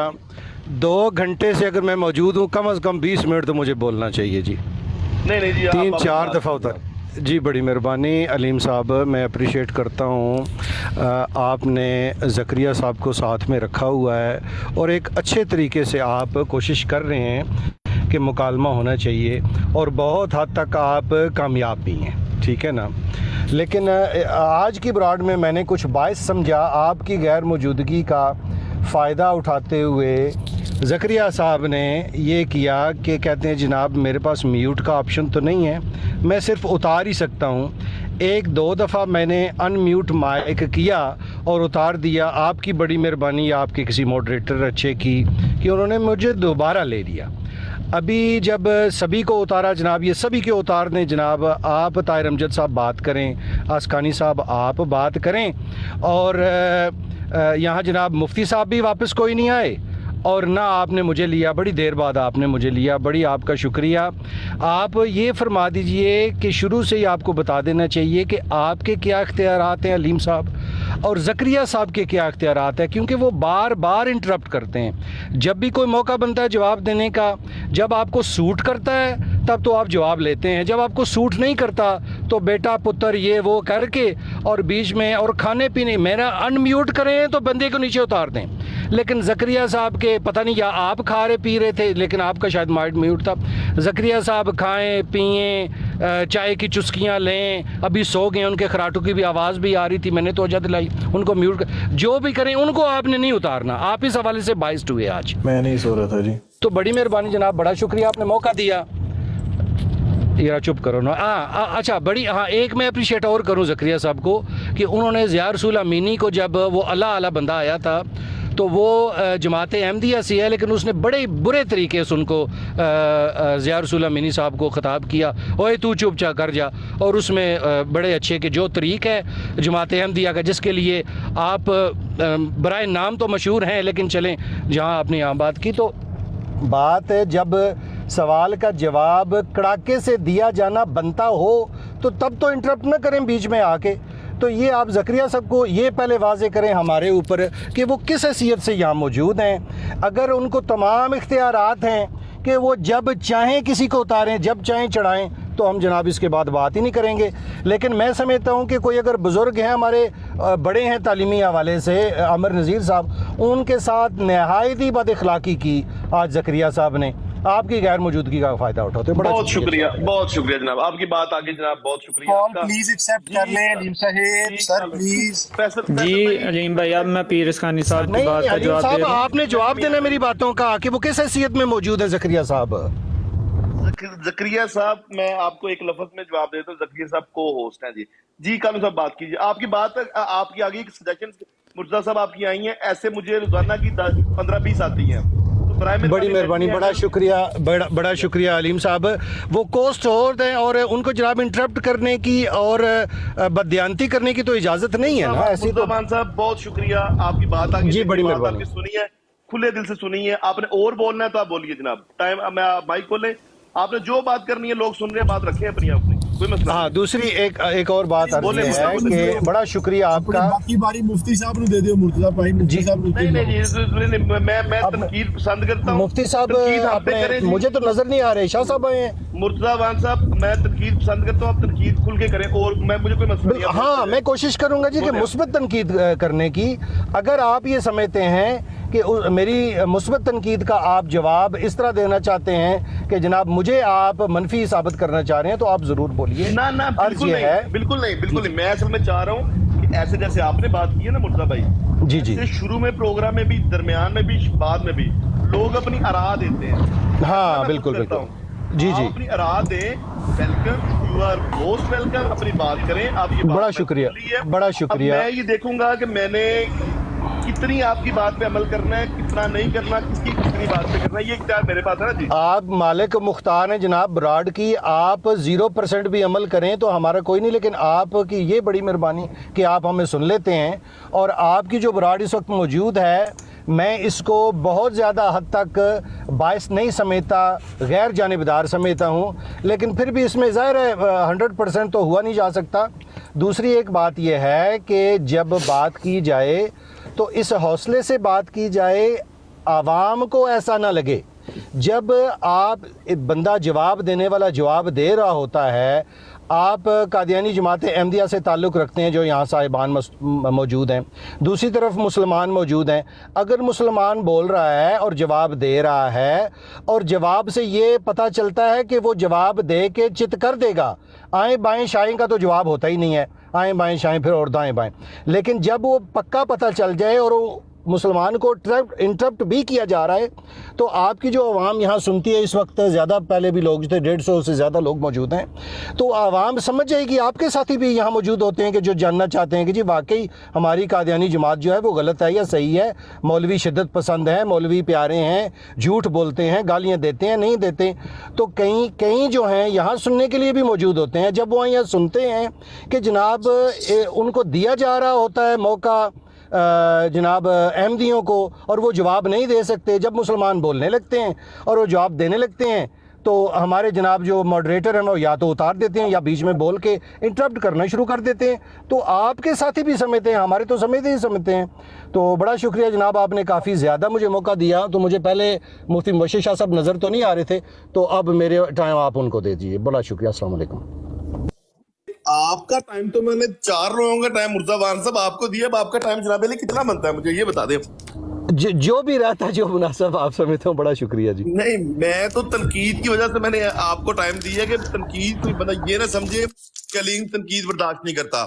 तनकीद मुस्बत तनकीद ऑलवेज वेलकम जितनी बड़ी तनकीद करें। अगर- मेरे पे अगर- टाइम करे मैं सुनने को तैयार हूँ। जी बड़ा शुक्रिया। अगर अगर आप सम- ये समझते हैं कि मैंने कोई आपके बारे में या जमात के बारे में या किसी जी। बड़ा हाँ, शुक्रिया बड़ा शुक्रिया। समझने इसको तनकीद समझने मैं सब लोगों की सुनता हूँ जनाब। और शुरू शुरू में जब आए थे ना आप अलीम साहब तो आप भी मुमकिन है कि आप तनकीद का निशाना बनाते बन रहे हों अपनी जमात की तरफ़ से। तो लेकिन आप ऐसे बंदे हैं जीदार किस्म के बंदे हैं। एक बड़ी तारीफ़ है इफ्तार अहमद चीमा साहब वो अब बुज़ुर्ग हो गए हैं और बीमार भी रहते हैं मेरी मेरी कि वो जब शुरू में आए थे मुर्जा मुर्जा भाई अगर तो ये मेरी तारीफ़ में कलमात हैं तो ये मुझे आप आप आगे चलते हैं। आ- आपकी तारीफ़ इस हवाले से कि आप फेयर टाइम दे रहे हैं ना? जी जी नहीं वो वो खैर है। वो आपको फिर क्या करें हम? ये कहें कि जनाब आप अच्छे बंदे नहीं हैं। असल में मैं चाह रहा हूँ कि आगे बढ़े। कमाल हो गया ठीक हो गया जी। मैं चाह रहा हूँ आगे बढ़े। बहुत शुक्रिया। साहब मेरा कल का जी अलीम भाई अब मैं मैं दे लूँ कालू जवाब साहब के बारे के अलावा कोई बंदा नहीं बोलेगा जनाब अली अब कालू साहब बोलेंगे। सिर्फ़ कालू साहब बहुत माजरत पहले तो जनाब अली माजरत मुर्जा अवान साहब ने मुझे पिछली दफ़ा भी गिला किया था इनका हक पिछली दफ़ा भी मैंने मारा था मेरी नलायकी थी मेरे को टाइम नहीं दे सका था मुर्जा अवान साहब बात नहीं मेहमान आप दें उनको तो मेहमान है इस, दफ़ा भी मेरी नलायकी थी कि मैं मैं इनको वक्त पे नहीं ले सका तो अब मुर्जा अवान साहब को टाइम देना मेरा बनता था। तो इसलिए जनाब अली अब बात कीजिए। अच्छा अलीम भाई पीर असकानी साहब आपने ना मैं ये जो ये जो फतवा है कि आजकल के रवाफज तो अमूमन ज़रूरियात दीन के मुनकर कतन मरताद हैं। इनके मर्द और औरत का निकाह निकाह नहीं आपस में जो अमल करते हैं खालिद जना है और औलाद वल्दुजना है। इस फतवे के बारे में आपने कहा कि मुझे कालून साहब बताएँ कि ये अहमद रज़ा खान बरेलवी साहब ने क्यों दिया और कालून साहब हमें गालियाँ दे रहे हैं। आप हिम्मत करें और आप ये ना कहें कि अहमद रज़ा खान बरेलवी साहब ने फतवा दिया आप कहें कि गालियाँ दी हैं। फिर मुझे पता चले कि आप जुरत करते हैं। आप तो मेरे बुज़ुर्ग हैं, मैं आपको क्यों गाली दूँगा? मेरे लिए आप मोहतरम हैं। मैं नहीं आपको गाली दे सकता। हाँ मैंने आपके सामने अहमद रज़ा खान बरेलवी साहब की वो अबारत पढ़ी है। अगर आपको मेरी बात पढ़ना अगर मेरा नकल करना आपको गाली लगता है तो जिस जगह से मैं नकल कर रहा हूँ, वो आपको क्यों गाली नहीं लगता? उसको भी गाली कहें, हिम्मत करें। दूसरा, आपने कहा, जी, दिया क्यों? आपने एक अपनी तरफ़ से बात की, आप मेरे बुज़ुर्ग हैं, मैं कहना नहीं चाहूँगा, लेकिन आपने सरियन झूठ बोला है, मोहतरम पीरस खानी साहब। अहमद रज़ा खान बरेलवी साहब की किसी एक किताब से मुझे निकाल के दिखा दें, जितने फतावा रिजवियाँ हैं, मलफूजात हैं, या कोई भी उसने उसने कहा हो कि मैं सिर्फ़ इनके ख़िलाफ़ ये कुफर के फतवे इसलिए दे रहा हूँ क्योंकि ये कादियानियों को मुसलमान समझते हैं या इंसान समझते हैं। झूठ बोला है आपने कुफर का नहीं कुफर का नहीं कहा उन्होंने वो और अल्फाज हैं वो बोल के बताओ। झूठ अच्छा बोला है एक सेकंड एक सेकंड। कालू साहब आप बात करें आप गलत बात करेंगे तो पीरस कानी साहब खुद ही रिबटल देंगे। बोलिए ओके। आप। फिर अहमद रजा खान बरेलवी साहब ने बेशुमार अबारतें नोट की हैं जिसमें देवबंदियों की इबारतें हैं वहाबियों की इबारतें हैं जिन अबारात पर जिनकी वजह से उन्होंने इन पर कुफर के फतवे दिए हैं। और उन्होंने ये तक कहा है कि जो इनको कालू साहब बहुत काफर आपका टाइम हो गया। है मेरी मैं इनकी बात में बोला नहीं था मेरी बात तो कंप्लीट होने दो। उन्होंने मुझसे अच्छा, सवाल किया चले कर लें आप फिर मैं उन्होंने मुझसे सवाल किया था। टाइम दूँगा। जी बोले आप। अहमद रजा खान बरेलवी साहब ने वहाबियों पर जो कुफर के फतवे दिए हैं उनकी वजह वो है जो उनका खुदा के बारे में कीता है। अहमद रजा खान बरेलवी साहब फरमाते हैं जो खुदा का कीदा जो वहाबियों का है उसके बारे में फरमाते हैं कि वहाबी ऐसे को खुदा कहता है जो मकान जमान जहत माहियत तरकीबी अकली से पाक कहना बिद्दत है। यानी वहाबियों का खुदा ऐसा है। ये महैयत क्या होता है इसका बताता बता हूँ मैं आपको। फिर कहते हैं कि वहाबियों वहाबी ऐसे को खुदा कहते हैं कि जो खाना पीना पेशाब करना पखाना करना नाचना ठड़कना नट की तरह खेलना औरतों से जमा करना लवात जैसी खबीस बेहयाई का मुर्तकब होना ये आपके खुदा के बारे में वो बता रहे हैं। इस वजह से उन्होंने आपके बारे में ये कुफर के फतवे दिए हुए हैं क्योंकि वो आपको समझते हैं कि आप खुदा के बारे में ये अकीदा रखते हैं। कि आपका खुदा नाउजबिल्ला नाउजबिल्ला औरतों से जमा करता है। अच्छा वो अपने लवातत अल्फाज ना डालें महियत का मतलब बताएँ अपने अल्फाज कहते हैं कि मुखन्नस बनता है आपका खुदा। तो महैयत का मतलब तो बता दें वो बात के समझ आपके खिलाफ दिए हुए हैं। को पूरा मौका दूँगा मैं। जी नहीं नहीं वो महैयत का मतलब तो पूछ लें इनसे महैयत किसको कहते हैं? वो अहमद रजा खान बरेलवी साहब से पूछे जाकर। भाई आपने पढ़ा है तो आप बताएँ महैयत किसको पूछ लें आप भी बरेलवी हैं। भाई आपको समझ ही नहीं आई। चले मुझे आ गई आपको बाकी की समझ आ गई है ना जिन्होंने कहा कि उनका खुदा जो है खाना पीना पेशाब करना पखाना करना और नट की तरह खेलना। इसकी समझ आई है? इस पर मुझे बताएँ। जी। पीरस कानी साहब इस वजह से कुफर के फतवे दिए थे उन्होंने झूठ ना बंदा बोला नहीं बोलेगा पीरस खानी साहब आप आप क्लोजिंग रिमार्क्स दें और ए, ए, मैं आगे बढ़ूँगा। ये बहुत हो रहा है बात ये। पीरस खान टाइम आपके पास है आप कोई बंदा टोकेगा नहीं पीर साहब को। अच्छी बात है। देखिए सबसे पहली बात यह है कि मैंने उनको कहा था कि क्या वजह है अहमद रजा साहब ने इस तरह की बातें की और इस तरह का फतवा दिया। वो वजह बता दीजिए। और उनके किताब से जिस तरह से ये फतवा आप यहाँ पर पेश करके और अपना उंगली रख के जो है उसको पढ़ रहे वैसे उसको यहाँ पेश करके पढ़िए, वो वजह को। लेकिन अभी उन्होंने अपनी कलामी, अच्छे जुबानी कलामी जो भी उनके मुँह में आया, उन्होंने कह दिया, अगर कोई इंसान ये अकीदा रखता है, जिस तरह से कालू साहब बता रहे हैं, अल्लाह के बारे में तो जाहिरी बात है, वो इंसान नहीं, वो इंसान का बच्चा नहीं है। जितनी भी उसको गालियाँ दी जाए तो बिल्कुल वो कम है, जो ये अकीदा रखता है। भाई, जिनका ये अकीदा है, वो कह रहा है। जिसका अकीदा ना हो तो उस पर फतवा लगा ही नहीं। बात खत्म हो गई। भाई, जिसका ये अकीदा है, मैं भी कहता हूँ, जो ये कहे अल्लाह के बारे में, इस तरह की जबान दराजियाँ करे तो इंसान का बच्चा हो सकता है वो। वो किसी शैतान का ही बच्चा होगा। जरा पेश कीजिए। वो पेश कीजिए इबारत, जिस तरह से आप पढ़ते हैं कि इसको कहा, उसको कहा उसको कहा। कहा, ठीक है, ये तो आपने दिखा दिया, उन्होंने ही कहा है। अहमद रजा साहब ही ने कहा है। मानते हैं, हमने देख लिया। अब वो वजह जो आपने जुबानी कलामी यहाँ पर बयान किया, उसको भी यहाँ पर पेश कीजिए। उसको हम देखते हैं। अगर उन्होंने ये लिखा है, जिस तरह आपने बताया तो सच लिखा है। भाई, कोई ये अकीदा रखता है अल्लाह के बारे में? वो इंसान, उसको उसको इंसान की औलाद हम नहीं समझते। जिस, जो भी घटिया जानवर हो, उसका औलाद हो सकता है। इतनी सी बात है, बात खत्म। लेकिन जिसका अकीदा नहीं है, फिर भी उनको तो फतवा नहीं दिया। इंशाल्लाह आप बात समझ रहे होंगे। दूसरी बात वहाँ भी कोई है नहीं। वहाँ भी कोई नहीं है। समझ रहे? वहाँ भी तो दुनिया में है नहीं। कौन है वहाँ भी बता दीजिए। वहाँ भी नहीं है। अब आपसे मुतालबा इतना ही है कालू साहब, कि वो वजह आप यहाँ पर पेश करें। उस वजह को हम पढ़ के देखेंगे। अगर यही वजह है तो उन्होंने सच कहा है। अगर ये वजह नहीं है, कोई और वजह है जो मैंने बताया है तो वो भी सच है। अब पेश कीजिए आप। वक्त आपका है आप आए पेश कीजिए।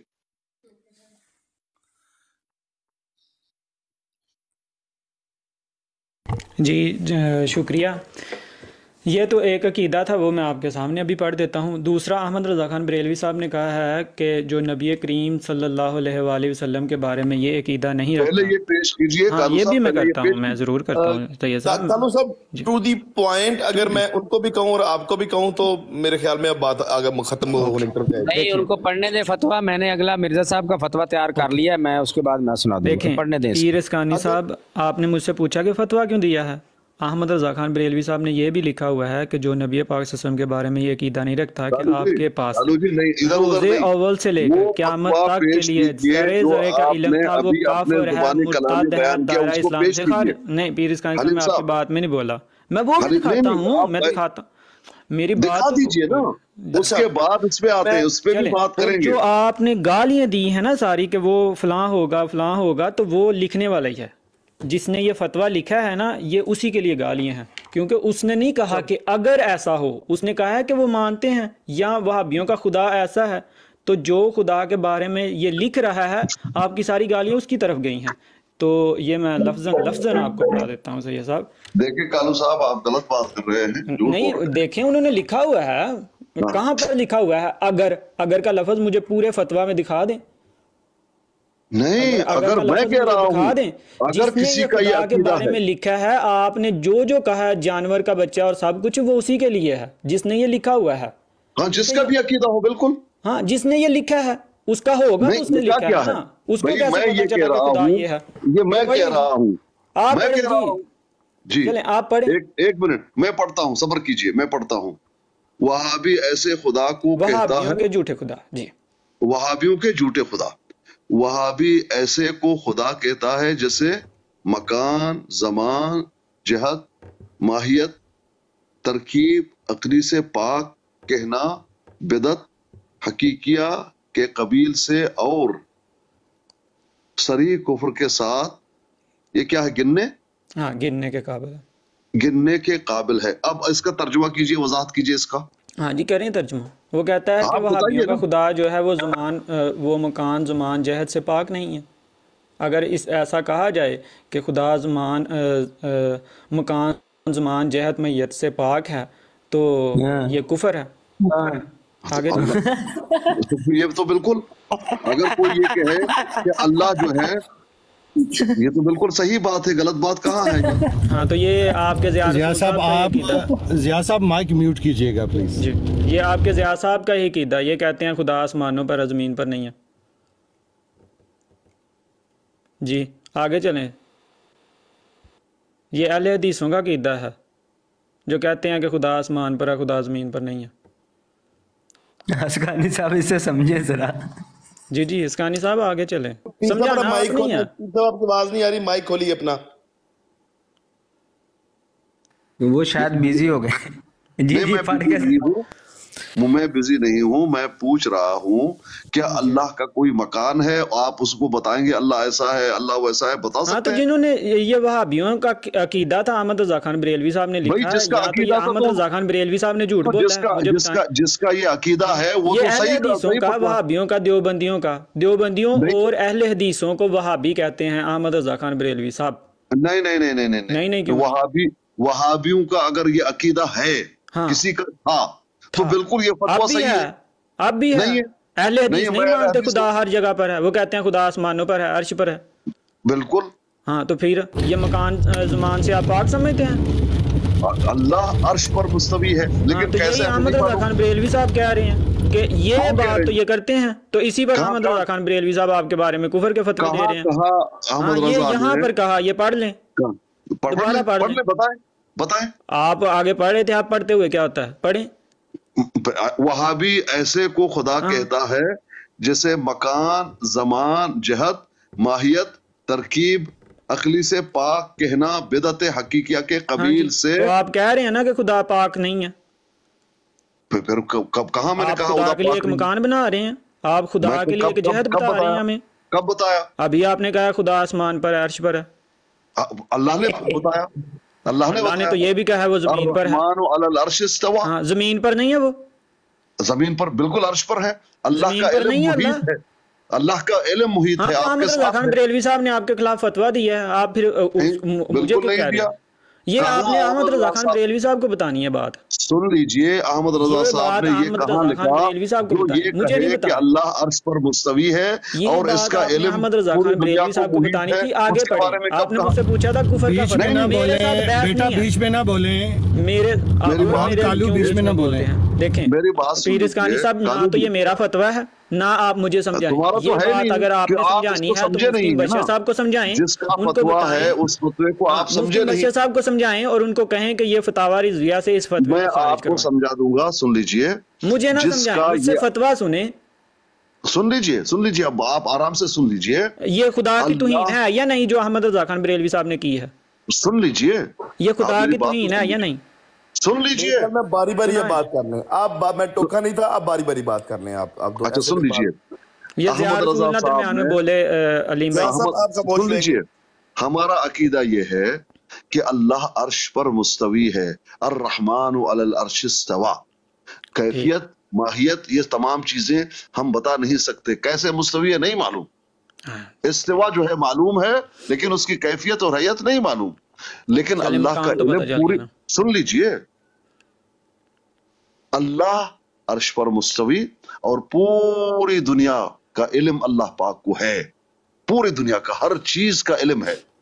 अगर अहमद रजा साहब ने लिखा ये अकीदा गलत है तो पेश कीजिए। यही लिखा है ना इसी को इसी बात को तो वो कह रहे हैं कि ये लिखा है इनका खुदा ऐसा है। इसी बात पर तो वो कुफर का फतवा दे रहे हैं आपके खिलाफ? कहाँ लिखा तो कि ये इसी बात पर तो वो कुफर का फतवा दे रहे हैं ये आपके खुदा का वो मज़ाक बना रहे हैं। कहाँ लिखा? है आपको सामने भी दिखा रहा हूँ? कहाँ लिखा है? आसमानों पर लिखा है। ये लिखा लिखा हुआ है सामने देखें पीर साहब ये पढ़ लें। ये आपको नज़र ही नहीं आ रहा। आपको तो आ रहा है ना फोकस ले लें वो आम, लिखा हुआ है आप आपको इतनी हिम्मत नहीं हो रही कि आप ये कहें कि ये खुदा की गुस्ताखी है या नहीं। और आपका अकीदा लिख कर वो कह रहा है कि इसके ये खुदा है तुम्हारा इस ये सच मानने की सच सच को कबूल करने की हिम्मत नहीं है आपको। हाँ तो आप में तो है ना आप करें सच को मैं तो बता रहा हूँ लीजिए बरेलवी साहब ने आपके खुदा का नक्शा खींचा हुआ है। बहुत शुक्रिया मेरे ख्याल में आप दोनों दोस्तों का अब बात आप बारी बारी नहीं कर रहे हैं। कालू साहब बहुत शुक्रिया आपका। अ, अब आप मेरे ख्याल में अब मैं आगे बढ़ूँगा सिद्धू साहब की तरफ़ और फिर आगे के बारी बारी चलेंगे। बहुत शुक्रिया। सारे दोस्तों अच्छा ने बात सुन ली है जी डेढ़ सौ बंदे ने बात सुनी है।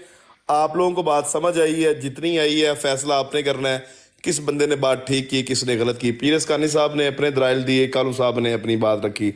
मैं चाह नहीं रहा था कि इस टॉपिक पे हम जाएँ लेकिन ये टॉपिक बीच में आया। तो सबने ये चाह कि इससे बात हो। तो आज मेरे ख्याल में वंस पर और बात हो गई है और मैं चाहता हूँ कि इस पर इतनी बात साहब बहुत शुक्रिया जी मैं इजाज़त चाहूँगा बड़ी मेहरबानी। जी बहुत शुक्रिया। बहुत शुक्रिया। जी अ, मेरे पास अब मौजूद है साहब और मुफ्ती मुबशर शाह साहब।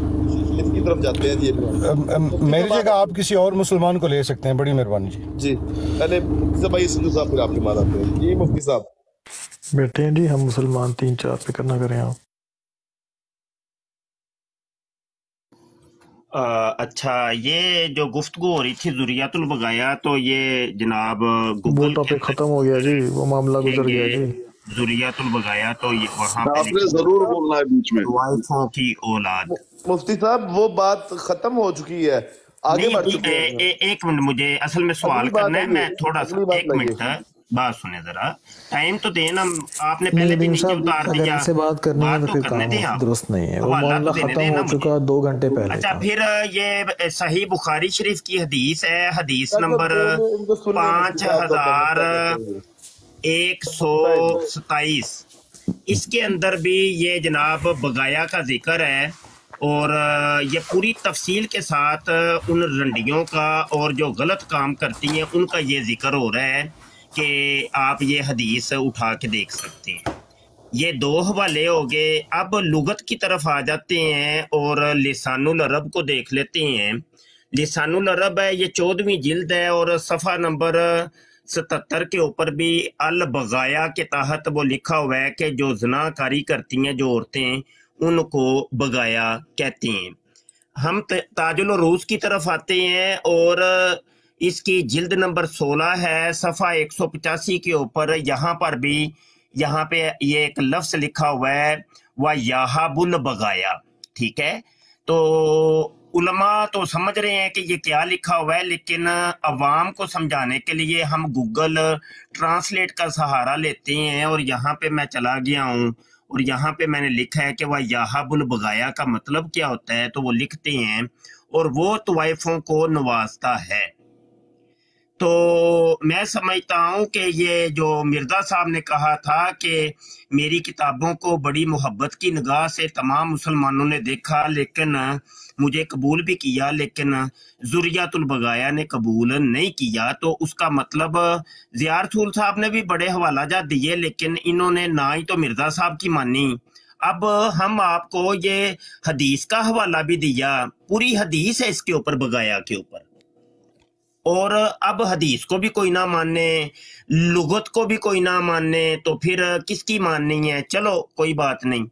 यहाँ पर आ जाते हैं मिर्ज़ा साहब ने रूहानी खजैन जिल्द नौ सफ़ा इकतीस के ऊपर जो कहा है, हमारी फतह का कायल नहीं होगा तो साफ़ समझा जाएगा कि इसको वलदुल हराम बनने का शौक है और हलाल ज़्यादा नहीं। रूहानी खदैन जिल्द चौदह सफ़ा तिरपन के ऊपर कहते हैं, दुश्मन हमारे बियाबानों के खंजीर हो गए और उनकी औरतें कुतियों से बढ़ गई हैं। क्या ये किसी एक आम इंसान का शरीफ इंसान का ये शेवा है कि इस तरीके से गालियाँ दे? खुद मिर्ज़ा साहब रूहानी खजैन जिल्द चौदह सफासी के ऊपर उन गालियों का कहते हैं कि मैं अच्छा इसलिए मुझे मौका दीजिएगा। गालियाँ देता हूँ कि ये लोग मुझे गालियाँ देती हैं। साहब बहुत अच्छा, शुक्रिया। इसका जवाब देने दीजिएगा मुझे यहाँ सिद्धू इसका जवाब मुझे साहब दे माइक दीजिएगा। खोलिए सिद्धू साहब माइक खोलिए। क्या हाल हवाल है आपके? साहब क्या ओ, मेरा ख्याल है ये जनाब कैसे हैं? जिन्होंने जवाब देना इनको मौका दे मैं इसके बाद कर लूँगा फिर। अच्छा जी। फिर जनाब हाँ अल्लाह वाला साहब आप आइए। जी मेहरबानी जनाब। जी जनाब अल्लाह वाला साहब क्या कहेंगे? अच्छा इन्होंने हलीम साहब पहले भी ये जवाब देने और खुदा का वास्ता यार फिर तो ये कहते हो कि बात अल्लाह वाला साहब पहले भी जवाब। जी बहुत शुक्रिया जिया साहब बहुत शुक्रिया आपका। अल्लाह वाला साहब बात करें जनाब। अच्छा ये मुफ्ती साहब ने लोगों को धोखा देने की कोशिश की है यहाँ पे कि उलमा को समझ आ रही है लेकिन आम इंसान को समझ नहीं आती। आम इंसान को समझाया है कि अलबगाया का मतलब तवायफ ठीक है मैंने इस चीज़ से इनकार नहीं किया। लेकिन जब दो अल्फाज अरबी के अंदर मिल जाते हैं तो उनका तर्जमा बाज़ अवत चेंज हो जाता है। जैसे मिसाल के तौर पे सबील सबील कहते हैं रास्ते को। ठीक है सबील कहते हैं रास्ते को। इब्न सबील, इबन कहते हैं बेटे को। अब इबन सबील रास्ते का बेटा, रास्ते का बेटा क्या मतलब है? इसी तरह जब ज़ुर्रियत अलबगाया ज़ुर्रियत नस्ल अलबगाया तवाइफ, इनको जब मिला दें तो इसका मैंने तर्जमे की डिमांड की थी मुफ्ती साहब से, जो मुफ्ती हैं और अरबी दान हैं, माशाल्लाह। इनसे मैंने अर्ज़ की थी कि ज़ुर्रियत अलबगाया कहीं मुझे इकट्ठा ले के आएँ, मुझे यहाँ पर दिखाएँ। अलबगाया पता सबको कि तवाइफ को कहते हैं बगाया? ठीक है, उन्होंने ज़ियारतुल साहब ने तर्जमा किया जी कंजरियाँ। अब अगर ये तर्जमा करते हैं, हज़रत मसीम सलाम के मुनकरों के लिए, कंजरियों की औलाद तो फिर करते रहेंगे ज़ुर्रियत अलबगाया इकट्ठा किसी लुगत के अंदर, जैसे इबन सबील इकट्ठा, मुसाफिर मतलब होता है, रस्ते का बेटा नहीं, मुसाफिर, इबन सबील मुसाफिर। इसी तरह अलबगाया मुझे दिखाएँ कि कंजरियों की औलाद हो या तवाइफ की औलाद हो। ठीक है। मुफ्ती साहब ने उस वक्त ये बात सुन ली थी उस वक्त फरार हो गए थे। और अब आके के मामला मामला ठंडा हो गया तो अब आगे इन्होंने फिर वही बात कर दिया जो पहले ज़ाहिर साहब कर रहे थे। ठीक है तो अवाम को धोखा देना बंद करें। ठीक है और यहाँ पे मुझे दिखाएँ कि ज़ुरियत बकाया इकट्ठा आया हो और उसका तर्जमा ये ये चीज़ हुई हो जो आप लोग यहाँ तर्जमा कर रहे हैं। ठीक है अगर नहीं तो फिर खुदा का वास्ता ये जो अवाम है ना मुस्लिम अच्छा आप बता देंगे होता क्या है मतलब अच्छा, मैं है जवाब दूँगा? जी अल्लाह वाला साहब अभी आप दस सेकंड अब और बोले आप। जी ठीक है मेरा हो गया अब जवाब मुकम्मल। बहुत शुक्रिया। जी ए, मुफ्ती साहब जिया साहब फैसल साहब पीर साहब कौन बोलना चाहेगा? जी मैं ही मैं ही मुझे इन्होंने मुखातब किया मैं ही जवाब दूँगा ना। जी आइए मेरी स्क्रीन बड़ी कर दें जजाकल्ला। अच्छा बात यह है कि ये इब्न सबील की बात कर रहे हैं ये कुनीयत है और कुनीयतें जो होती हैं वो जनाब अ, कनायातन इस्तेमाल होती हैं जैसे हज़रत अबू हुरैरा। मौला अली को फरमाया अबू तुराब मिट्टी का बाप। अबू हुरैरा बिल्ली का बाप। इब्नुल वक़्त तो तर्जुमा तो बनता है वक़्त का बाप। तो जो कुनीयतें होती हैं ना वो इस्तारा तन और कनाया तन इस्तेमाल होती हैं जबकि ये जुरियातुल बकाया ये मुजा मुजाफ लई है मुरकब इजाफी है और अमूमी तौर पर जो मरकबे इजाफी होते हैं कुनीत से हट के वो अपने हकीकी और असली माने के ऊपर महमूल होती हैं। ये मशहूर कायदा नहविया है और जिसको इल्म सरफ या इल्म नाहव आती है वो इसको जानता है। जो इससे जाहिल है उसकी मैं कुछ कह नहीं सकता। उसको फिर चाहिए कि सीखे जाके और पढ़े। ये मशहूर कायदा है। तो जो कुनीयत होती है कुनीयत भी चूँकि वो होती है मुजा मुजाफ लई होता है ना। तो उसमें और आम जो इजाफत होती है, उसमें ज़मीन आसमान का फ़र्क होता है। तो अब यहाँ पे मैंने हदीस का हवाला दे दिया है। बगाया का मतलब होता है कि जनाब रक्स करने वाली औरत तवाइफा गंदी औरतें फायशा औरतें, ठीक है? और इसके मशहूर तर्जुमे, और खुद मिर्ज़ा साहब ने ये लिखे हैं। और हमने आपको हदीस का भी हवाला दिया, हमने आपको लुगात भी दिखाई। अब ना मानने का हमारे पास भाई कोई इलाज नहीं है। जुर्रियत का तर्जमा अगर देखना खुद मिर्ज़ा साहब ने रूहानी खजैन जिल्द पाँच सफ़ा पाँच सौ सताईस, जिल्द पाँच सफ़ा पाँच सौ अठतीस जिल्द पाँच सफ़ा पाँच सौ बतालीस, जिल्द पाँच सफ़ा पाँच सौ अड़तालीस, जिल्द पाँच सफ़ा पाँच सौ अठवंजा, जिल्द पाँच सफ़ा पाँच सौ अठहत्तर, जिल्द पाँच सफ़ा पाँच सौ बयासी, जिल्द ग्यारह सफ़ा दो सौ तिरासी, रूहानी खजैन जिल्द चौदह सफ़ा उनहत्तर के ऊपर जुर्रियत का तर्जुमा औलाद लिया है औलाद बहुत शुक्रिया। वासे भाई अच्छा साहब एक मिनट साहब ये ये सूरत तौबा सूरत तौबा की आयत नंबर 38 है। सूरत मुझे। हजरात की आयत नंबर 9 है ये- खोलें। कौन बोलना चाहेगा आप लोग मैं बोलूँगा एक मिनट मुझे दें फिर अगली बार टर्न चाहे आज आज साहब बोल आज अल्लाह वाला साहब आए बोले। बात यह है कि मुफ्ती साहब ने कहा जी कि जो आलम होगा जो इस चीज़ से वाकफ़ होगा वो इस चीज़ को समझेगा। मैं बताता हूँ जी हल क्या होता है बंदा। कुछ ही दिन पहले हुसैन साहब की लाइफ पे डॉक्टर साहब ने हदीस पढ़ी थी वो लजी नफ्स बियादी ही लयुशिकन ज़िला फ़ीकुम इबन मरियमा ठीक है वहाँ मुफ्ती भी बड़ा खिलखिला के ऐसे थे। हा हा हा हा अयान ज़िला पढ़ दिया। फेल मुजारे हमेशा मरफू होता है अयान ज़िला पढ़ दिया। उस वक्त मैं ऊपर नहीं आ सका था, वरना इनको बताता कि जो अन्न है ना, अन्न, हरूफ नासबा से है। और जब हरफ, हरूफ नासबा आते हैं ना, इस जुमले के अंदर, उसके बाद जो फिल मुजारे आता है, उसको नसब देते हैं। ठीक है, नसब का नाम पता होना तो पढ़ आइएगा जाके, नसब किसे कहते हैं। ठीक है ਦੂਜੀ हालत की यह हद है कि मुफ्ती ਲਿਖਿਆ नाम के नाल तो इन्ना नहीं पता कि हरफे ना हरूफे ਨਾਸਬਾ बाद ਬਾਅਦ ਫਿਲਮ ਜ਼ਾਰੇ ਮਰਫੂ ਰਹਿੰਦਾ ਵੀ मनसूब हो जाता उनको भी यही कहा था आपको भी एक दूसरे को इस तरह ठीक है उन्होंने उन्होंने मुझे जहल कहा ना मैंने उनको मैंने उनको साबित कर दिया कि इन्होंने जहलों लिखा क्या हरकत की थी तो ग्रामर जब आप पढ़ रहे हैं उसके बाद मुफ्ती लिखिएगा और दूसरी बात यहाँ पे जो आपने आवाम को उलझाने की कोशिश की है ग्रामर के अंदर तो जनाब ज़रूरियत अलबकाया इसका तर्जमा निकाल के लाएँ अगर बगाया सिर्फ़ लफज का तर्जमा देखना ना, बगाया तो कुरान करीम के अंदर भी इस्तेमाल किया गया है तो आप मैंने पहले भी अर्ज़ की थी जिया रसूल साहब से कि वो मैार बनाएँ जिससे मुखालफन को इस्लाम पे इतराज़ करने का मौका ना मिले, लेकिन जाहलों की यही मसला होता है कि उनको समझ नहीं आती इशारतन बात की। अब जब कल साहब बता रहे हैं ना हवाले दे के कि बकाया कहाँ कहाँ लफज आया, हदीस के अंदर भी आया तो फिर आप क्या कहें कि वहाँ वहाँ पे गालियाँ दी गई हैं ना नाउज़बिल्ला हदीस हदीस किसे कहते हैं? किसका कौल को हदीस कहते हैं? उसको आप क्या कह रहे हैं उसको आप वहाँ पे? किस तरह के लोग हैं आप? यहाँ कोई आके ईसाई इतराज़ करे कि ऐसे हम नाउज़बिल्ला सुमा नाउज़बिल्ला रसूल को माने जो गालियाँ देता था। क्या कहेंगे उससे आप लोग? शर्म नहीं आती ये इतराज़ करते हुए? ज़ुर्रियत ज़ुर्रियत अलबगाया का तर्जमा लेके आए किसी लुगत की किताब से। और जहालत का मैंने सबूत दे दिया कि मुफ्ती साहब को ये नहीं पता था कि नूफ़ नासबा के बाद फ़िल्म ज़ारे किस तरह होता। जी मेरी बात मुकम्मल हुई। बहुत शुक्रिया। जी हाँ। दोस्त बोलना चाहेगा? जवाब दूँगा जनाब। अच्छा गुजारा ये है कि देखिए एक तो ये मुझे कह रहे हैं कि तुम जाहल हो तुमने इसलिए मैंने तुम्हें जाहल कहा कि तुमने मुझे कहा मैंने हरगिज नहीं कहा। मुफ्ती साहब ये बात बहस ख़त्म हो गई है। जाहल का लफ्ज़ इस्तेमाल ना करें फिर ना बोले। मैं मुफ्ती साहब आपको उतार के नीचे फेंकूँगा अगर आप फजूल बात करेंगे। मुझे बात करने मैंने नहीं मुझे आप एक मिनट होल्ड करें। बहुत गलत बात है देखें गलत बात गलत बात नहीं है आप बात गलत तरफ़ लेके जा रहे हैं इल्मी गुफ्तगू को इल्मी कर हद लेने रखें कर लेने मुझे दें बात करने दो। नहीं मैं चैंपियन हूँ मैं आपका चैंपियन? हूँ समझ आइए बिल्कुल गलत बात टेंशन ना लें आप। अपने अपने बंदों को तुम पूरा पूरा टाइम डॉक्टर साहब मैंने सबूत दे के इसे असल में इनको आग लग गई है मैं मैं सिर्फ़ गैर जानबदारी की वजह से खामोश हूँ यार क्या लग गई हर बार तुम्हारा यही मसला है बीच में चूचड़ डाले तो बेचारे अपनी। आग यार। इज़्ज़त रास ही नहीं है तुम्हें। चुप हो जा तू। माइक बंद करो अपना। जिया साहब चुप कर जाओ वो आपको चुप बात यार हर बार करो, क्यों बीच में बोलते हो? अपने बंदे के बीच में बोले इसलिए कि इल्मी बात को को ये पूरा इल्मी तक ही देते रखें उन्होंने क्या गाली दी है आपको? आपका बंदा क्या क्या ज़ुबान इस्तेमाल करके गया? उन्होंने कहा जब जवाब में जोहर अपना साबित होगा भाई तो आपका साथी क्या क्या ज़ुबान इस्तेमाल करके गया? जो मर्ज़ी करना। अपने वक्त में जो मर्ज़ी करना। हद हो गई है। तुम टाइम ले लेना। वक्त का मतलब हरगिज ये नहीं है कि जो दिल करे आप मुँह में आए कहते चले जाएँ। अच्छा सुनो जी। इस अच्छा गलत फहमी से दूर रह जाएँ ये चाहिए था कि मुझे वो ये चुप करके सुन कहते बल्कि ये मुझे है। कहते वलदुल हराम कहते।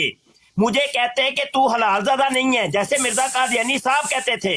मुझे ये कहते हैं कि तुम खंजीर हो गए हो। तुम्हारी औरतें कुत्तियों से बढ़ गई हैं। मुझे इनको ये कहना चाहिए था। इन्होंने मुझे सिर्फ़। जाहिल कहा है मुझे इसके ऊपर इतराज है। कि इन्होंने मिर्ज़ा साहब की सुन्नत के ऊपर अमल साहब नहीं ये किया अलीम साहब ये गैर। पार्लियामानी लैंग्वेज है मैं इनको उतारना चाहूँगा। नहीं डॉक्टर साहब मैं इनको जवाब देता हूँ। नहीं नहीं अलीम साहब मैं इनको उतारना चाहूँगा क्योंकि ये गैर पार्लियामानी अल्फाज पे आ गए अलीम साहब ये देख लें आप। एक सेकंड रुके ये देख लें आप। अमीर साहब ये अलीम साहब ये गैर पार्लियामानी अल्फाज हैं। ये देख ले इंसाफ नहीं है ये। मुझे मैं ना एक सेकंड मैं जब शुरू में पहला लफ्ज बोला गया था ना जी रुकिए मैं बताता हूँ। पहला लफ्ज जब इस्तेमाल हुआ था आ, दोस्त की तरफ़ से तो मैंने कहा था कि ये लफ्ज मैं फ़ौरन बोला था बीच में। नहीं पहले मुफ्ती साहब ने बोला इनको माजरत कर लेनी चाहिए थी उसी वक्त। इन्होंने ढिठाई का जवाब दिया।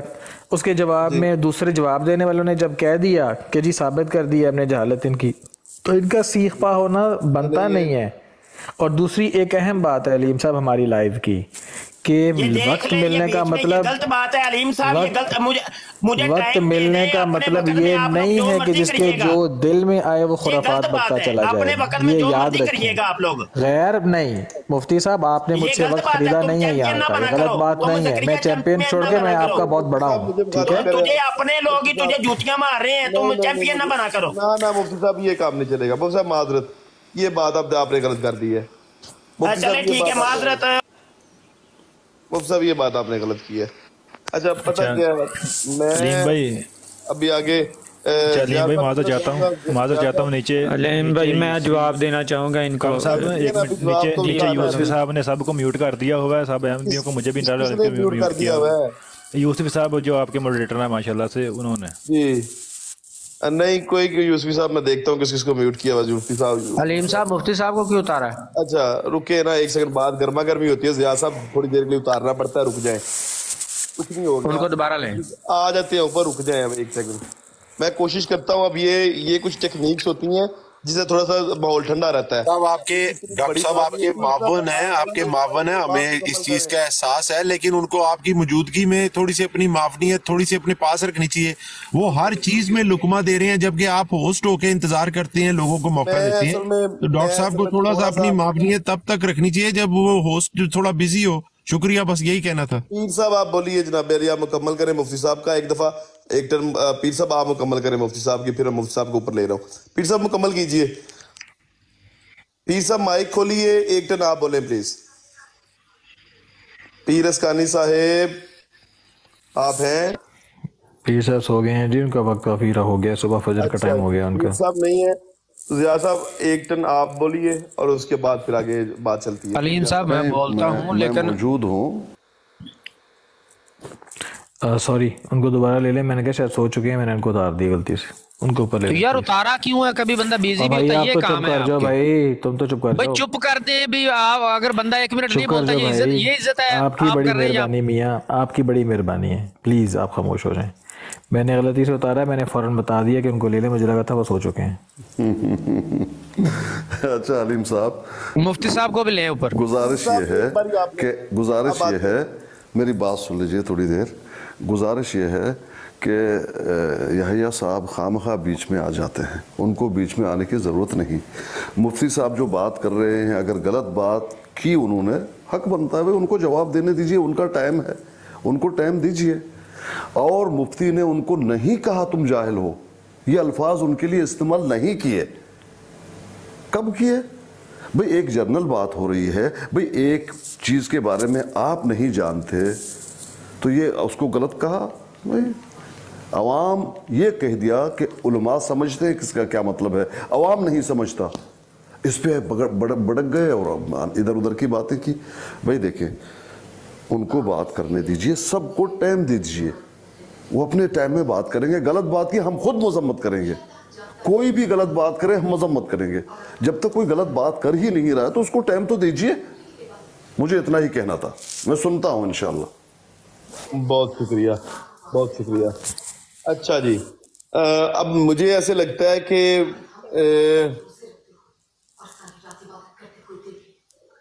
अच्छा जी मुफ्ती साहब आप जरा मेहरबानी करें थोड़ा सा गुस्सा ठंडा करके अपनी बात मुकम्मल करें और कोशिश कीजिए जरा थोड़ी तलखी हो गई है पहले आपकी तरफ़ से आ गई बात फिर अल्लाह वाला तरफ़ की तरफ़ से बात आ गई। आप जरा थोड़ा सा आप हिकमत के साथ जरा बात आगे निकालें।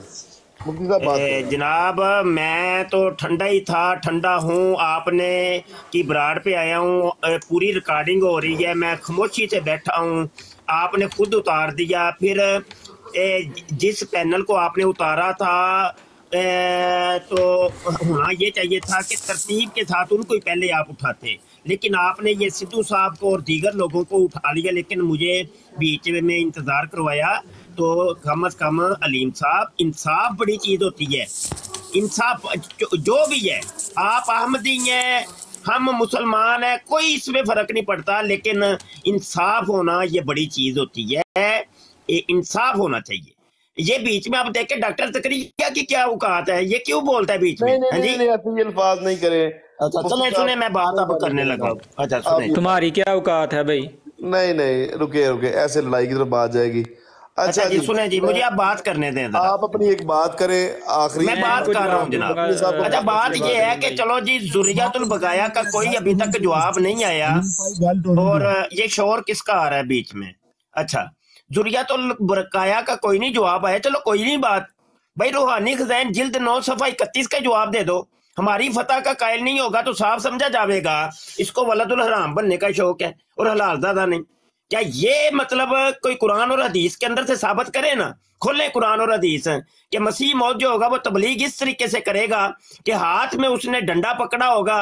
और ज़ुबान से भी वो डंडा चलाएगा और जनाब, वो लोगों को इस तरीके से गालियाँ निकालेगा। हाँ जी, बताए ना, करें साबत। रूहानी खजैन जिल्द चौदह सफ़ा तिरपन का कोई जवाब दिया हो कि दुश्मन हमारे ब्याबानों के खंजीर हो गए और उनकी औरतें कुत्तियों से बढ़ गई हैं। ये तबलीग है, मेरे सामने कोई एक गैर मुस्लिम है वो जो मुस्लिम है वो ये बात रेलेवेंट नहीं है वो गैर मुस्लिम है वो गैर मुस्लिम है। बात है मैंने उसको तबलीग करनी है और मैं उसको ये कहता हूँ कि जो मुसलमान नहीं है वो बियाबानों का खंजीर है और वो उस तेरी औरत जो है वो कुत्तियों से बढ़ गई। क्या वो इस्लाम कबूल करेगा बताइए? क्या इस्लाम कबूल करेगा? ये तबलीग का कौन सा अंदाज है? हाशिया राई ना करें अपनी तरफ़ से मुफ्ती साहब। हाशिया राई बिते ना प्लीज़ ना करें। चले हाशिया नहीं चले मैं इबारत ही सुना देता हूँ। इबारत सुना देता हूँ। रूहानी खदैन जिल्द नौ सफ़ा इकतीस है। हमारी फतह का कायल नहीं होगा तो साफ़ समझा जाएगा कि इसको वलतुल हराम बनने का शौक है और हलाल ज़्यादा नहीं। ठीक हो गया। रूहानी खदैन जिल्द चौदह सफ़ा तिरपन के ऊपर कहते हैं दुश्मन हमारे बानों के खंदीर हो गए और उनकी औरतें कुत्तियों से बढ़ गई। वमा अलीना इल्लल बलाग इसका जवाब दे दें। ठीक हो गया। बहुत शुक्रिया। अलीम साहब राजपूत भाई को अनम्यूट करें आपने म्यूट कर जी मुझे जवाब देने दें जी। अलीम साहब कर दिया कमेंट को प्लीज़ अनम्यूट करवाएँ मैं सिर्फ़ अलीम हूँ। साहब राजपूत भाई को अनम्यूट करें। मुझे एक सेकंड आप दे देना मेरी उन्होंने कभी कोई गाली नहीं दी है। वो गलत कमेंट भी नहीं करते। अगर आप मेरी बात सुनेंगे दोस्त अगर आप सिर्फ़ बोला ना करेंगे कुछ मॉडरेटर ऐसे हैं जो अंटायर लाइव के लिए म्यूट कर रहे हैं वो अगर मेरी बात सुन रहे हैं अपनी सेटिंग में जाएँ और टाइम कम करें म्यूट करने का जो लोग मेरी बात सुन रहे हैं। मैंने अपने मोबाइल से टाइम कम कर लिया आप लोग भी अपने मोबाइल से जाके टाइम कम करें। अगर ये नहीं करते तो मैं थोड़ी थोड़ी देर के बाद लोगों को अनम्यूट कर रहा हूँ। जितने लोग सुन रहे हैं वो एक दो तीन मिनट के बाद अनम्यूट मेरी तरफ़ से हो रहे हैं। मैं कर रहा हूँ। आप ना बोलते तो मैंने अभी कर देना था। अच्छा जी। नहीं भाई दूसरी मेरी आपकी मॉडरेटर से गुजारिश है। मेरे भाई मैं कोई मयूब बात ना लिखता हूँ ना माइक पे करता हूँ सिर्फ़ हवाला लिख रहा था। सिर्फ़ हवाला जो मुफ्ती साहब माइक पे बयान कर रहे हैं। दोस्तों के लिए टेक्स्ट में लिख दिए इसमें कौन सी बुराई है यार? ठीक हो गया। अच्छा अब अब बात ऐसे है अब मुफ्ती साहब आपने ये बात शुरू की थी। ये आखिरी टर्न है। अल्लाह वाला साहब आप प्लीज़ इस बात को मैं जवाब देता हूँ कल साहब को करने जवाब दे आप। कल साहब को करने जवाब देता हूँ। कल साहब को देने दे जवाब मैंने दे दिया था जवाब इसे। और कोई अच्छा जवाब नहीं बनता अब ये आखिरी टर्न है कालू साहब। इस बात को खत्म करें। और अब बाद में दोस्त बहुत नीचे इंतज़ार कर रहे हैं। पीर साहब से भी कुछ फ़ायदा उठाना चाहते हैं आज हम। तो पीर साहब से भी बात करनी है। फिर हम जिया साहब मौजूद हैं और नीचे से दोस्त लेते हैं। अगली बात करेंगे। मुझे मुझे जवाब देने की जी, अब आखिरी टर्न में बात इस क्योंकि इन्होंने काफ़ी ज़्यादा बातें की हैं। देखें बात यह है कि जुरियातुल बगाया जुरियातुल बगाया। हमने पहले भी बताया है कि हज़रत मिर्ज़ा ग़ुलाम अहमद कादियानी अलैहिस्सलाम ने ज़ुरियतुल का कोई तर्जमा नहीं किया हुआ। ये खुद से तर्जमे कर रहे हैं। ज़ुरियतुल बगाया का जहाँ पर ताजुल रूस से ये दूसरा तर्जमा दिखा रहे थे तो मुफ्ती साहब थोड़ा सा हाथ आगे करते या स्क्रीन आगे पीछे करते तो इनको ज़ुरियतुल बगाया के और भी मानी मिल जाते हैं, जिस तरह के ज़ुरियतुल बगाया अल्लाह जीना ख़ातम अल्लाह अला कलूबहिम। यानी अल्लाह ने जिनके दिलों पर मोहर लगा दी हुई है जिनके दिलों पर अल्लाह ताला ने मोहर लगा दी है, जिस तरह अल्लाह ताला कुरान करीम में कहता है, उनको भी ज़रूरियातुल बगाया कहा जाता है। ठीक है? और आगे इसी इसी ताजुल रूस में लिखा हुआ है कि फ़ाजर को भी ज़ुरियातुल बगाया कहा जाता है। तो हमारे इमाम हज़रत मसीह मऊद अलैहिस्सलाम ने जो बात की है, वो यही की है कि जो फासिक और फाजर हैं या जिनके दिलों पर अल्लाह ताला ने मोहर कर दी हुई है तो वो ज़रूरियातुल बगाया हैं। तो ये कुरान भी यही कहता है कि उनके दिलों में ईमान दाखिल नहीं होता जिन पर अल्लाह ने मोहर कर दी हुई है। ये तो हुआ ज़रूरियातुल बगाया का जवाब। दूसरी बात इन्होंने अबारतों को जो है ना, ट्विस्ट करने की कोशिश की है, वो अबारतें जो हज़रत साहब ने लिखी हुई हैं, उनमें उन मुखालफी को जवाब दिए गए हैं, जो नबी करीम अलैहि वसल्लम के गुस्ताख थे और आप अलैहि वसल्लम के बारे में गंदी ज़बान इस्तेमाल करते थे या आप सुज़म के बारे में उनके रवैये या इस्लाम के बारे में वो गलत मलत करते थे तो उनको अल्लाह के नबी ने, अल्लाह के इमाम ने जवाब दिया। अब, इनसे सबसे पहले हमने पूछा था कि कुरान हदीस में कहाँ लिखा हुआ है कि अहमद रज़ा खान बरेलवी साहब जो मिल- दीन व होंगे, वो लोगों को वल्दुलसरा कहेंगे और उनके बच्चों को जो है ना खालस जानी कहेंगे और उनके बच्चों को औलाद वल्दुजना कहेंगे और उनको जानिय जानी और जानिया कहेंगे। तो अहमद रज़ा खान बरेलवी साहब का फतवा मैं फिर से पढ़ देता हूँ। ना तो जया रसूल साहब ने इसका जवाब दिया ना पीर साहब ने इसका जवाब दिया। फिर उधर ही रहे वो बात खत्म करें फिर। तो इन्होंने क्यों उधर की बात की है? नहीं नहीं जवाब ये देना। दोबारा बात शुरू हुई थी और फिर अल्लाह साहब ने कहा जवाब देंगे। हाँ मैं तो मुझे जवाब तो देना पे। भाई। मेरा जवाब पूरा सुन लें, क्योंकि जब तक ये अहमद रज़ा खान बरेलवी साहब ये एतराज़ करते हैं मिर्ज़ा गुलाम अहमद कादियानी अलैहिस्सलाम पर। अहमद रज़ा खान बरेलवी साहब का जवाब क्यों नहीं देते? दस दफ़ा इनको कहा है कि ज़रूरियातुलबाया का ये तर्जमा नहीं है। किसी ने यह तर्जमा नहीं किया हुआ। जमात ये तर्जमा नहीं करती। हमारी तरफ़ थोपते हैं। हम पर इल्ज़ाम लगाते हैं। लोगों को लोगों में नफ़रत पैदा करने की कोशिश करते हैं। और जो इनके इमाम ने, इनके मुजद्दद ने जो वाज अल्फाज में लिखा हुआ है जिसको पढ़ने के लिए ऐनक की भी ज़रूरत नहीं है किसी तर्जमे की ज़रूरत नहीं है। वो लोगों के सामने क्यों नहीं पेश करते भाई? उसका तर्जमा लोगों को क्यों नहीं बताते कि हमारे इमाम ने ये कहा हुआ है? मैं सुनाता हूँ मैं पढ़ के। ये तो नहीं सुनाएँगे। मैं सुनाता हूँ कि फरमाते हैं आजकल के रवाफज तो अमूमन ज़रूरियात दीन के मुनकर और कतन मुर्ताद हैं। इनके मर्द या औरत का किसी से निकाह हो ही नहीं सकता। ऐसे ही वहाबी देवबंदी नेचरीज करालवी गया मुर्तदीन है। है ये दूसरा इन्होंने डॉक्टर साहब के बारे में जो जवाब है। देने दें मुझे मौका इन्होंने डॉक्टर साहब के बारे में जो गुफ्तगू की है इन्होंने डॉक्टर साहब जवाब की है उस पर ये क्यों नहीं माफ़ी मांगी मंगवाई इन्हें कहें कि डॉक्टर साहब के बारे में जो इन्होंने गुफ्तगू की है उस पर माफ़ी मांगे। बहुत शुक्रिया बहुत शुक्रिया कालम साहब बहुत अच्छी डिस्कशन की आपने बहुत अच्छा। सिद्धू साहब माइक अली- अलीम साहब आप मुझे इसका जवाब देने दें आप आप आपको आप बाद में जवाब दे दें इसका एक सेकंड रुकिएगा। जी सिद्धू साहब। सिद्धू साहब मसरूफ हो नहीं नहीं सलाम अलीम भाई क्या हाल है डॉक्टर साहब खुद चले गए हैं या अब ਨੂੰ ਮੇਰੇ ਖਿਆਲ ਤੁਸੀਂ ਥੱਲੇ ਲਾ ਦਿੱਤਾ आ गए आ गए ਤੁਸੀਂ ਡਾਕਟਰ ਸਾਹਿਬ ਨੂੰ ਥੱਲੇ ਲਾਇਆ हाँ जी माशाल्लाह अच्छी चल रही लाइफ अच्छा तो बहरहाल एक बात मेरे जहन में थी वो मैं कर देता हूँ कि ये बार बार ये कहते हैं कि फलां उलमा हमारे लिए हुज्जत नहीं है, फलां को हम नहीं समझते। वो कालू साहब ने भी अपनी बात में बयान किया है कि फिर आपको कौन समझेगा? अगर आप इतने इतने बड़े उलमा को नहीं समझते कि जो, जिन्होंने कुरान हदीस को समझ के ये सारा कुछ लिखा है, आपके मुताबिक अब कोई नबी भी नहीं आना बाद में, दीन मुकम्मल है उलमा ही जो है वो इस दीन के वारिस हैं। तो एक तरफ़ आप ये कहते हैं, दूसरी तरफ़ अगले ही लम्हे में जाके उन्हीं उलमा का इनकार कर देते हैं, जिनके करोड़ों जो है वो मानने वाले हैं। तो मेरा ख्याल है कि ये सब मुसलमानों को बहसीत मुसलमान ये सोचना चाहिए कि, आया हमारे उलमा को ऑन क्यों नहीं किया जाता? या उनकी बाज बातों को क्यों नहीं ऑन करते? और वो लोग जिनको कोई जिस तरह पहले भी ये बात होगी, है, कोई दूसरा नहीं जानता। वो बड़े बड़े उलमा और बुज़ुर्गों से ऐसे बरीयत करते हैं जैसे वो खुद बहुत उनसे आगे निकल गए हैं। तो हम मैं तो जाती तौर पे नहीं समझता कि इनमें से कोई भी उनकी हैसियत का है या उससे मुझे तो बहुत जो है वो नीचे लगते हैं, तालब इलम है ये सारे। वो बड़े बड़े इनके उस्ताद थे जिनके फतवे पढ़े जाते हैं। जी अलीम भाई। बहुत शुक्रिया जी जिया साहब आप आइए। जी, बहुत बहुत शुक्रिया जी। सबसे पहली बात ये है जी, देखें सारे लोग जो, कितने लोग सुन रहे हैं जी? डेढ़ सौ बंदा सुन रहा है। ये देख लें, जमात अहमदिया के नुमाइंदगान। हमें आके सबक दे रहे हैं जी, फलां आलम की बात माने। जबकि उम्मत मुसलमान अलान कहती है कि हम सिर्फ़ कुरान हदीस को मानते हैं।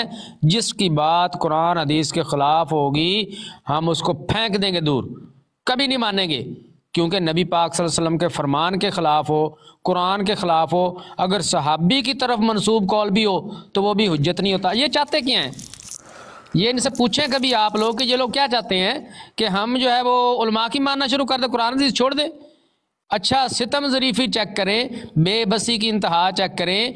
खुद जिनको पैगंबर मानते हैं, उसकी बात मानने को तैयार नहीं है। कहते हैं, उनकी तो सिर्फ़ राय है, लेकिन अहमद रजा खान साहब का फतवा है। अहमद रजा खान साहब की बात मलफूजात में लिखी हुई है। वो हो गया उनका फतवा तो कहते हैं हमारे मिर्ज़ा साहब की तो राय है। अंदाज़ा कर लें कि इनके नज़दीक, इनके मिर्ज़ा साहब की कितनी अहमियत है। कहते हैं, उनकी फ़कत राय है, लेकिन अहमद रजा खान साहब का फतवा है। आज ये अहमद रजा खान साहब के फतवे सुनाने के लिए अपने नबी से भी हाथ धो के बैठे हुए उसको भी छोड़ दिया उसकी बात की कोई अहमियत नहीं है इनके नज़दीक। तो भाई फिर दावत किस चीज़ की दे रहे हैं यहाँ पे?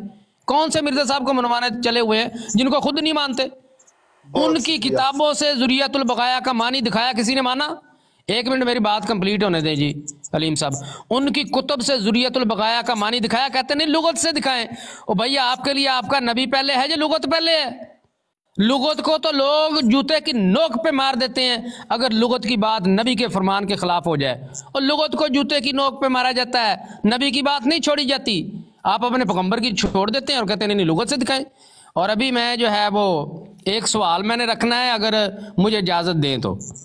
एक सेकंड इसके बाद पहले का भी नहीं आया। सवाल इसके बाद साहब सवाल इसके बाद। पहले का भी जवाब लेके दे मुझे। अभी अभी अभी की बारी दोबारा की सवाल इसके बाद। मुझे जाना है जाना है शुएब डोगर साहब के पास।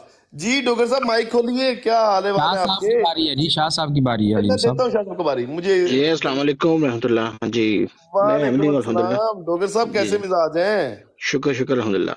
सब क्या सुना है आपने? क्या क्या चल रहा है? क्या कहेंगे? सब अच्छा चल रहा है मज़ा आ रहा है। सुन रहा हूँ गुफ्तगू। क्या नतीजा तो निकाला है आपने? नतीजा नतीजा तो दूसरे ब्रॉड्स वगैरह में भी जाता हूँ नतीजा तो जो खुद चाहता वो अपनी मर्ज़ी का निकाल लेता। तो जो जो साफ़ दिल है वो समझ जाता है जो नहीं समझना चाहता वो वो उसे कोई भी नहीं समझा पाता। ऐसे ही है। माशाल्लाह आप लोग कालू भाई ने अच्छे तरीके से समझाया उन्हें। लेकिन वो समझना चाह ही नहीं थे तो लेकिन ये नहीं समझते। हाँ जी। वो मतलब कि किसी को भी समझाएँ तो आसानी से समझ आती है बात। मैं बायस होने वाली बात भी नहीं मतलब कि साहब वो दलाल के साथ दिखा रहे आपका कि ताल्लुक किस अ, फ़िक्र से है डॉक्टर साहब? मेरा? हाँ जी। मेरा बड़ा खतरनाक है। बताइए कुछ अपने बारे में। हाँ जी मैं अहमदी हूँ अल्हम्दुलिल्लाह। अच्छा जी ठीक हाँ। है तो आप आप कोई दलाइल देना चाहेंगे? नहीं मैं कोई दलील नहीं देना चाहता माशाल्लाह आपने तमाम हुज्जत कर दी है माशाल्लाह पहले ही। ठीक हो गया ठीक हो गया। मैंने आपका नाम देखा मैंने सबसे पहले डॉक्टर साहब को उठाए। शुक्रिया बहुत शुक्रिया बहुत शुक्रिया ठीक है डॉ- डॉक्टर साहब तशरीफ़ रखें साथ ही आप रहिएगा। जाना नहीं है अभी आपसे मैंने एक बात करनी है। जी फैसल भाई आइए। अलीम मेरा जो तजिया सो फार डिस्कशन के ऊपर के so far going very good आपने पैनल के अंदर तवाजन बरकरार रखा हुआ है, कुछ अपने दोस्त बैठाए हुए हैं, कुछ मुखालिफ दोस्त बैठाए हुए हैं, बड़ी अच्छी बात है। और दूसरा, मैं डॉक्टर साहब का भी शुक्रिया अदा करूँगा ज़िया भाई ने और मैंने तवज्जो दिलाई इनकी कि अभी क्योंकि होस्ट खुद एक्टिव है तो उनको मॉडरेट करने दें और उन्होंने माशाल्लाह हमारी बात सुनी, मैं डॉक्टर साहब का भी इसके ऊपर शुक्रिया अदा करूँगा। तीसरी, लीम भाई, मैं आपकी एक रिक्वेस्ट आपकी मुनासबत से जो आपकी पार्टी के लोग हैं देखें अभी जिया रसूल भाई ने पहले गुफ्तगु शुरू की थी, जब जिया रसूल भाई का टाइम नहीं होता था जिया रसूल भाई चुप करके दूसरे की बात सुनते थे। फिर उसके बाद पीर इसकानी साहब ने गुफ्तु शुरू की। जब आप लोगों का टाइम नहीं होता था, वो अपनी बात सुनते थे। अभी मुफ्ती साहब हैं, वो बड़े सब्र के साथ और माशाल्लाह उनका बहुत बड़ा सब्र है। अल्लाह सुब्हानहू तआला उनको अजर दे। वो सुनते रहते हैं, सख्त अल्फाज भी सुनते हैं, लेकिन जब उनकी बारी आती है ना बोलने की तो आपकी पार्टी के दोस्त जो है, वो चुप नहीं करते। तो ये आप प्लीज़ थोड़ी सी अलीम भाई, जिस तरह हमारी पार्टी के लोग जो हैं, वो सब्र के साथ बात सुन रहे हैं ना, आप अपनी पार्टी के दोस्तों को खुद ही उस वक्त म्यूट कर दिया करेंगे भाई थोड़ी देर के लिए ना एक मिनट के लिए उसने बात करनी है तो एक मिनट के लिए म्यूट ही रहे। जितने इतराज आपके बनते हैं, उस एक मिनट की गुफ्तगु पे आपका बंदा ज़रूर करे, पेश करे। यहाँ पर लोग सुनने के लिए एक लोग बैठे हुए हैं। अगर उसका इतराज जायज़ होगा, लोग उसकी तरफ़ तवज्जो देंगे। लेकिन ये जो क्रॉस एग्जामिनेशन शुरू हो जाती है ना, यहाँ पर कोई थानेदार तो नहीं बैठा हुआ ना आप? आप अलीम भाई मेरी बात समझ रहे हैं ना? कि नहीं जी पहले लफज ते कर फिर मैं चलांगा एक लफज ते कर फिर मैं चलांगा। भाई एक मिनट आपके पास है एक मिनट उसके पास है मेरा एक मिनट जो था मैंने इस्तेमाल करके अपना मुद्दा पेश कर दिया। बस इसकी तरफ़ अलीम भाई थोड़ी तवज्जो करें जजाकल्ला अच्छा जी अब अहमद सुल्तान साहब मुफ्ती मुबशिर शाह साहब इसके बाद आपकी बारी है। अहमद सुल्तान साहब आप आइए और आप बताइए शुएब डोगर साहब ने क्या बात गलत की है? वाह बहुत बहुत शुक्रिया। मैं सही बंदे को बात तो सुन लें जिया भाई। जी मैं आपकी तो पहले आपकी सिफारिश कर रहा था कि कि जो आप बार बार रेफरेंस पढ़ के बता रहे हैं ना मुफ्ती साहब मुफ्ती साहब हाशिया पढ़ते हैं और जो अबारत का जो तर्जमा जो खुद उनके मानने वालों ने किया उसको मान नहीं रहे। देखें जितना इसका मतलब उन्होंने खुद जो था वो बयान किया कि इसका मतलब ये है कि somebody who is deprived of guidance मतलब भटका हुआ इंसान। मैं भटके हुए इंसान को जो था वो ये कहा गया है। आप सिर्फ़ आधे लफ्ज का तर्जुमा करके लोगों के ऊपर जो था वो थोप रहे हैं। इसकी एग्ज़ाम्पल ऐसे है कि आपको पता है कि हम उर्दू के अंदर उर्दू के अंदर हम लोगों को बोलते हैं बेवकूफ़ लोगों को उल्लू का पट्ठा ठीक है? अब मुफ्ती साहब शोर मचा दे कि देखो, इसने उसके बाप को गाली दी है, इसने कहा है उल्लू का पट्ठा यानी कि तू उल्लू का पुत्र है, तू उल्लू का तो इस तरह थोड़ी होता। पूरा आपको ट्रांसलेट करना होगा। इसके अंदर ताजुल उरूस के अंदर इसका मतलब बताया गया कि इसका मतलब यह है कि somebody who is deprived of guidance अंग्रेज़ी के अंदर, वो लोग जो भटके हुए हैं, वो लोग जो अपने जहन से फैसला नहीं कर सकते, वो लोग जो गलत राहों के ऊपर चल पड़े हैं उनको जो था वो जुलुल बगया कहा जाता है। तो आप मुफ्ती साहब गलत तर्जुमा क्यों कर रहे हैं यहाँ पे? उसको गाली बनाकर पेश कर रहे हैं। वाई लगता जुरियतुल बकाया आपके दिमाग पर लड़ गया है। पेश कर रहा है। जिया साहब आप खामोश रहेंगे। अहमद सुल्तान साहब आपकी बात मुकम्मल हो गई है। भाई हो गई है हो गई है। हाशिया नहीं पढ़ना मुफ्ती साहब। हाशिया नहीं पढ़ना ये है, दो बार बोला है मुझे बीस सेकंड देंगे इसके हिस्से जी जी ले लें जी ले लें आपका टाइम है दो मिनट ले लें। मैं मैंने कहा है कि आपने दरिया को कूजे में बंद कर दिया सुल्तान साहब। बहुत खूब बहुत अला अलीम भाई ये इनको कहें जाके ना मलफूजात जल्द पंजम सफ़ा 155 पढ़ लें। वहाँ पे हज़रत मसीह मौद इस्लाम ने लिखा है कि मैंने अपने कसीदा अंजाम आथम में इसके मतलब लिखा था कि ये अरबी अल्फाज है। पढ़ देता हूँ अगर कोई गलती हो जाए तो बहरहाल माफ़ी चाहता हूँ। खुबसन फलस्तु इल्लम तमुत बिलखिजी यबनल बेगाय यानी खबासत से तूने मुझे एजा दी है, बस अगर तू अब रसवाई से हलाक ना हुआ तो मैं अपने दावा में सच्चा ना ठहरूँगा ए सरकश इंसान। तो यहाँ पे उसको सरकश इंसान का है यहाँ नीचे भी किसी ने लिखा है कि अहमद रजा खान बरेलवी ने भी किसी को सरकश इंसान कहा है तो ये बात बिल्कुल दुरुस्त है कि ये दो अल्फाज का मरकब है और इसको सियाको सबाक और सारी चीज़ें मद्देनजर रख के इसका माना किया जाएगा। और वो मिसाल जो इब्न सबील वाली थी, वो बिल्कुल दुरुस्त थी। अगर किसी में तकवा और सच्चाई जानने का जो है ना, वो मादा हो। अगर एतराज़ करने हैं तो फिर एतराज़ तो भाई हर चीज़ से निकलते हैं। झूठ पकड़ा गया, सिद्धू साहब, आपका झूठ पकड़ा गया है। आप जो अखबार की इबारत पढ़ रहे हैं ना, ये आपकी जमात ने मिर्ज़ा साहब की इस गाली पे पर्दा डालने के लिए वहाँ झूठ बोला है। इसी अरबी इबारत का तर्जमा मिर्ज़ा साहब ने अपनी रूहानी खजैन जिल्द 11 सफ़ा दो पे किया इसी इबारत का। और तर्जमा किया है, तू ए नस्ले बदकारा, यही इबारत है। इल्लम तमुत बिल खिज़ी या इब्ने बगा। जाके पढ़े ये आपकी जमात ने आपको धोखा दिया है। सिंधु साहब कुछ पढ़ भी लिया करें। मिर्ज़ा साहब की इबारत का मिर्ज़ा साहब के तर्जमे के उल्ट वहाँ पे लिख के अखबार में आपको धोखा दिया हुआ है। ये मलफूजात जो है ये के जन्म से भी पहले की है।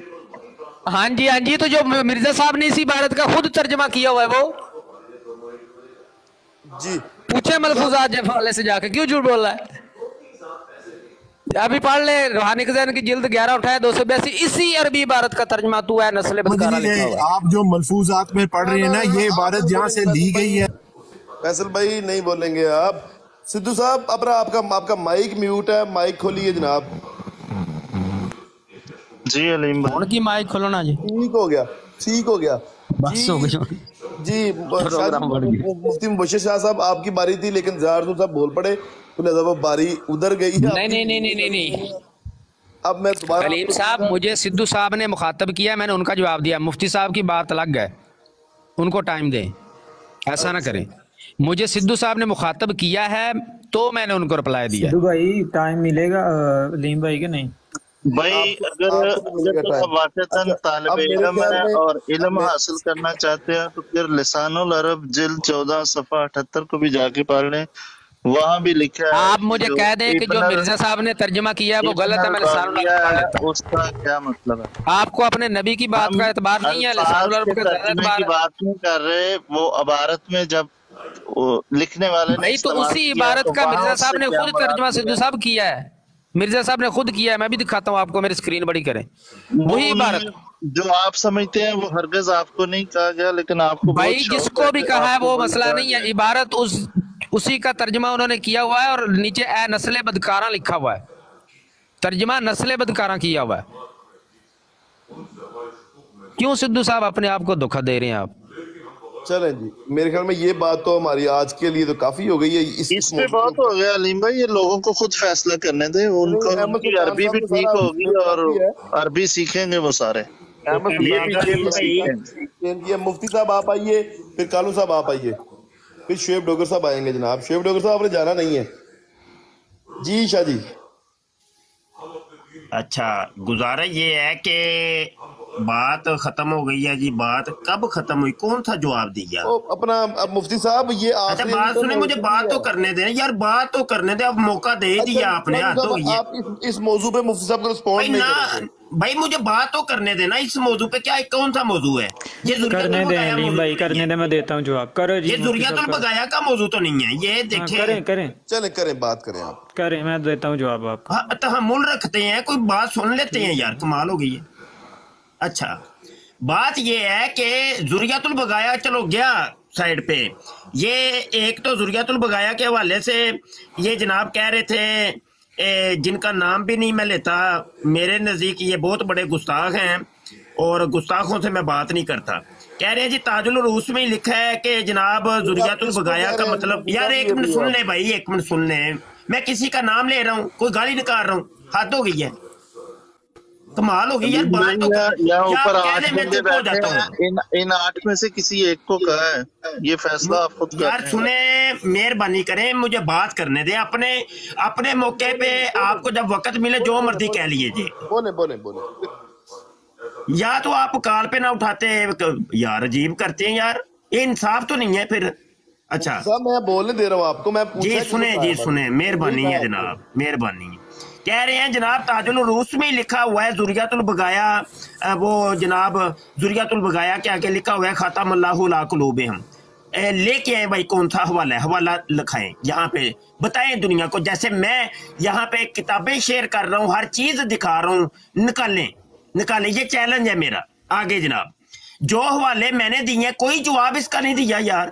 रूहानी खजैन, जिल्द नौ सफ़ा इकतीस के ऊपर मिर्ज़ा साहब ने ये जो कहा है, हमारी फतह का कायल नहीं होगा तो साफ़ समझा जाएगा कि इसको वलतुल हराम बनने का शौक है और हलाल ज़्यादा नहीं। दुश्मन हमारे बियाबानों के खंजीर हो गए और उनकी औरतें कुत्तियों से बढ़ गई हैं।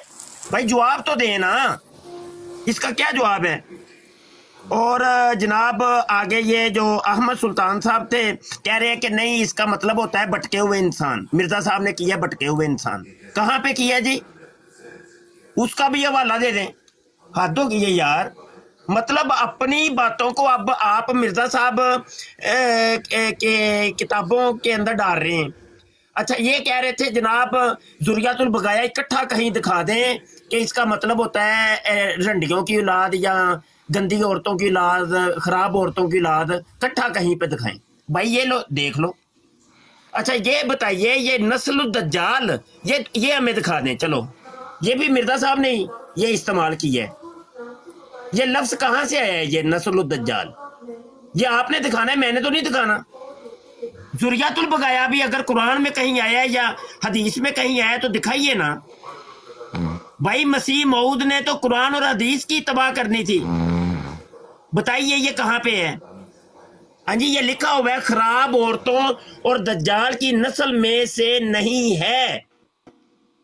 बहुत जुरियातुल शुक्रिया बगाया। बहुत शुक्रिया बहुत शुक्रिया बहुत शुक्रिया। अच्छा अलीम साहब अलीम साहब एक मैं सिफारिश थोड़ी सी करनी है। अभी हमारे मोहतरम सुल्तान साहब फरमा रहे थे मुफ्ती तथा साहब कि ये जुरियतुल बगाया का मुफ्ती साहब आपने गलत तर्जमा किया है।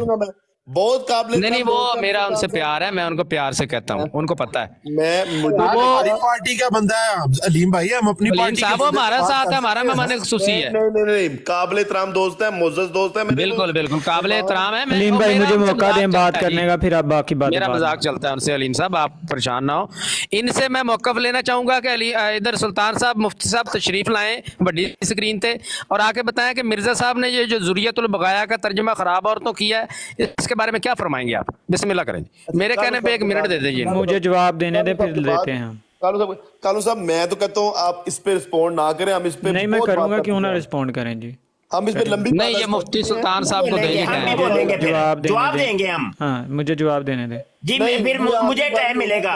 इसके हाँ। बाद अलीम साहब मुझे टाइम देना फिर आप। नहीं नहीं नहीं नहीं नहीं ये आखिरी बारी होगी। ये गलत ये इंसाफ नहीं है ये इंसाफ नहीं है इंसाफ मैं अब क्या करूँ? देख ले सारी दुनिया देख ये बारी मुझे दें एक एक बारी इसके बाद आखिरी कर दें खत्म चले जी अब आप लोगों के पास कालू साहब दो एक बारी ये है इसके बाद एक एक बारी आपके पास है। ठीक है। नहीं नहीं ये नहीं होगा भाई ये बात कर रहे हैं इसका जवाब देना है हमने। अगर मेरी बारी के बाद ये बोलेंगे फिर उसका जवाब देंगे हम। हाँ तो आप मेरी बारी के बाद बोलेंगे तो मैं आपकी बात का जवाब दूँगा। फिर इसी तरह कोई मसला नहीं कोई नहीं हाँ तो गैर इंसाफी करें ना इंसाफी करें मैं भी दे दूँ कोई बात नहीं साहब नान साफी दा फतवा एडी जल्दी ना लाया करो। नहीं यार कर्मा लियो एक तो ना इलीम साहब बात सुने मैं पहले अभी बात बात करने कर- लगा सुनो था। ना मेरी, मेरी एक गल मिनट सुनो। सुने तो। तो भाई सुने तो आप सुने मेरी- तो। आप मेरी बात सुने मेरी बात सुने। मैंने अर्जी ये की है। ठीक है आपकी बात मैं दोबारा मान रहा हूँ। मैं चाह रहा हूँ अभी आपने जो बात की है इसका अभी रिस्पॉन्ड इसको कालू साहब अभी करेंगे। आपको मैं दोबारा एक और मौका दूँगा कालू साहब की बात का जवाब देने का। और उसका आपकी बात का जवाब कालू साहब एक दफ़ा और देंगे। इसके बाद मैं आगे बढ़ना चाह रहा हूँ। लोग नीचे बहुत इंतज़ार कर रहे हैं। लंबी लाइन लगी है मेरे पास। ना भाई के मेरी बात का ये जवाब देंगे तो की बात का किसने जवाब देना है? तो, तो फिर आपकी बात का कौन जवाब देगा? भाई ये तो फिर एक ना खत्म होने वाला सिलसिला बन जाएगा ना कोई इंसाफ तो करें कम अज कम आप। तो मैं वही तो वही तो कह रहा हूँ फिर कितनी बारियाँ चाहिए आपको? भाई ठीक है इनके बा, बाद मैं बोलूँगा बस। अच्छा और उसके अ- पहली बात आपने की है ना? नहीं मैंने कब की है यार? ये इन्होंने की है तो मैंने बात जवाब दी है। अभी आप बात करके आए हैं। और नहीं यार ना करो पहली गल तो शुरू हुई है। ਅਲੀਮ ਭਾਈ ਦੁਬਾਰਾ ਇਹਨਾਂ ਨੂੰ ਮੌਕਾ ਦਿਓ ਬਾਅਦ ਚ ਕਾਲੂ ਨੂੰ ਦਿਓ ਫਿਰ ਇਹਨਾਂ ਨੂੰ ਦਿਓ ਫਿਰ ਕਾਲੂ ਨੂੰ ਦੇ ਦਿਓ नहीं नहीं ए, ए, ये बात कर ले और इसके बाद फिर मैं बोलूंगा ਨਹੀਂ फिर ਦੋ मैं- ਦੋ फिर ਵਾਰੀਆਂ मैं- ਹੋ ਜਾਣਗੀਆਂ ਨਾ फिर मैं अभी अभी फिर मैं दरखास्त कानू साहब से कर लेता हूँ कि अभी आपकी बारी आखिरी हो गई है या ऐसा कर ले कि इनको खत्म कर दे बस ठीक है बात खत्म हो जाती है कानू साहब कोई नवी गल नहीं ਇਹਨਾਂ ਜਿਹੜੀ ਗੱਲ ਕੀਤੀ ਹੈ ਉਸ ਗੱਲ ਦਾ ਚੱਲਦਾ ਰਹੇਗਾ ਹਲੀਮ ਸਾਹਿਬ ਨਵੀਂ ਗੱਲ ਤੁਹਾਨੂੰ ਆ ਰਹੀ ਹੈ ਨਾ ਮੁਫਤੀ ਸੁਲਤਾਨ ਸਾਹਿਬ ਕੋਲੋਂ ਜ਼ਰਾ ਕਮੈਂਟ ਲਾਓ ਦੋ ਦੋ ਵਾਰੀਆਂ ਨੇ ਨਾ ਹਲੀਮ ਭਾਈ ਦੋ ਵਾਰੀਆਂ ਇੱਕ ਇਹਨਾਂ ਸਾਹਿਬ ਨੂੰ ਵੱਡੀ ਸਕਰੀਨ ਤੇ ਕਰੋ ਇੱਕ ਮੈਂ ਲੈਣ ਲੱਗਾ ਇੱਕ ਇਹ ਲੈ ਲੈਣੇ ਇਸ ਤੋਂ ਬਾਅਦ ਇੱਕ ਮੈਂ ਲੈ ਲੈਣੀ ਹਾਂਜੀ ਆਖਰੀ ਵਾਰੀ ਮੁਫਤੀ ਸਾਹਿਬ ਦੀ ਬਣਦੀ ਹੈ ਉਹ ਫਰਮਾ ਇਹ ਰਹੇ ਨੇ। ਤੁਸੀਂ ਕਹਿ ਰਹੇ ਹੋ ਪਹਿਲੀ ਲਈ ਹੈ ਨਾ ਅੱਗੇ ਹੁਣ। ਜਾਂ ਫਿਰ ਦੁਬਾਰਾ ਲੈ ਲੈਣ। ਉਹ ਉਹ ਫਰਮਾ ਰਹੇ ਨੇ ਕਿ ਪਹਿਲੀ ਵਾਰੀ ਤੁਹਾਡੀ ਸੀ। ਤੇ ਪਹਿਲੀ ਵਾਰੀ ਵੀ ਇਹਨਾਂ ਲਈ ਸੀ ਮੈਂ ਤਾਂ ਨਹੀਂ ਲਈ ਪਹਿਲੀ ਵਾਰੀ ਇਹਨਾਂ ਲਈ ਸੀ ਅੱਗੇ ਵੀ। ਉਹ ਅਲੀਮ ਭਾਈ ਮਕਾਓ ਉਹਨਾਂ ਨੂੰ ਫਿਰ ਪਹਿਲੀ ਦੇ ਦਿਓ ਮੁਫਤੀ ਸਾਹਿਬ ਨੂੰ ਪਹਿਲੀ ਵਾਰੀ ਦਿਓ। ਗੁਫ਼ਤਗੂ ਹੀ ਆਲਾ ਹਜ਼ਰਤ ਦੇ ਫਤਵੇ ਤੋਂ ਸ਼ੁਰੂ ਕੀਤੀ ਸੀ ਅਲੀਮ ਭਾਈ ਬਦਾਮ ਖਵਾਓ ਆਪਣੇ ਮੁਨਾਜ਼ਰ ਨੂੰ। ਮੇਰੇ ਖਿਆਲ ਦੇ ਵਿੱਚ ਮੈਂ ਉਹਨਾਂ ਦੇ ਦੇਣ ਤੋਂ ਆਲਾ ਹਜ਼ਰਤ ਹੀ ਮੈਂ ਨਹੀਂ ਆਪਣੇ ਦੋਸਤ ਕੋਲੋਂ ਆਪਣੇ ਦੋਸਤ ਨੂੰ ਇਹ ਦਰਖਾਸਤ ਕਰਾਂਗਾ ਕਿ ਕੋਈ ਨਵੀਂ ਗੱਲ ਕਰੀਏ ਤੇ ਇਹਨੂੰ ਅੱਜ ਚਲੋ ਮੈਨੂੰ ਆਖਰੀ ਫਿਰ ਆਖਰੀ ਕਰਨ ਦਿਓ ਇਸ ਤੋਂ ਬਾਅਦ ਇਹ ਮੁਫਤੀ ਸਾਹਿਬ ਜੋ ਕਿ ਮਰਜ਼ੀ ਕਰਨ। ਮੁਫਤੀ ਸਾਹਿਬ ਨੂੰ ਫਿਰ ਇੱਕ ਦਿਆਂਗਾ ਇਸ ਤੋਂ ਬਾਅਦ।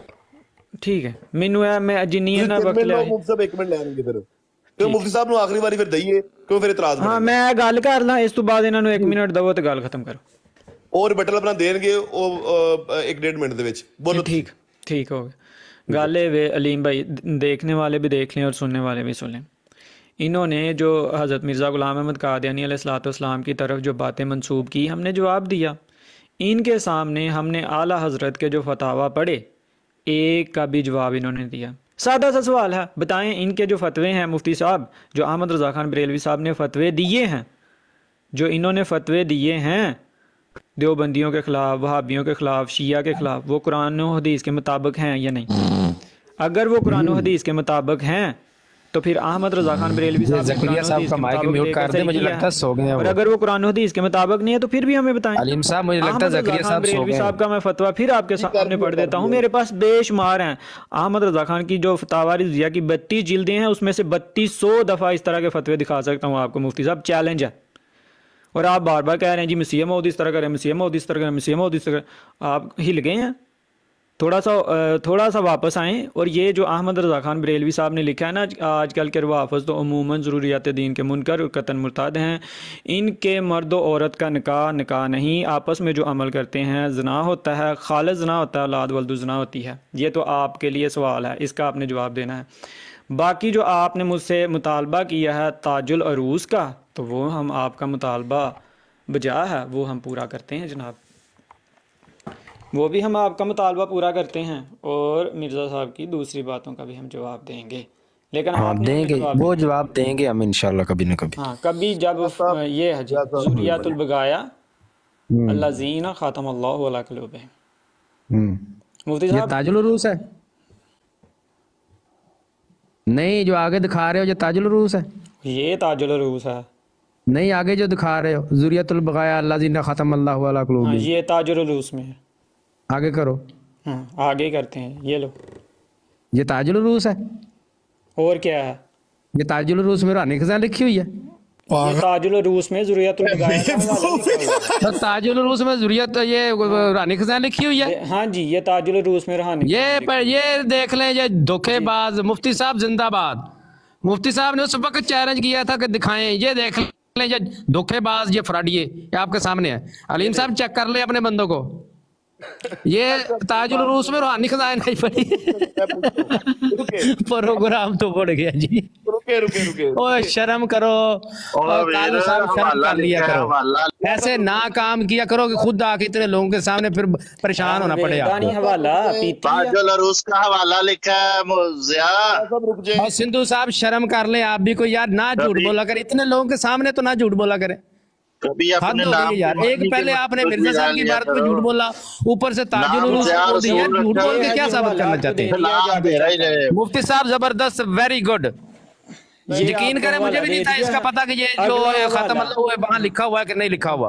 मुफ्ती साहब ने चैलेंज किया ये आपके सामने पड़ा हुआ है? खत्म। अल्लाह पढ़ रहे हैं रूहानी खजान से और पेज दिखा रहे हैं ताजुल उरूस का नाम से रसूल पर वाह, रोशनी से कोई वाह, क्या नहीं है। बात है जी। अलीम वो साहब देख लें आपके मेरी जान वो ताजुल रूस में का ही वाला दिखाया उन्होंने क्यों? आपके पलवान चेक कर ले। अलीम साहब आप तो ना हो। बोले आपको तो पता क्या हो रहा है। खामोश हो के अलीम साहब ढाई मिनट हो गए ढाई मिनट हो गए मुझे उतना ही टाइम चाहिए। दे रहा ये आपका मुझे भी उतना ही टाइम चाहिए जितना ये ले रहे हाँ हैं। जितना ही टाइम है पहले इसको खामोश करवाएँ ना मेरा एक मिनट भी नहीं हुआ। इसको खामोश करवाएँ फिर बात रुके करूँगा। जिया साहब रुके आप। हाँ इसको खामोश करें। करें जी।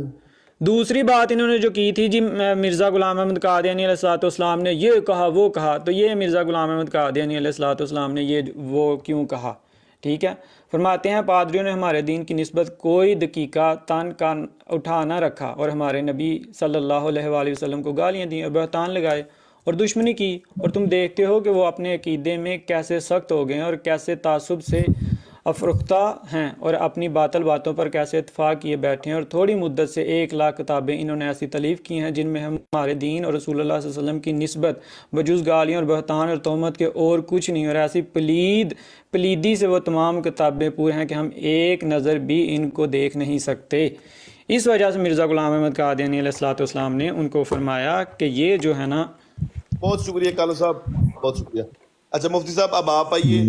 आपके पास क्योंकि बात दो मिनट की मैंने की थी एक अपना कालू साहब को अब आपके पास दो मिनट है अपनी बात मुकम्मल करें आप। इन्होंने वैसे तीन मिनट से ज़्यादा टाइम लिया है। इंसाफ तो यही है। आपको एक मैंने आपको एक इजाफी दे चुका हूँ। मैंने ना यकीन मानिए काउंटर लगाया हुआ है मैंने स्टॉप वॉच लगाई हुई है। अर्ज़ कर रहा हूँ अर्ज़ मैं इसलिए कर रहा हूँ आपको मैंने एक मिनट वैसे ज़्यादा दे दिया हुआ है। तीन तीन मिनट कर। लें जितना टाइम इन्होंने लिया उतना ही मुझे दे दें। नहीं नहीं नहीं। आ, आ, आ, मेरी बात सुने। आ, उनको मैंने कहा था कालू साहब एक बारी लें दो मिनट की आपको नहीं, वो ठीक है मैंने यहाँ पे कर दिया। लगाई हुई थी। दो मिनट काफ़ी है आप अपनी बात मुकम्मल कर नहीं ना जितना टाइम उनको मिला हाँ तो मेरी बात में वो बोल रहा था मैं भी आपकी बात में बोलता रहता हूँ तीन मिनट पूरे करें। नहीं नहीं। करें पूरे। नहीं मेरी बात में ज़्यादा उसूल बोल रहा था ना। वो। हाँ सही बात तो मैं भी इनकी बात में बोलता हूँ आप तीन मिनट पूरे करें मुफ्ती साहब साहब। खामोश हो जरा एक सेकंड मुफ्ती साहब दो मिनट ही बोले हैं यकीन करें जी ठीक है जी दो मिनट जी। अब बीच में कोई ना बोले। अच्छा जी ये कह रहे हैं कि मुफ्ती साहब आप हिल गए हैं। हाँ जी ठीक है। हम अगर इस किस्म के लफ्ज बोले तो वो गाली है गाली है। बंद करो बंद करो। थले ला दियो थले ला दियो थले ला दियो। ठीक हो गया। और ये जो मर्ज़ी करते रहे किसी एक ने भी नहीं रोका कि भाई ये तू किस किस्म के लफ्ज बोल रहे हैं हाँ जी? ये हालात, ये इंसाफ का तकाजा ये है कि फिर जो म्यार आप लोगों ने हमारे लिए बनाया है, अपने लोगों के लिए भी वही मैार बनाइए। ये नहीं है कि जब अपनी बारी आए तो जनाब छतीर लम्हा पा दियो हूँ देखी जाएगी। भाई क्या हुआ? ये आप लोगों की बराड है तो इसके ऊपर आप मतलब जो मर्ज़ी करते रहे। सारी दुनिया भाई, कोई भी रोटी को चोची कहने वाला नहीं है, सब देख रहे हैं, सुन रहे हैं और आपके हालातों वाकया देख रहे हैं। अच्छा मैंने असल में शुक्रिया अदा करना था अलीम साहब का मैंने बहुत सी ब्राडें देखी हैं। जैसी ब्राड अलीम कादियानी चला रहे हैं। वेल, मैं सलाम करता हूँ, सल्यूट करता हूँ। यानी दीगर ब्राडों से बेहतरीन किस्म की ब्राड अलीम साहब की है।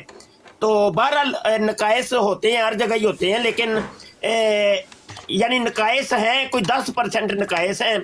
तो लेकिन नबे परसेंट जो है ना, बेहतरीन इन्होंने बराड को चलाया मैं शुक्रिया अदा करना अपना फ़र्ज़ समझता था। अच्छा अब हमारी किसी चीज़ का जवाब नहीं दिया ना। इनू कहते जो मुनाजरा की लफ्स एक बोला जा रहा है। अच्छा। अच्छा रूहानी जिल्द दो सफ़ा इकतीस गया भाई, ओद कोई जवाब खुदड़ बुदड़ हो गया। रूहानी खदैन जिल्द चौदह सफ़ा तिरपन, ओनू छेड़िया भी कोई नहीं। दुश्मन हमारे बियाबानों के खंदीर हो गए और उनकी औरतें कुतियों से बढ़ गईं। अच्छा मैंने चैलेंज किया था मैंने कहा ताजुल रूस चलो मैं और चैलेंज का दायरा कार ही बता देता हूँ। मेरे पास यहाँ शामिला सॉफ्टवेयर है अठारह हज़ार किताबें हैं उसके अंदर। मैं कहता हूँ अठारह हज़ार के अंदर से दिखा दे। जाओ मैं तुम्हें इनाम दूँगा मुँह मंगा इनाम दूँगा। बहुत ये देख मुफ्ती साहब बहुत शुक्रिया। बड़ी अच्छी आपने खुद म्यूट किया है। मैंने आपको म्यूट नहीं किया। बहुत शुक्रिया। आई अच्छा अलीम साहब एक अप्रिसिएशन नोट जो है वो मेरी तरफ़ से भी ले लें। जी जी। कि वो जादूगर जिस तरह वो करतब दिखाते हैं ना जेब में रुमाल डाल के कबूतर निकाल लेते हैं। इसी तरह आज आपके मनाजर ने ताजुल रूस से रूहानी के साथ निकाल के दिखा दी। ये बहुत बड़ा निशान हो गया बहुत शुक्रिया। मैं अपना नीचे से दोस्त लूँगा थोड़ी देर के लिए। मैं सारे डिबेटर से एक दफ़ा शुक्रिया करता हूँ आप तशरीफ़ लाए दोबारा लाइएगा। मैं अब नीचे लोग बहुत इंतज़ार कर रहे हैं बारी बारी ऊपर आ जाए जनाब। अलीम भाई मेरी भी बारी आन दो मैंने अहमद सुल्तान से को बात डोगर साहब आप कहाँ गए हैं? शुएब डोगर साहब आप ऊपर आइए। शुएब डोगर साहब नीचे चले गए हैं। शुएब डोगर साहब कहाँ गए हैं? अलीम भाई देखे सिद्धू ने भी बात कर ली है सबने बात कर ली है इजाज़त चाहूँगा। काफ़ी देर हो गई है मैं इजाज़त है बहुत शुक्रिया। बहुत शुक्रिया जनाब रब रखा है। बहुत शुक्रिया। जियार साहब आपका भी बहुत शुक्रिया। कालू साहब आपका भी बहुत शुक्रिया।